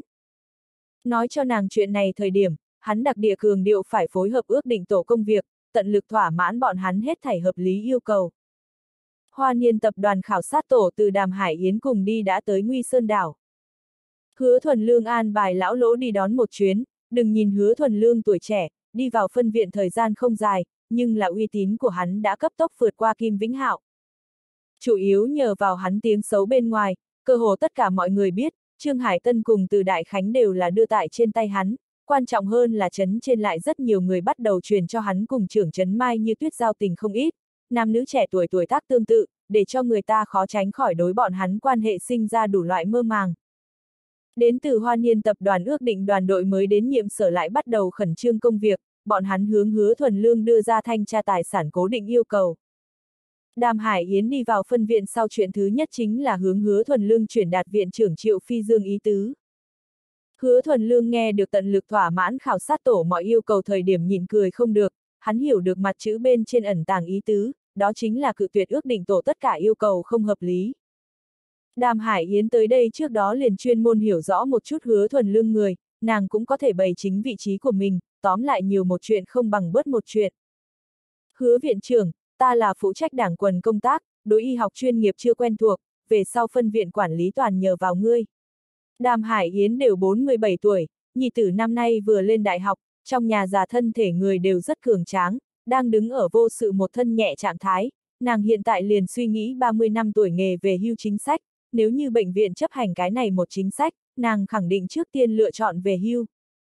Trong bệnh viện ôm nàng dạng này tư tưởng không ít người, hiện ở trong thành phố tướng Trường Hưng làm bệnh viện công cải cách thí điểm, bệnh viện bắt đầu dẫn vào dân doanh vốn liếng, không lâu về sau vô cùng có khả năng thay đổi là hình thức đầu tư cổ phần bệnh viện, đối lão công nhân tới nói, bọn hắn phi thường coi trọng trước mắt sự nghiệp biên chế, lo lắng bệnh viện cải chế sẽ tổn hại đến bọn hắn bản thân lợi ích, bưng hơn nửa đời người bát sắt ai cũng không muốn phút cuối cùng lại phát sinh cải biến. Hứa thuần lương cười nói, đàm thư ký, ta đối y học chuyên nghiệp cũng không hiểu, bất quá chúng ta làm quản lý cũng không cần hiểu ngươi nói đúng không? Đàm Hải Yến nở nụ cười, cảm thấy người trẻ tuổi kia thật có ý tứ. Hứa thuần lương nói, còn có, ngài về sau đừng gọi ta viện trưởng, gọi ta tiểu hứa là được, ta cái này phó viện trưởng chính là cái quá độ tính chất, ngài nếu là đem ta gọi quen thuộc, về sau vạn nhất công việc phát sinh biến động, ngài lại không gọi, ta phải nhiều thất lạc. Đàm Hải Yến cười nói, được, kia ta bảo ngươi tiểu hứa, ngươi cũng đừng gọi ta đàm thư ký, gọi đàm tỷ. Hứa thuần lương kêu một tiếng đàm tỷ, trưng cầu ý kiến của nàng, đêm nay có cần hay không an bài khảo sát tổ ăn cơm. Đàm Hải Yến biểu thị không cần, bởi vì khảo sát tổ đồng dài hạo đã sự tình tuyên bố trước, bọn hắn đang khảo sát trong lúc đó ăn ở tất cả đều tự gánh vác, chỉ cần bệnh viện phương diện phối hợp bọn hắn tiến hành ước định là được. Đàm Hải Yến cảm giác đối phương yêu cầu cũng không quá phận, hứa thuần lương cũng không nhìn như vậy trường hưng cùng hoa niên tập đoàn còn không có ký tên chính thức hợp đồng, các ngươi tới khảo sát, ta bằng cái gì phải phối hợp. Ta giống như không có cái này nghĩa vụ. Căn cứ đàm Hải Yến hiểu rõ đến tình huống, hiện tại Phó Viện trưởng Cảnh Văn Tú cũng đi hoa niên tập đoàn khảo sát, tại ký tên chính thức hợp đồng trước đó, phối hợp lẫn nhau hiểu rõ đối phương tình trạng tài chính cũng là tất đi một bước. Hứa thuần lương suy nghĩ Nguy Sơn Hồ phân viện đáng tiền nhất đến chính là mảnh đất trống này, cái này cũng không tính được bí mật gì, ngày mai hắn liền đi trong huyện xong xuôi cuối cùng một đạo thủ tục, tránh khỏi đêm dài lắm mộng. Hai người lúc nói chuyện, khảo sát tổ người phụ trách đồng trường hạo qua tới bái phòng, hoa niên tập đoàn vừa mới gây dựng lớn khỏe mạnh sự nghiệp bộ, đồng trường hạo chính là cái này mới thành lập bộ môn người phụ trách, hắn quá khứ là hoa niên tập đoàn phó tổng đoàn viễn hồng trợ lý, tốt nghiệp ở Bắc Mỹ dây thường xuân danh giáo, hiện tuổi 33 tuổi, được xưng tụng giới kinh doanh tinh anh, nhưng là vị này tinh anh cũng không có bệnh viện quản lý kinh nghiệm. Đồng trường hạo vừa rồi đã tại Nguy Sơn đảo phân viện dạo qua một vòng, hắn cũng cho rằng tòa này bệnh viện không có gì có thể ước định, ước định xuống tới cũng là âm vốn, chân chính đáng tiền đơn giản là khối này bởi vì chính sách đột nhiên tăng giá trị tài sản mặt đất. Trường Hưng phương diện đưa ra chữa bệnh dưỡng lão khái niệm, quy hoạch ở chỗ này kiến thiết dưỡng lão bệnh viện, đồng trường hạo nhận là ý nghĩ này rất có trước xem tính, nhưng là làm hợp tác phương, bọn hắn mục đích của chuyến này không phải là vì ca ngợi, mà là muốn tìm mau bệnh, mau bệnh càng nhiều, tương lai cổ quyền đàm phán Trung Hoa họp trợ cuối năm đoàn càng có thể chiếm được ưu thế. Tới đây trên đường hắn thông qua nói chuyện với nhau giải đàm Hải Yến, đàm Hải Yến nữ nhân này không có năng lực gì, vừa mới nhậm chức bí thư đối Nguy Sơn đảo bệnh viện hiểu rõ còn không bằng chính mình cái này ngoại nhân nhiều. Ngược lại là hứa thuần lương cái này phó viện trưởng đưa tới chú ý của hắn, sớm nhất nghe nói hứa thuần lương tên chữ hay là bởi vì hắn đánh hoa niên tập đoàn thái tử ra đường thiên nhất. Chuyện này tại hoa niên ảnh hưởng rất lớn, đường thiên nhất là chủ tịch đường kinh vĩ nhi tử bảo bối, từ nhỏ nuông chiều từ bé, trưởng thành cũng là nhâm tính hổ vi, bình thường không ít cho đường kinh vĩ gây chuyện, nhưng là cơ hồ đều là hắn khi dễ người khác, chưa hề chưa nghe nói qua hắn bị người khi dễ, lần này tại Đông Châu, nghe nói bị người thọc, cuối cùng còn không giải quyết được gì. Hoa niên nội bộ đều cảm thấy chuyện này không thể tưởng tượng nổi, cho rằng đường thiên nhất nhưng có thể gặp được so với hắn bối cảnh nhân vật mạnh hơn, về sau mới biết được giáo huấn đường thiên nhất chính là trường hưng nhân viên, cũng không có bối cảnh gì, liền là bản xứ một vị lão trung y cháu trai. Triệu Phi Dương tại chuyện này xử lý bên trên cũng ý vị sâu xa, mặc dù thăm hỏi đường thiên nhất, nhưng là hắn cũng không đối người gây ra họa tiến hành xử lý. Đồng trường hạo cùng đoạn viễn hồng tự mình nghiên cứu thảo luận qua chuyện này, từ chuyện này đó có thể thấy được Triệu Phi Dương vẫn là có nguyên tắc, mà lại người này tựa hồ thấy được lá bài tẩy của bọn hắn, hoa niên tập đoàn hợp tác ý nguyện so trường hưng càng thêm mãnh liệt. Chủ tịch đường kinh vĩ từ đầu tới đuôi đều không có châm đối với chuyện này biểu qua thái, đệ đệ của hắn đường kinh luân ngược lại là ra nói hai câu, đơn giản là không muốn chuyện này ảnh hưởng đến công ty giá cổ phiếu. Nhưng ai đều rõ ràng, Hoa Niên tập đoàn kỳ hạ hai nhà đưa ra thị trường công ty, trong đó Hoa Niên địa sản đã biến thành ST, mặt khác một nhà gia năm bách hóa cũng là không chết không sống. Nếu như không phải hãm sâu vũng bùn, cũng sẽ không lại khởi bếp nấu, bố cục lớn khỏe mạnh sản nghiệp. Đồng trường hạo thậm chí cho rằng đường thiên nhất tại Đông Châu bị đâm một chuyện ảnh hưởng không nhỏ, chính là thông qua sự kiện kia để Triệu Phi Dương xem thấu lá bài tẩy của bọn hắn, thấy được bọn hắn đối đạt thành hợp tác bức thiết, cũng là từ kia lần về sau Triệu Phi Dương ở tại đàm phán trở nên càng ngày càng mạnh thế. Đàm Hải Yến là hai người bọn họ tiến hành giới thiệu, hứa thuần lương mỉm cười hướng đồng trường hạo vươn tay ra, đồng tiên sinh tốt. Đồng trường hạo cũng là đầy mặt tươi cười, nắm chặt hứa thuần lương tay lay động một cái nói, ta đối hứa viện trưởng nghe tiếng đã lâu. Hứa thuần lương nói, chuyện tốt không ra khỏi cửa chuyện xấu truyền ngàn dặm, đồng tiên sinh có phải hay không nghe nói qua ta đánh người sự tình. Đồng trường hạo sửng sốt một chút, tuyệt đối không ngờ rằng hắn sẽ trực tiếp đem chuyện này nói ra, bình thường sáo lộ không phải hẳn là né tránh sao. Đồng trường hạo ứng biến thần tốc, cười nói, nguyên lai cùng đường công tử phát sinh hiểu lầm chính là ngươi A, thật đúng là lũ lụt chìm miếu Long Vương, người một nhà không biết người một nhà. Hứa thuần lương buông ra đồng trường hạo tay nói, đồng tiên sinh ngài lời này coi như vũ nhục ta, đường thiên nhất loại kia ăn chơi thiếu ra đơn thuần rác rưởi, ta cùng hắn không phải người một nhà. Đàm Hải Yến trợn mắt hốc mồm đi qua chỉ nghe nói hứa thuần lương khó làm, hiện tại mới chính thức tận mắt chứng kiến đến, đồng trường hạo dù sao cũng là khách nhân, ngay trước mặt của người ta trực tiếp mắng người ta lão bản nhi tử, như vậy được không? Đồng trường hạo cười nói, hứa viện trưởng tính tình thật a. À. Hứa thuần lương cười tủm tỉm nói, con người của ta tính tình không tốt, yêu ghét rõ ràng, muốn là ưa thích ai, ta liền xuất phát từ tâm can đối tốt với hắn, nếu là ai đắc tội ta, ta chỉ ít để hắn trả giá gấp 10 lần đại giới, đồng tiên sinh ta không phải nhằm vào ngươi a, ngồi. Đàm Hải Yến cái này mới hồi phục tinh thần lại, chào hỏi đồng trường hạo ngồi, không khí này cũng quá lung túng, đều nói hứa thuần lương sẽ nói chuyện phiếm, nhưng vừa lên đến liền đem nói cho trò chuyện chết. Đàm Hải Yến đánh giá thấp đồng trường hạo tâm cơ. Đồng trường hạo điểm đều không có cảm thấy xấu hổ, chẳng qua là cảm thấy hứa thuần lương không đơn giản, tiểu tử này nên là cái dương mưu cao thủ, từ vừa mới bắt đầu liền đem vấn đề bày lên mặt đài, mưu toan đang giận trên trận ngăn chặn mình, khảo sát tổ vừa tới, hắn liền muốn đến cái dạo oai phủ đầu, đáng tiếc ngươi không phải triệu phi dương, ngươi cùng ta không phải một cái đẳng cấp đối thủ. Đồng trường hạo tiếp nhận hứa thuần lương đưa tới quân dân suối nước khoáng, một giọng nói tạ ơn, trong lòng thầm nghĩ, thời tiết lạnh như vậy, ngươi không nên mời ta uống chén nóng sao. Hắn có bệnh bao tử, đi qua du học lúc rơi xuống mau bệnh, bác sĩ chuyên môn căn dặn hắn kỵ sinh lạnh, đồng trường hạo tiếp nhận nước khoáng liền đặt ở trên bàn trà, hứa thuần lương cũng không có pha trà cho hắn ý tứ. Đồng trường hạo tới gặp hứa thuần lương chủ yếu là vì bàn công việc, hắn hy vọng hứa thuần lương có thể cân đối phân viện tài vụ khoa cùng thiết bị khoa phối hợp bọn hắn khảo sát công việc, dựa theo trường hưng bên kia công việc xáo lộ, bọn hắn dự định tại Nguy Sơn đảo ngốc một tuần lễ, an bài khảo sát tổ thành viên vào ở tài vụ khoa cùng thiết bị khoa, ở trong đó bao quát thu phí chỗ, bọn hắn hy vọng kỹ càng hiểu rõ bệnh viện thu chi tình trạng.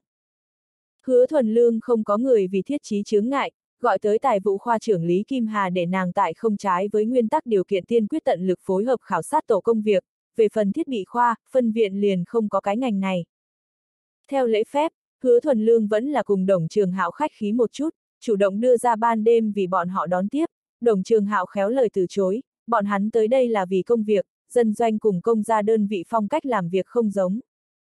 Đồng trường hạo biểu thị tiếp xuống một tuần, bọn hắn khảo sát tổ sẽ bắt đầu tiến hành toàn phương vị ước định, tận khả năng không ảnh hưởng bệnh viện công việc bình thường, để phân viện phương diện hết thảy còn là dựa theo quá khứ công việc chương trình tiến hành. Đưa tiến đồng trường hạo về sau, hứa thuần lương đem Trương Hải Đào gọi đi qua, luôn cảm thấy hoa niên đám người này kẻ đến không thiện, để Trương Hải Đào trong khoảng thời gian này lưu ý khảo sát tổ động tính, có cái gì khác thường địa phương kịp thời hướng mình báo cáo. Lý Kim Hà nơi đó hắn cũng chào hỏi, có chút khoản có thể xuất ra cho bọn hắn nhìn, có chút khoản không thể cho nếu như xảy ra vấn đề, từ nàng cá nhân nhận gánh trách nhiệm. Lý Kim Hà nghe hắn kiểu nói này lập tức minh bạch hắn ý tứ, nàng cũng không biết những cái kia nên cho những cái kia không nên cho, vì để tránh cho nhận gánh trách nhiệm, dứt khoát toàn cũng không cho. Hứa thuần lương vốn định ban đêm mời Mai như tuyết ăn cơm, lại nghe nói nàng đêm nay muốn tiếp đãi đại hàng tập đoàn khảo sát đoàn, hứa thuần lương trong lòng tự nhủ đại hàng tập đoàn đối nguy sơn đảo bên này hạng mục xem ra là nhất định phải được, chỉ riêng hắn biết đến liền đã đến ba chuyến. Mai như tuyết hỏi hắn quyền tài sản chuyển nhượng sự tình phải chăng đã xong xuôi. Hứa thuần lương nói cho nàng dự định ngày mai đi huyện thành làm. Mai như tuyết vừa vặn ngày mai muốn đi trong huyện họp, biểu thị vừa dễ dàng cùng hắn cùng đi, cân nhắc đến hứa thuần lương đối làm việc bộ môn không quen, nàng có thể vì hắn làm cái miễn phí dẫn đường. Mai như tuyết nhưng thật ra là lo lắng hứa thuần lương suy nghĩ nhiều, nàng đêm nay đích thật là công việc đi không được, không phải cố ý cự tuyệt, chủ động mời hắn ngày mai cùng một chỗ đồng hành nhiều ít có chút đền bù hắn ý tứ. Hứa thuần lương lòng dạ biết rõ, Mai Trấn trưởng thật đúng là khéo hiểu lòng người, bình thường tới nói đương một vị nữ hài tử chủ động cân nhắc cảm thụ của ngươi, chỉ ít chứng minh nàng đối ngươi có hảo cảm. Hai người hẹn xong xuất phát thời gian, hứa thuần lương hài lòng đã cúp điện thoại. Lúc chiều, Vương Hiểu Phong cùng Tào Tĩnh tới tìm hắn, bọn hắn đều là trường hưng thế hệ tuổi trẻ, cũng nghe nói trường hưng làm chế độ công hữu cải cách thí điểm sự tình, đến bọn hắn thế hệ này liền nhân sự đại diện đều không thể gặp phải, bọn hắn ký đến độ là phổ thông lao động hợp đồng, mặc dù như thế bọn hắn cũng phi thường quan tâm trường hưng tương lai cải cách. Vương Hiểu Phong cặp vợ chồng đều tại trường hưng, nếu như trường hưng thật muốn giống truyền ngôn như thế quay quanh tư, bọn hắn liền không thể không cân nhắc tương lai, trong đó một cái rời, đây cũng là một loại bảo hiểm cách làm, không đem trứng gà đặt ở một cái trong giỏ sách, vạn nhất trường hưng cải cách không thành công, chí ít còn có một phần cố định thu nhập có thể bảo hộ. Tào tính cũng muốn rời đi trường hưng, từ lần trước để lọt xem bệnh sự tình, nàng bị đày đi đến Nguy Sơn đảo phân viện, trong lòng đối trường hưng liền có không nhỏ oán khí, bất quá nàng cùng Vương Hiểu Phong khác biệt, hiện tại siêu thanh là lôi cuốn chuyên nghiệp, từng cái dân doanh bệnh viện đều phi thường cần, đãi ngộ cũng muốn so trường hưng tốt hơn nhiều, đã trường hưng cũng muốn biến thành dân doanh, nàng còn không bằng chuẩn bị sớm. Hai người đều muốn từ hứa thuần lương nơi này đạt được một chút nội tình tin tức, hứa thuần lương nói cho bọn hắn hiện tại hết thảy còn không có kết luận, trường hưng cùng hoa niên tập đoàn hợp tác chỉ là mục đích, một ngày không có ký hợp đồng một ngày liền tồn tại biến số. Tào tĩnh nói, nào có cái gì biến số, người ta đều tới khảo sát ước định, chờ ước định kết thúc, chúng ta liền bị bán. Vương Hiểu Phong đi theo gật đầu. Hứa thuần lương cười nói, không thể nào, quay quanh tư không có đơn giản như vậy, các người cũng không cần gấp, sốt ruột cũng không được việc, trong bệnh viện so với các người nóng nảy người còn nhiều, rất nhiều, so với các người có người có bản lĩnh cũng nhiều đến là, các người nếu có tốt hơn chỗ, ta không ngăn các ngươi, nhưng nếu như các ngươi không có, cũng không cần vội vàng làm quyết định, dù sao trời sập xuống cái cao đỉnh lấy, không tới phiên các ngươi quan tâm. Vương Hiểu Phong cảm thấy hắn nói rất có đạo lý, hẳn là trước quan sát một chút tình thế lại nói. Tào Tĩnh nói, lời mặc dù nói như vậy, nhưng chuẩn bị sớm tổng là đúng, ta nghe nói bệnh viện chúng ta rất nhiều bác sĩ đều đang tìm quan hệ điều động, tâm nội khoa phó quyên đã đi trung tâm y viện.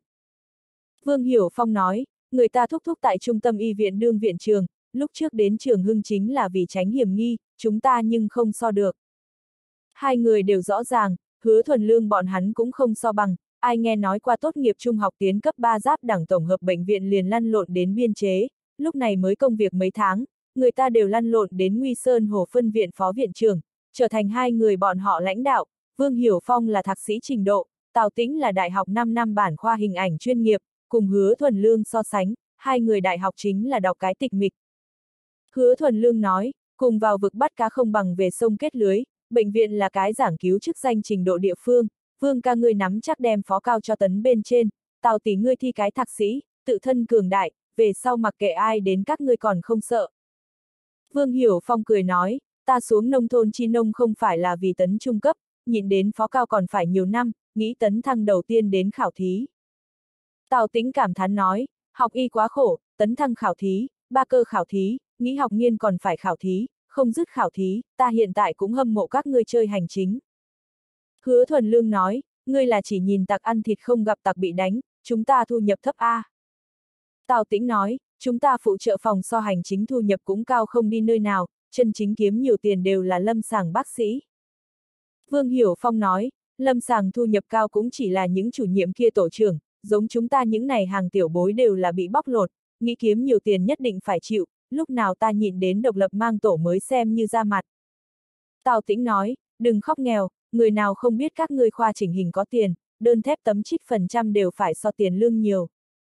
Vương Hiểu Phong thở dài, hứa thuần lương lời nói đến mức không sai, chỉ nhìn tặc ăn thịt không thấy tặc bị đánh, nhất là giống hắn loại này tuổi trẻ đại phu, thịt không ăn được nhiều ít, đánh cũng không có ít chịu.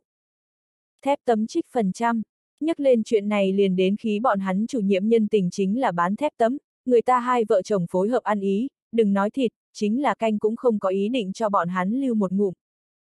Vương Hiểu Phong cũng nghĩ chủ động cùng vị này tuổi trẻ phó viện trưởng lôi kéo làm quen, đưa ra ban đêm mời bọn họ ăn cơm, hứa thuần lương vốn muốn cự tuyệt.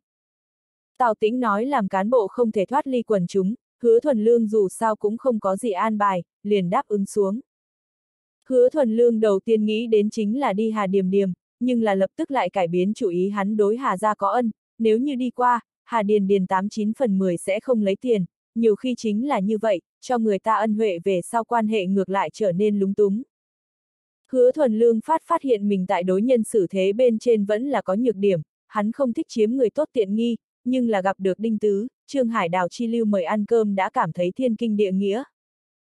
Vương Hiểu Phong mời bọn họ đi thường xuyên đi đảo nhỏ người ta, hắn để hứa thuần lương nhiều hô mấy cái, hứa thuần lương biết cái này tuổi trẻ đại phu kiếm tiền cũng không dễ dàng, liền không cho hắn gia tăng gánh vác, tự mình một người đi qua. Cuối cùng vẫn là Vương Hiểu Phong ra mặt mời Đàm Hải Yến, bốn người tới đảo nhỏ người ta, đứng đấy gọi món ăn thời điểm gặp tổng hợp chấp pháp xử lý chủ nhiệm Hoàng Dũng, Hoàng Dũng cùng hứa thuần lương đánh qua mấy lần quan hệ, cũng không có chiếm qua tiện nghi. Hiện tại sửa trị làm trái xây công việc thực đã không ai để, hai người cũng là gặp lại nhất tiếu mẫn ân cừu. Hoàng Dũng từ trong túi móc ra thuốc lá, hứa thuần lương để hắn đừng khách khí mình sẽ không hút thuốc. Về phòng tọa hạ không lâu, phục vụ viên tới mang thức ăn lên, Vương Hiểu Phong rõ ràng không có điểm con cua, có thể lên một mâm lớn con cua, mỗi cái đều bốn lượng hướng lên trên.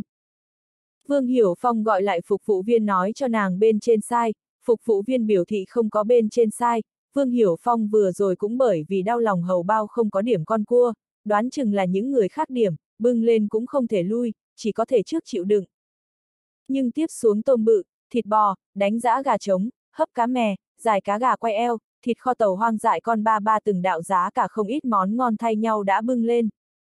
Vương Hiểu Phong có chút luống cuống, một bàn này một ngàn khối khẳng định là hơn, mình rõ ràng chỉ chọn 500 khối tả hữu đồ ăn, làm sao biến nhiều như vậy. Hắn gọi tới phục vụ viên nói cho nàng khẳng định tính sai. Phục vụ viên lúc này mới nói là căn phòng cách vách hoàng chủ nhiệm an bài.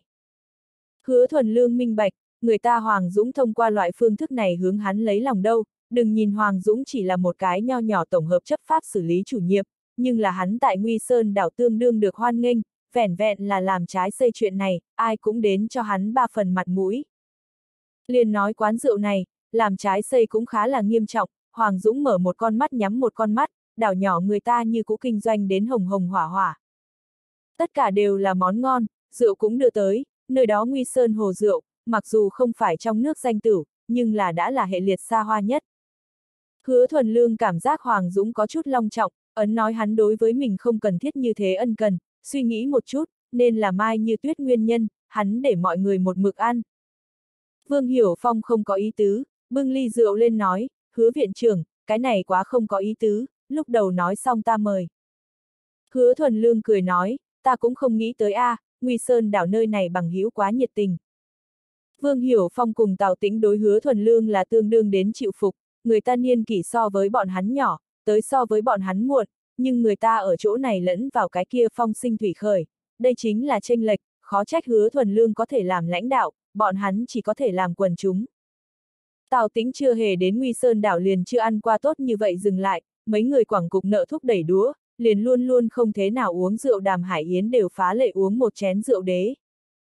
Vương Hiểu Phong vẫn còn có chút băn khoăn, trưng cầu hứa thuần lương ý kiến có phải hay không đi qua cho hoàng chủ nhiệm kính cái rượu. Biểu đạt một chút lòng biết ơn. Hứa thuần lương lắc đầu, biểu thị không cần. Đàm Hải Yến dù sao tuổi tác lớn một chút, nghe được câu này liền ý thức được Vương Hiểu Phong lời này hỏi được có chút xuẩn, thể chế bên trong giao tế trận là không giảng cứu có qua có lại, vị kia hoàng chủ nhiệm long trọng như vậy an bài, liền chứng minh hắn muốn cầu cạnh hứa thuần lương, nếu như ở trong mắt hắn hứa thuần lương địa vị không bằng hắn, hoặc là không dùng được, người ta mới sẽ không làm an bài như vậy. Cái này tựa như lưu bị ba lần đến mời, người làm hắn thật sự là chiêu hiền đãi sĩ. Đó là bởi vì hắn muốn cầu cạnh Gia Cát Lượng. Gia Cát Lượng vì cái gì ba lần mới bằng lòng gặp Lưu Bị. Đó là bởi vì hắn thấy rõ hết thảy, còn muốn nhờ vào đó khảo nghiệm một chút Lưu Huyền Đức, người nhà có đủ hay không tư cách cùng ta cùng nhau chơi đùa. Cho nên mọi thứ không thể chỉ nhìn bề ngoài, thể chế bên trong người càng thông minh hơn càng là rất ít làm vô hiệu xã giao, sẽ không tùy tiện xuất thủ, một khi xuất thủ liền sẽ không phạm sai lầm. Đàm Hải Yến kết luận không bao lâu, Hoàng chủ nhiệm khẳng định sẽ tới mời rượu. Quả nhiên, Hoàng Dũng mang theo rượu đến đây, mặc dù hứa thuần lương bàn này rượu cũng là hắn an bài, nhưng là vẫn giảng cứu quy củ, bưng cái chén mang một bình rượu qua để diễn tả đối với người ta tôn trọng, ta uống rượu của mình, không có chiếm tiện nghi của ngươi, đồng thời cũng biểu thị, hắn khẳng định phải uống một vòng mới đi. Hứa thuần lương đứng dậy mời Hoàng Dũng tại bên cạnh mình ngồi, để phục vụ viên cho cầm một bộ mới bộ đồ ăn, người ta thực đã biểu hiện ra đầy đủ thành ý, mình cũng không thể tự cao tự đại. Hứa thuần lương là Hoàng Dũng nhất nhất giới thiệu, Hoàng Dũng mỗi người uống hai chén rượu, trọng đầu hí đặt ở cuối cùng, hắn đem trước mặt phân đồ uống rượu đổ đầy, hứa viện trưởng ta cùng ngươi đặc biệt hợp ý, hôm nay ta cũng không nhiều làm trì hoãn, chúng ta nổ một cái thế nào. Hứa thuần lương cười nói, vậy ta uống trước rồi nói, tử lượng của hắn ứng phó loại tràng diện này dư xài. Hoàng Dũng nhìn thấy hứa thuần lương uống rượu khí thế, đoán chừng mình tại tử lượng bên trên cũng không được, thấy tốt thì lấy nói, ta liền không chậm chế các vị lãnh đạo nói chuyện phiếm ôn chuyện cũ, mọi người uống ăn ngon tốt, đồ ăn không đủ có thể lại thêm, ta toàn bộ an bài qua. Hứa thuần lương đưa Hoàng Dũng đi ra ngoài, bữa cơm này không có thể khiến người ta mời không, Hoàng Dũng có mấy lời ngay trước mọi người không tiện nói, đoán chừng là trước đó bọn hắn bởi vì sửa trị làm trái xây sự tình phát sinh một chút không vui, Hoàng Dũng muốn mượn cơ hội lần này đến cải thiện quan hệ. Ra ngoài phòng, Hoàng Dũng nắm chặt hứa thuần lương tay nói, hứa viện trưởng ngươi quá khách khí, không cần đưa, không cần đưa. Hứa thuần lương nói, về sau bệnh viện phương diện có dùng đến lấy ta địa phương một mực ngôn ngữ. Hoàng Dũng gật đầu nói, không thiếu được làm phiền ngươi, cần ta hỗ trợ địa phương hứa viện cũng chỉ quản mở miệng. Trong lòng của hắn minh bạch, hứa thuần lương là không cần mình hỗ trợ, chỉ cần mai như tuyết lên tiếng, mình liền phải phục tùng mệnh lệnh nghe chỉ huy, hiện tại trọng yếu nhất chính là hy vọng Mai Như Tuyết không muốn bởi vì sự tình lần trước sinh ra khúc mắc trong lòng, lúc trước cũng không biết mình đầu óc chúng cái gì gió, thế mà chọn sai trận doanh. Hiện tại trong chấn đều đang đồn nói khổng bí thư không bao lâu liền phải đi, về sau Hồ Sơn chấn đương ra làm chủ khẳng định là Mai Như Tuyết, Hoàng Dũng đang còn muốn tổng hợp chấp pháp làm vị trí bên trên làm tiếp, hắn cũng tìm không thấy lấy lòng Mai Như Tuyết phương pháp. Mai Như Tuyết mặc dù đi vào Hồ Sơn chấn đã nhanh nửa năm, nhưng là không nghe nói nàng với ai quan hệ đi được gần, duy nhất có thể lấy khẳng định chính là hứa thuần lương, gần nhất có thật nhiều người đều đang đồn, nàng cùng hứa thuần lương ngay tại yêu đương, chỉ cần có thể đạt được hứa thuần lương tán thành, mai như tuyết tương lai liền sẽ không động chính mình. Hứa thuần lương mỉm cười nói, minh bạch. Một câu minh bạch để Hoàng Dũng trong lòng trong bụng nở hoa, hắn như là đạt được miễn tử kim bài, dùng sức nắm chặt lại hứa thuần lương tay, mời hứa thuần lương trở về, chờ hứa thuần lương đóng cửa lại, hắn mới vui vẻ lung lay đầu, hôm nay cái này hoang dại con ba ba sức lực có chút lớn. Hứa thuần lương leo lên lái hướng huyện thành thứ nhất ban tàu thủy, dựa theo hai người trước đó ước định, trực tiếp trên thuyền gặp. Hắn trên bong thuyền tìm được Mai Như Tuyết, Mai Như Tuyết tướng mình bao khỏa rất chặt chẽ, mũ kính dâm khẩu trang võ trang đầy đủ, nàng chịu không được trong khoang thuyền hương vị, tình nguyện đứng trên bong thuyền tắm rửa lấy gió sớm. Mùa thu gió đã rất lạnh, mang bên trong lấy sáng sớm nước hồ ẩm ướt, hứa thuần lương nói, không đi bên trong ngồi. Mai như tuyết chỉ lộ ra một đôi minh như thu thủy con ngươi, chợt lóe lên một cái, lông mi đen dài như là vỗ cánh muốn bay hồ điệp, phát hiện hứa thuần lương mặc mình cho hắn mua đến áo sơ mi. Hứa thuần lương nói, sợ người khác nhận ra ngươi, ngươi cái này trưởng chấn nên được cùng địa hạ đảng giống như. Mai như tuyết nói, ta muốn ở chỗ này nhìn mặt trời mọc. Nghe rất đẹp, hứa thuần lương ánh mắt nhìn về phía trời âm u, Mai Như Tuyết động tác cũng cùng hắn đồng bộ, hai người cơ hồ tại đồng thời nở nụ cười. Mai Như Tuyết biết sáng hôm nay đại khái suất không nhìn thấy mặt trời, lại càng không cần phải nói mặt trời mọc. Hứa thuần lương nói, khó quái mọi người đều nói lãnh đạo nghe một chút coi như xong, ngàn vạn không thể chăm chú. Mai như tuyết nói, người xuyên ít, đi vào ngồi đi, tuyệt đối đừng bị cảm. Lại lạnh trời cũng so ra kém Mai chấn trưởng mang đến cho ta mùa xuân ấm áp. Mai như tuyết nói, người thật đúng là không giống bình thường. Hứa thuần lương cười đùa tí từng nói, người khác đều nói như vậy. Trẻ tuổi như vậy lại lại như thế dầu mỡ. Hứa thuần lương nói, cho nên mới cần một vị thanh lệ giai nhân đến giúp đỡ đi dầu. Mai như tuyết lắc đầu nói, ta không giúp được ngươi, ngươi nhanh gặp phải đại khánh mỏ dầu, tẩy không sạch sẽ. Hứa thuần lương cười nói, má chỉ toàn đây. Lời này để Mai như tuyết có chút không tốt tiếp.